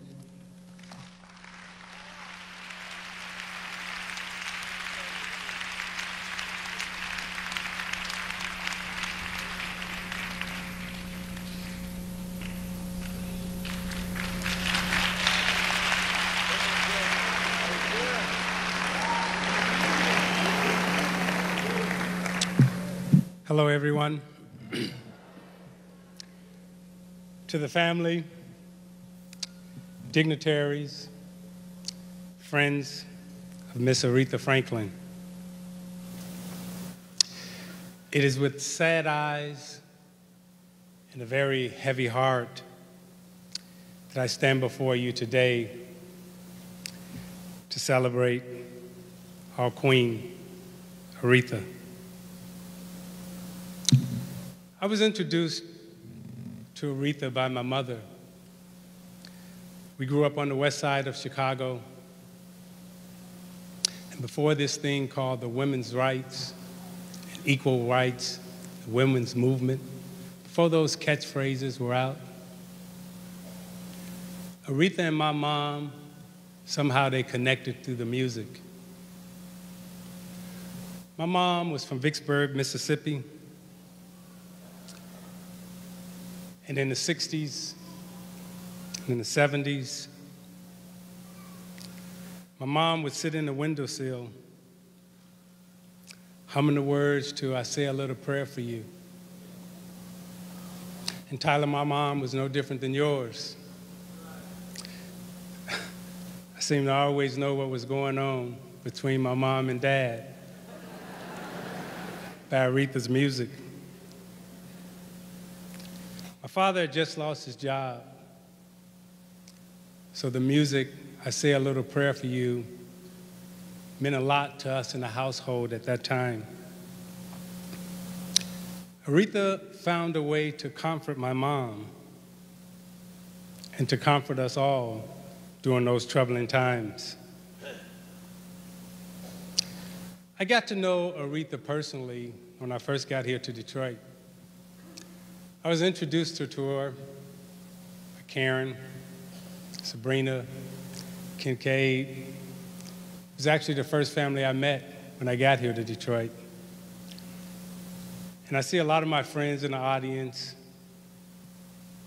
and I know a lot of you are smiling and thinking about how I was when you first met me. And how naive I was about the world, about this thing called celebrity. I didn't know how to pay my bills. I didn't know how to pay a phone bill, electric bill. I knew nothing. And this family took care of me through some very tough times. I was honored to get to know Aretha, and she had a great love for sports. She loved the Detroit Pistons, and I know I was her favorite bad boy.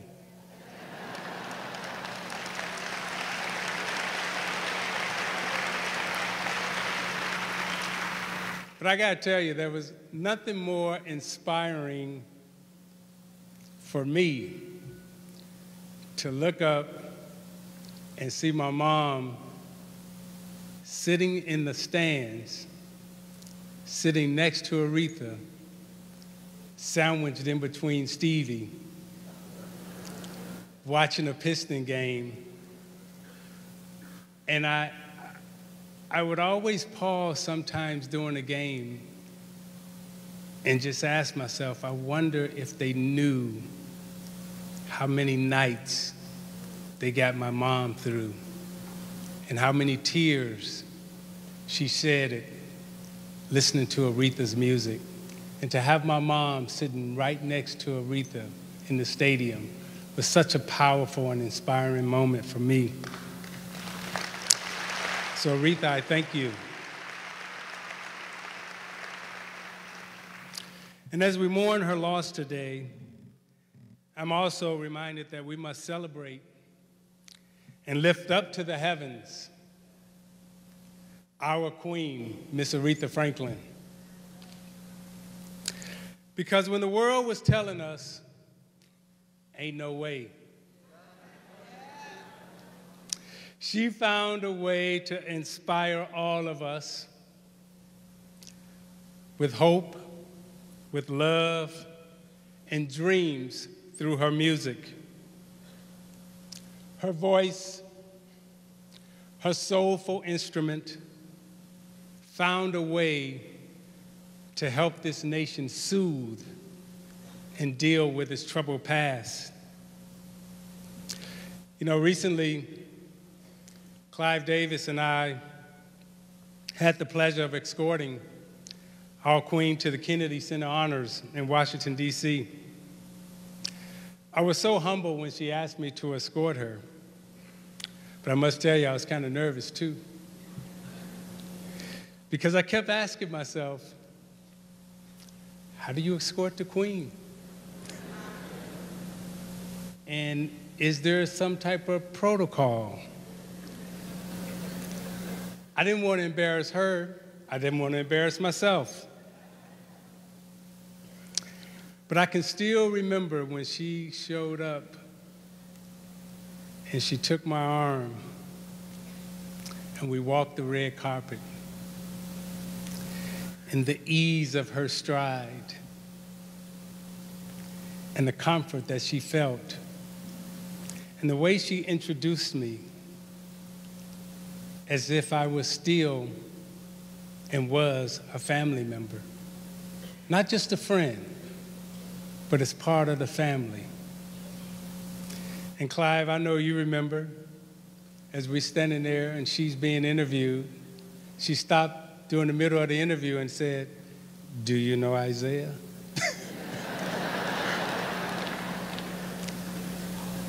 she always found a way to make us all feel comfortable and make us all feel good.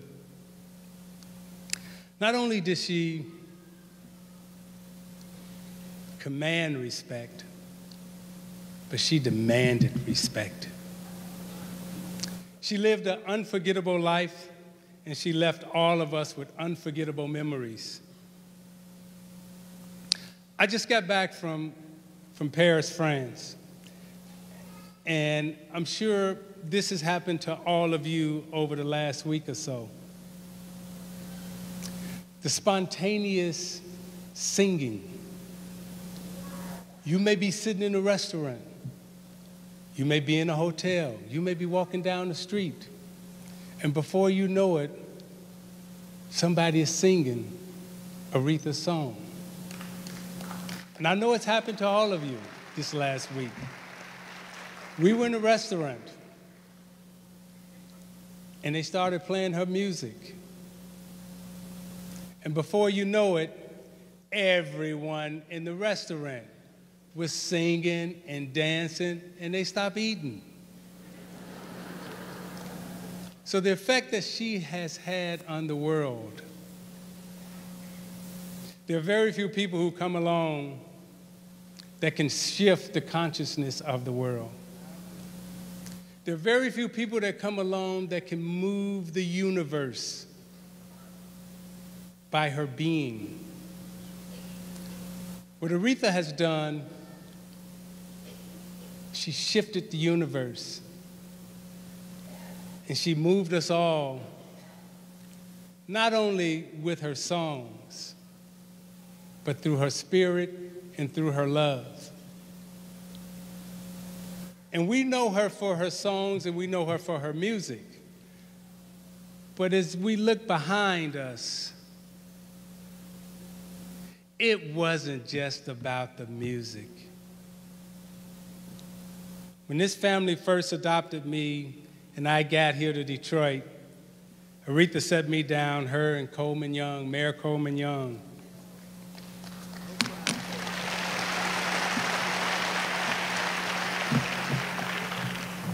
And they kept asking me, What are you going to do? What are you going to say about Detroit. And they taught me about Detroit. And they gave me the courage to speak on race, class, and gender while I was a champion.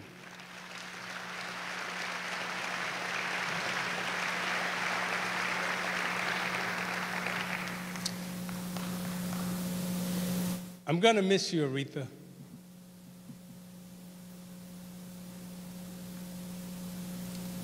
I'm gonna miss our phone calls. I'm gonna miss your words of wisdom and advice. The world is gonna miss you. I want you to know I love you. The world loves you. And most importantly, Aretha, Detroit loves you. Thank you.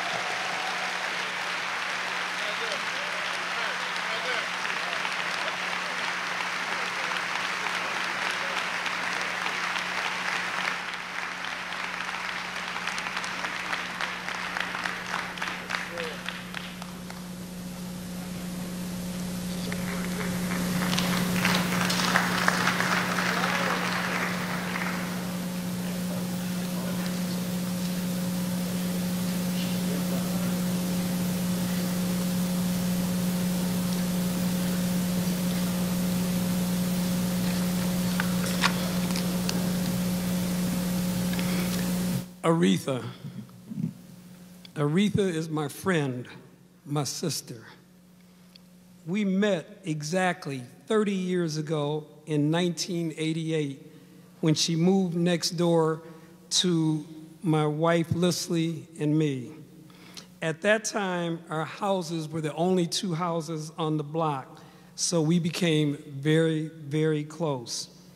When I say Aretha is my friend, my sister, keep in mind that she was a single, rich, black woman living in a huge house by herself. There are not too many women that will call you up at 1 a.m. in the morning to come over and make sure her house is secure. And then every time after I finished checking out the house, she would just start talking about her two favorite topics politics and her sons. Then she would usually end up, oh my God, singing and playing the piano in her pajamas, sometimes till 2 and 3 a.m. in the morning. Not for me, just that was her, her music. She's just sitting there in her element. Whew. Now, of course, just so you know, my wife always okayed me to go over there. Be- no, no, because of her love for Aretha. And I know that to be true because she has never given me the okay to go over any other woman's house at 1 a.m. in the morning. Aretha was a giving person. In 2003, I asked Aretha if she would mind stopping by the assisted living home where my mom lived for her 90th birthday and if she would stop by and just say hello to my mom. I mean, that would be a big treat for my mom. Aretha said, I'll think about it. On my mom's 90th birthday, Wednesday, December 3rd, 2003, Aretha showed up at the assisted living house with her sons Teddy, Eddie, Brenda, Sabrina, backup singers, a full band, and performed for one hour for, for all the residents in the assisted living home. And then, and then she topped it off by singing happy birthday to my mom. Ugh. You ask Aretha for a little, and she will always give you more than you ask for. Family, I will never forget that day in my life. Leslie and I traveled with Aretha on her bus. oh, that bus. From Detroit to New York to Los Angeles and around the country. Of course, that was just the first year only because you learned very quickly that Aretha would not allow the air conditioning on the bus because of her voice. So you learn to start flying and meeting Aretha at the final destination. I think Tyler Perry said that her dressing room was very hot. that bus was even hotter. She changed my life, my friend, my sister. That's what real friends do. Going to the Grammys with her year after year, to the Rock and Roll Hall of Fame when she was inducted, to the White House. I could go on and on. The people that I've met through Aretha, the presidents, the famous entertainers, and athletes that grace our presence today, or award winning record producers like Clive Davis, or the great educator and author Michael Eric Dyson. People that I've met over the years, all people that I personally really admire and respect. There are also people that I've met through Aretha that many of you have never heard of, and I admire and respect them also, such as her security detail. Security, if you've ever been part of Aretha's security, stand up, raise your hand in honor of Aretha. You know who you are.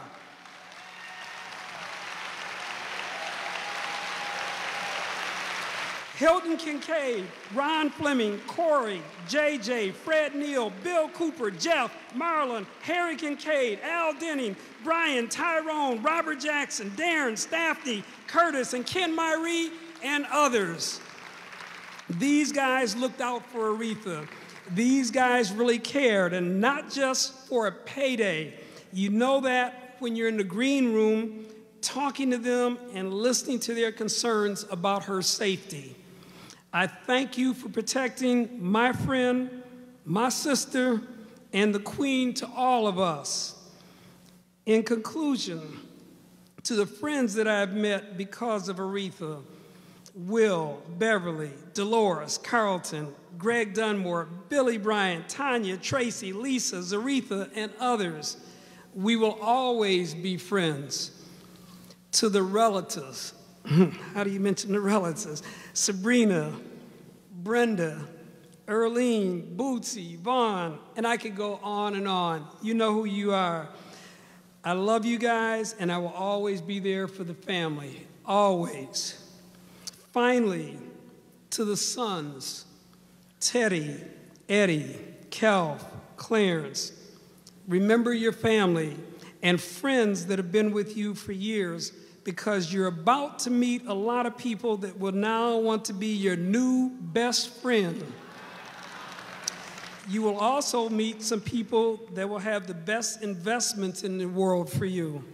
My advice go slow, be careful, and be smart.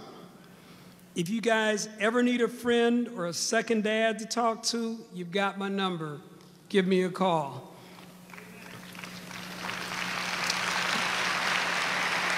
To Aretha,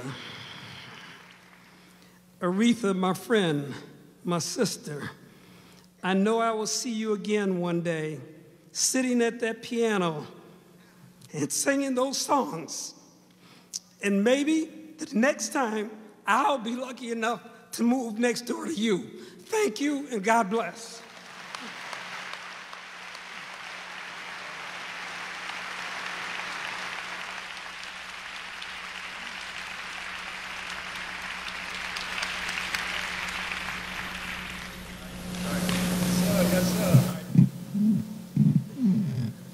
To Bishop Ellis and Reverend Smith, to President Clinton and her husband Bill,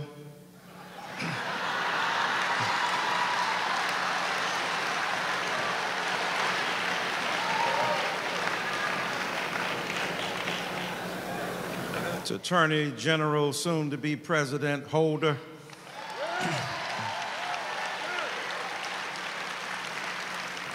And to Reverend Jackson and Minister Farrakhan.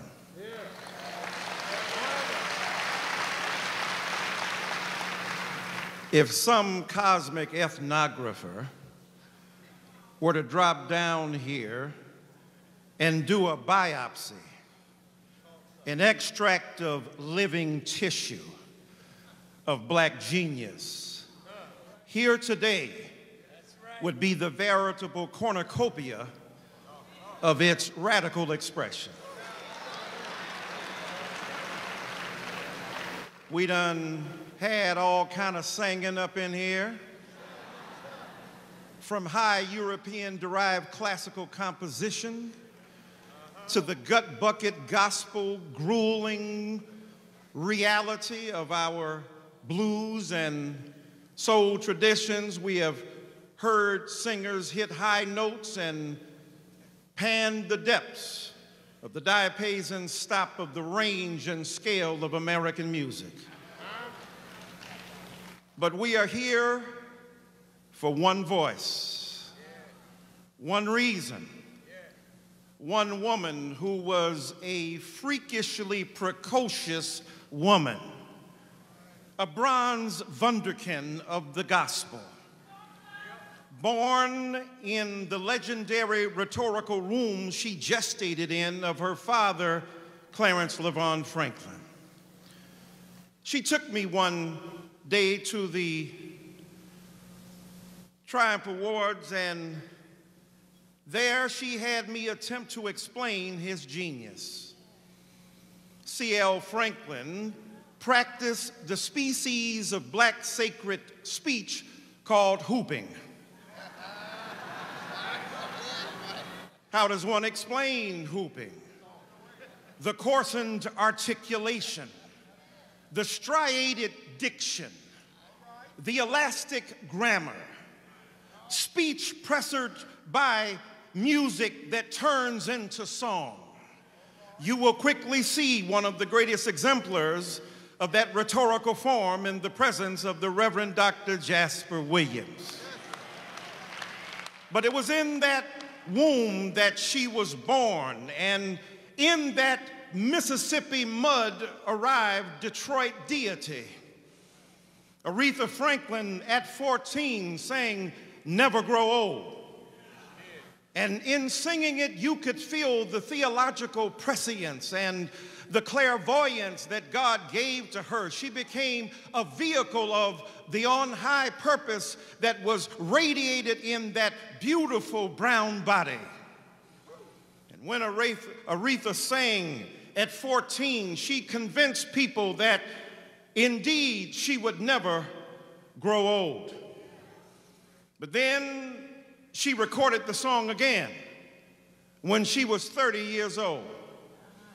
And in recording that song on her epic Amazing Grace, where she gave us a vision of a return to the gospel world that her father claimed she had never left anyhow. And then when she sang that song about five minutes and 21 seconds in, on a nine minute and 57 second song, you felt the volcanic eruption, the glissando, the melisma stretching a single note across several syllables so that she could articulate the deep and profound realities that only song could capture. Aretha sang that song at 30 in a different way she sang it at 14. Why is that? Between 14 and 30, there was a whole bunch of living. She never loved a man the way she loved that man. She said, if you're going to be a man demanding a do right woman, you better be a do right man. Now, we know the great scholar Farah Jasmine Griffin speaks about the inchoate feminist perspective, never calling her feminist because Aretha Franklin never called herself a feminist, but she had feminist sensibilities. The independent, autonomous reach of black female identity was regnant in her rhetoric.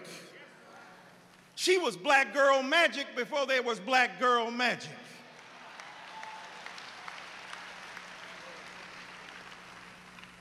And So between 14 and 30, there was a lot of living. There was a chain of fools that she was conscribed into. There, there was the reality of the hurt and pain, the ardor, the ecstasy, the suffering, and the reality that we had to confront as a black people. And don't get it twisted, she was black without apology or excuse.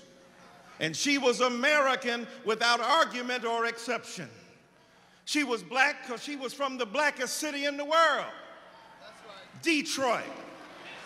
I know y'all jealous. You from Chicago, Philadelphia, Pittsburgh. You good, but you ain't got the D. Dot and Etta's Shrimp Shack, Faygo Red Pop, Vernors Ginger Ale, Coney Island Hot Dog.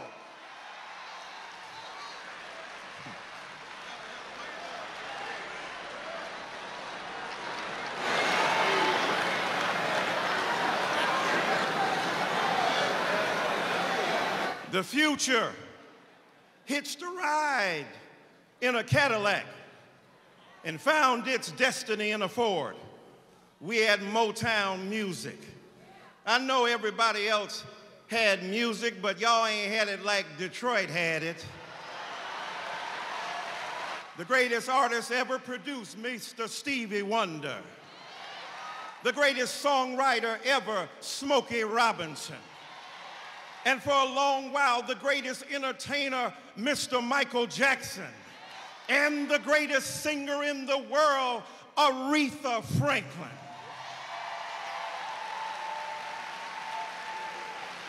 She was an edifying thief. She took other people's songs and made them her own. When Otis Redding heard her sing, he said, She done took my song. Oh, yes, she did, and he was glad she took it because she spelled out in a way he never spelled out respect. She had to articulate it and enunciate it so folk could understand what she was talking about. Then, in that belly of blackness in Detroit, without apology or excuse, that embrace of her blackness led her to be political. We got all kind of music now that ain't got nothing to do with nothing except cars and money and glory. I ain't mad at that, but she was about getting Angela Davis out of jail. She was about working with Martin Luther King Jr. and Jesse Jackson and Al Sharpton. She was about transforming the existence of black America. Now Negroes scared to say they black. Scared to show up at a two black place. That's why some black folk ain't here today. They sending letters. They don't want to get up in this blackness. They don't want to feel the nasty power of this blackness. We are black in Detroit. We don't care. Take your shoes off, dip it in the water, get baptized.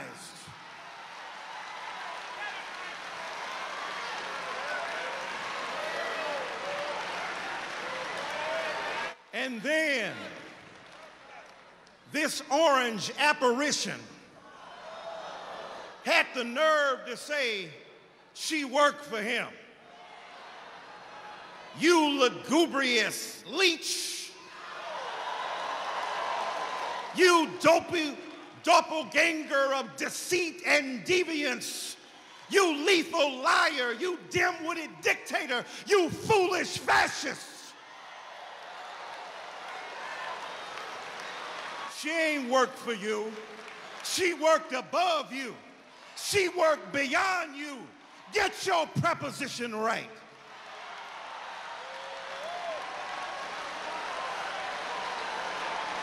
Then he got the nerve to say he gonna grab it. That ain't what Aretha Franklin said. I'm gonna give you something you can feel.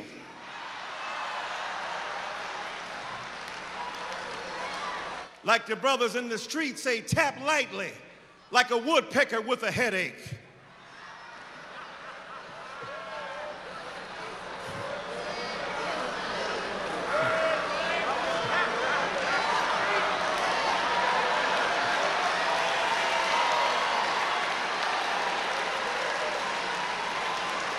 And so, don't you sully the memory of our great queen.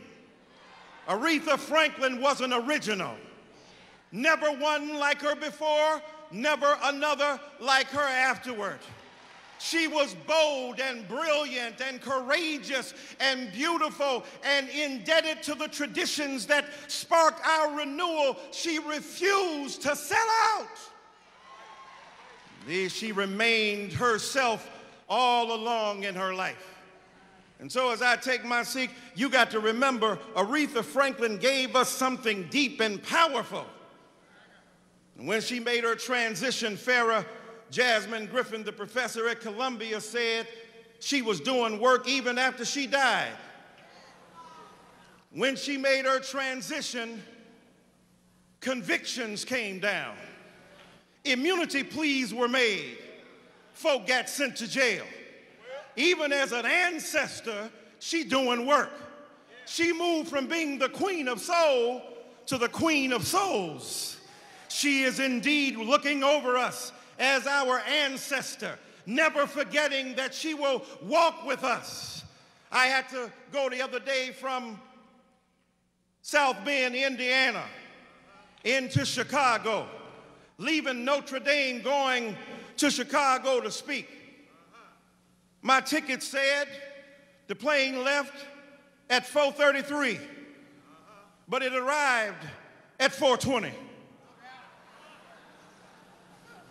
I had landed before I took off.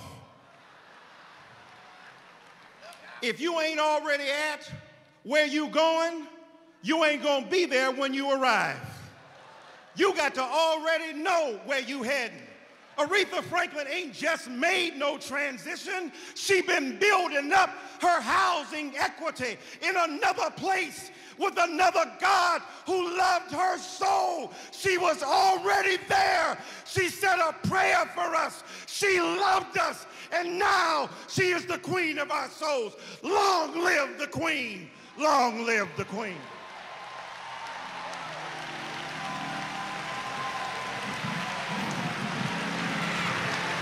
The one and only Reverend Professor Eric Michael Dyson. Michael Eric Dyson. At this time, we will have Jennifer Hudson. She will come with Amazing Grace.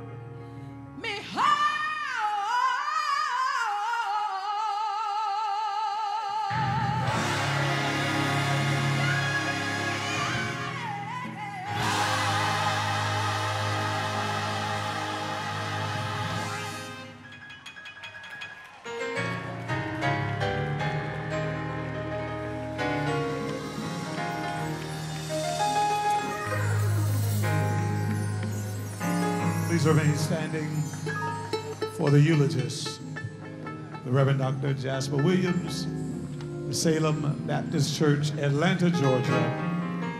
This is the family eulogist, eulogized her great father, her sisters, brothers, and now the Queen.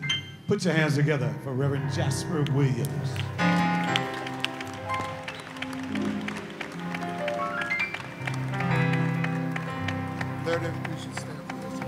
34 years ago, um, almost to the day, August of 1984, a little more upstairs, if you will. 1984, thank you. I was privileged to deliver the eulogy for Dr. C.L. Franklin. And I opened that eulogy by asking everybody who was there to join me in his prayer hymn. And that was the way we opened it up. I'm going to ask the songbird of the South, Dottie Peoples, to accompany me. Father,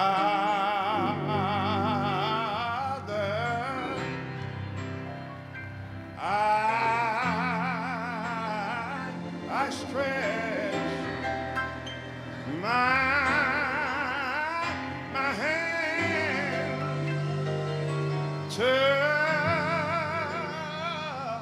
to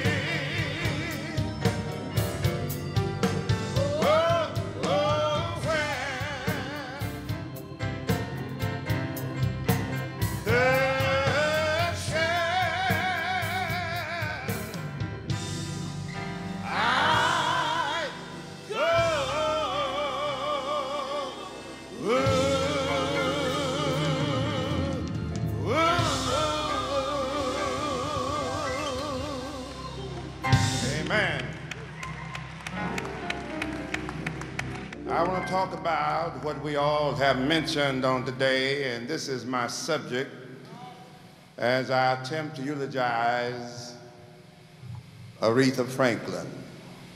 My subject is Aretha, the Queen of Soul. Aretha, the Queen of Soul. Repeat after me, if you will. Aretha, the Queen of Soul. Sometimes during the month of May in 1964 at the Regal Theater in Chicago, Illinois, a local disc jockey by the name of Span Cooper officially anointed and crowned Aretha the Queen of Soul. But I have come here today to tell you, the people of the earth, that God crowned Aretha Queen of Soul long, long, long time ago. You may ask when, I'll tell you when. Back before the morning star, back before the sons of God cried out for joy. Before that was a when or a where, a why or a which, a this or a that, God crowned Aretha Queen of Soul. We see that here in the second chapter of the first book of the Bible, Genesis chapter 2, verse 7 says, And the Lord God formed man from the dust of the ground and breathed into his nostrils the breath of life, and man became a living soul. In this one verse, do we see the total being and makeup of mankind? This verse alludes to the trichotomy of man, that man is made up out of three entities. And it lists these entities body, spirit, and soul. It says, And the Lord God formed man from the dust of the ground. That's man's body. In the Greek, it is soma. And breathed into his nostrils the breath of life. That's pneuma, translated spirit. And then it says, And man became a living soul. That's suchi, or the inner man, his emotions, his will. Man became a living soul. And so, this word form, God formed man, it's like that of a potter that takes his clay and shapes it so as to form the vessel that he is trying to make. And this is saying, in essence, that God was totally involved in the fashioning of mankind, that God took that dust of the earth, took it and formed it and shaped it, configured it until he got it like he wanted it to be. And then God stood it up because it did not become he until he breathed into its nostrils the breath of life, and then he became a living soul. So then, this is saying, in essence, as it relates to all of us, I am a spirit, I have a soul, I live in my body. I wish you would just repeat that after me if you don't mind. I am a spirit, I have a soul, I live in my body.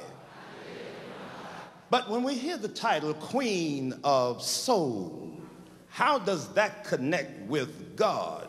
Queen of Soul. Well, this title comes from our black culture.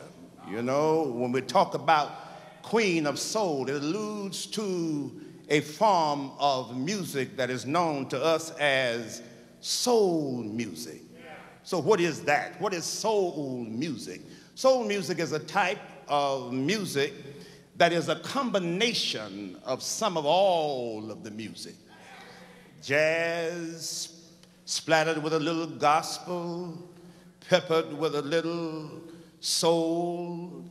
Has all kinds of rock, and then meshed into an urban rhythm kind of blues is soul music. So, with all of the various musics wrapped up into soul music, that's evidence of the fact that there must be a God somewhere. But what does this word soul mean? What is soul? I think it is appropriate right along through here if I would allow Aretha's father, the late Dr. C.L. Franklin, to come and stand before us and tell us Dr. Franklin, what soul is. Because back in 1955, Dr. C.L. Franklin created an album that was called the 23rd Psalms. And when he got to verse 3, where it says, He restoreth my soul, he said something I would like to quote. He says, and I quote, Soul is pretty hard to define. Nobody can really say what soul is. He said, as close as we can come to defining soul is to say that soul is that part of man that is a little bit like God. That means then that God in man is soul. Again, God in man is soul. Thank you, Lord. And so when we come down to this thing called soul today in our world, we look at our world as it is flowing and going and moving, and it is quite obvious that with the world moving as it is, that mankind is moving toward losing his soul. One day back in the days of slavery, there was this slave owner who was getting ready to travel abroad, and he called his top notch slave and said to him, John, I'm getting ready to go overseas, and I'll be gone for some several months, and I want you to take care of my child. I want you to take care of my child clothes, take care of my child's shoes, take care of my child until I return. And then some several months went by, and John saw the boss coming down the road and ran to him and got down on his knees and said, Master, sir, here are your child's clothes. I washed them, I rinsed them, I ironed and I folded them neatly. Master, sir, here are your child's shoes. I shined them and I buffeted them. But, Master, sir, I lost the child. I lost the child. One of these old days, that awful day, will surely come upon it. I will make haste when I must stand before my judge and give and face that solemn test. That would be a critical time for some of us because we will say on that day, Master, sir, that body you gave me, I cherished it. I bathed it. I showered it. I washed it. I brushed the teeth daily. Master, sir, I put colognes under the neck and perfumes on my body. I anointed it with precious creams and ointments. Master, sir, I wined and dined the body you gave me. I laid and played in the body you gave me. I huffed and I puffed with the body you gave me. I joked and I jest with the body you gave me. But, Master, sir, I lost my soul.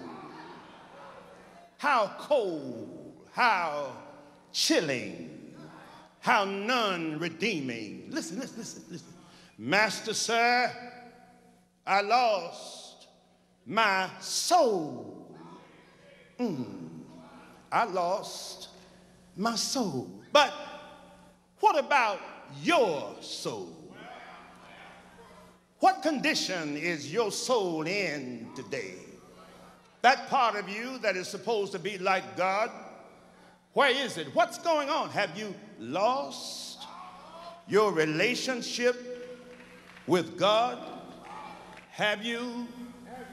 Let me tell you this 100 years from this moment, it'll make no difference about how much money you got in your bank account.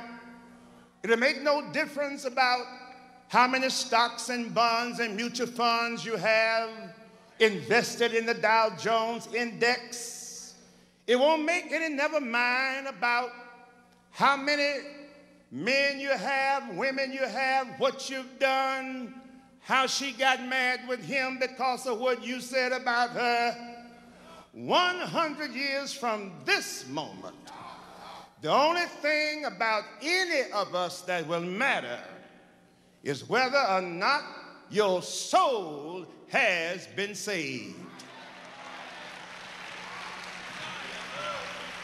That's all.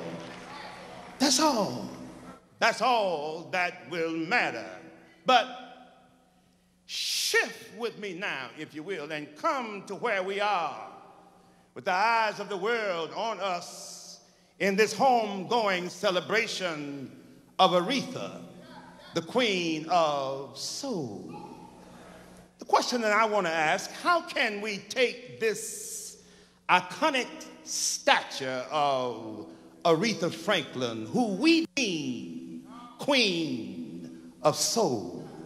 I mean, how can we walk out of this room today and say that it is Aretha's life, it is Aretha's legacy that has brought about real, true change in our world on today? I mean, how can we do that? How can we say that her life and what she has involved herself in while here on earth, that in this moment of the last day of the month of August 2018, when we carried her to her final resting place, true change came to our world. How can we immortalize the queen of soul? Well, right in here, we see the United States of America, the land of the free and the home of the brave. If we can see the black America, the African American community, if we can just remove the veneer, take away the prejudice, lay aside the biasness, and take a good, clean look at where we are in black America. If we are truthful, honest, and fair, we will have to say that black America has lost its soul. The one thing that black America needs today, more than anything else, is to come back home to God.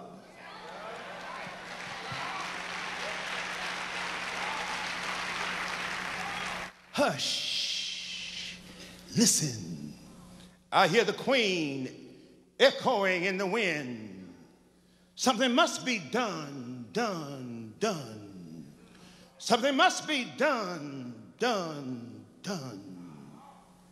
Something must be done, done, done. The queen is wanting to issue her mandate. She's wanting to sign her executive order.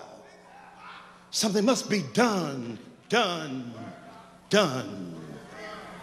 You may not know it, but Aretha did an awful lot for the civil rights movement. You've heard the various speakers talk about how she worked for Dr. King and took no monies for her services, how she mounted that podium and sang, Precious Lord, take my hand when we buried him back in 1968. And one of the other main things that I don't think too many of us uh, may have recognized, but it was Aretha who spoke out and delivered Angela Davis from the awesome situation that she found herself in. And the thing that I remember about it is that my uncle, Reverend A.R. Williams, in Memphis, Tennessee, was close confidant, bosom friend to Dr. Franklin. They, they played checkers every day. It was a time for them to kick back, unwind, relax, and talk smack one to another. And I remember Uncle Buddy, that's what we called him, talked about how it was that Reverend Franklin was disturbed about how Aretha went and got Angela Davis out of jail. And he hadn't heard that she was connected with communism. And he did not want that to be a blight on his church and a blight on his ministry. And he pumped Aretha. Why did you do that, Aretha? Why did you? And she, out of hysteria, said, Daddy, she is a black woman and had nobody to help her, and I wanted to help her. Period. So I hear a voice again rumbling through the echo of the wind. Something must be done. Something must be done. Something must be done. No one can deny that black America, there is truly a need in our race.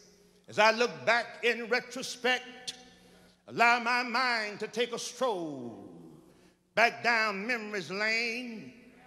There was a time when we as a race had a thriving economy. I remember we had our own little grocery stores. We had our own little hotels. They weren't big and fancy, but they were ours. I remember we even had our own little banks. Ladies and gentlemen, as bad as the days of Jim Crow and segregation were, the one good thing out of segregation that it did for us, it forced us to each other instead of forcing us on each other. And we quickly come to realize that as a people, all we really have is one another. But when we marched, when we protested, when we got through singing, we shall overcome. Yes, we were rewarded with integration. We got what we fought for, we got what we marched for. But with the birth of integration, there also came the loss of not only the black community's economy, but there also came the loss of the black man's soul. Oh, you ain't got to say man. I know I'm preaching to you. We lost. We lost our soul. Oh, God, Jesus, help me today. We lost our soul. Where is your soul, black man? As I look in your house, there are no fathers in the home no more. Where is your soul? 70% of our households are led by our precious, proud, fine black women. But as proud, beautiful, and fine as our black women are, one thing a black woman cannot do a black woman cannot raise a black boy to be a man. She can't do that. She can't do that. She can't do that. Black man, where is your soul? A study was released not long ago uh, by Tuskegee Institute, and in this study, it showed how the Ku Klux Klan has killed 3,446 black people over an 86 year span of time. That's an awful lot of black people for anybody to kill. But the study also revealed that black people killed that number of black people not once a year and not 86 years, but every six months. So you multiply times two, the 3,446, that means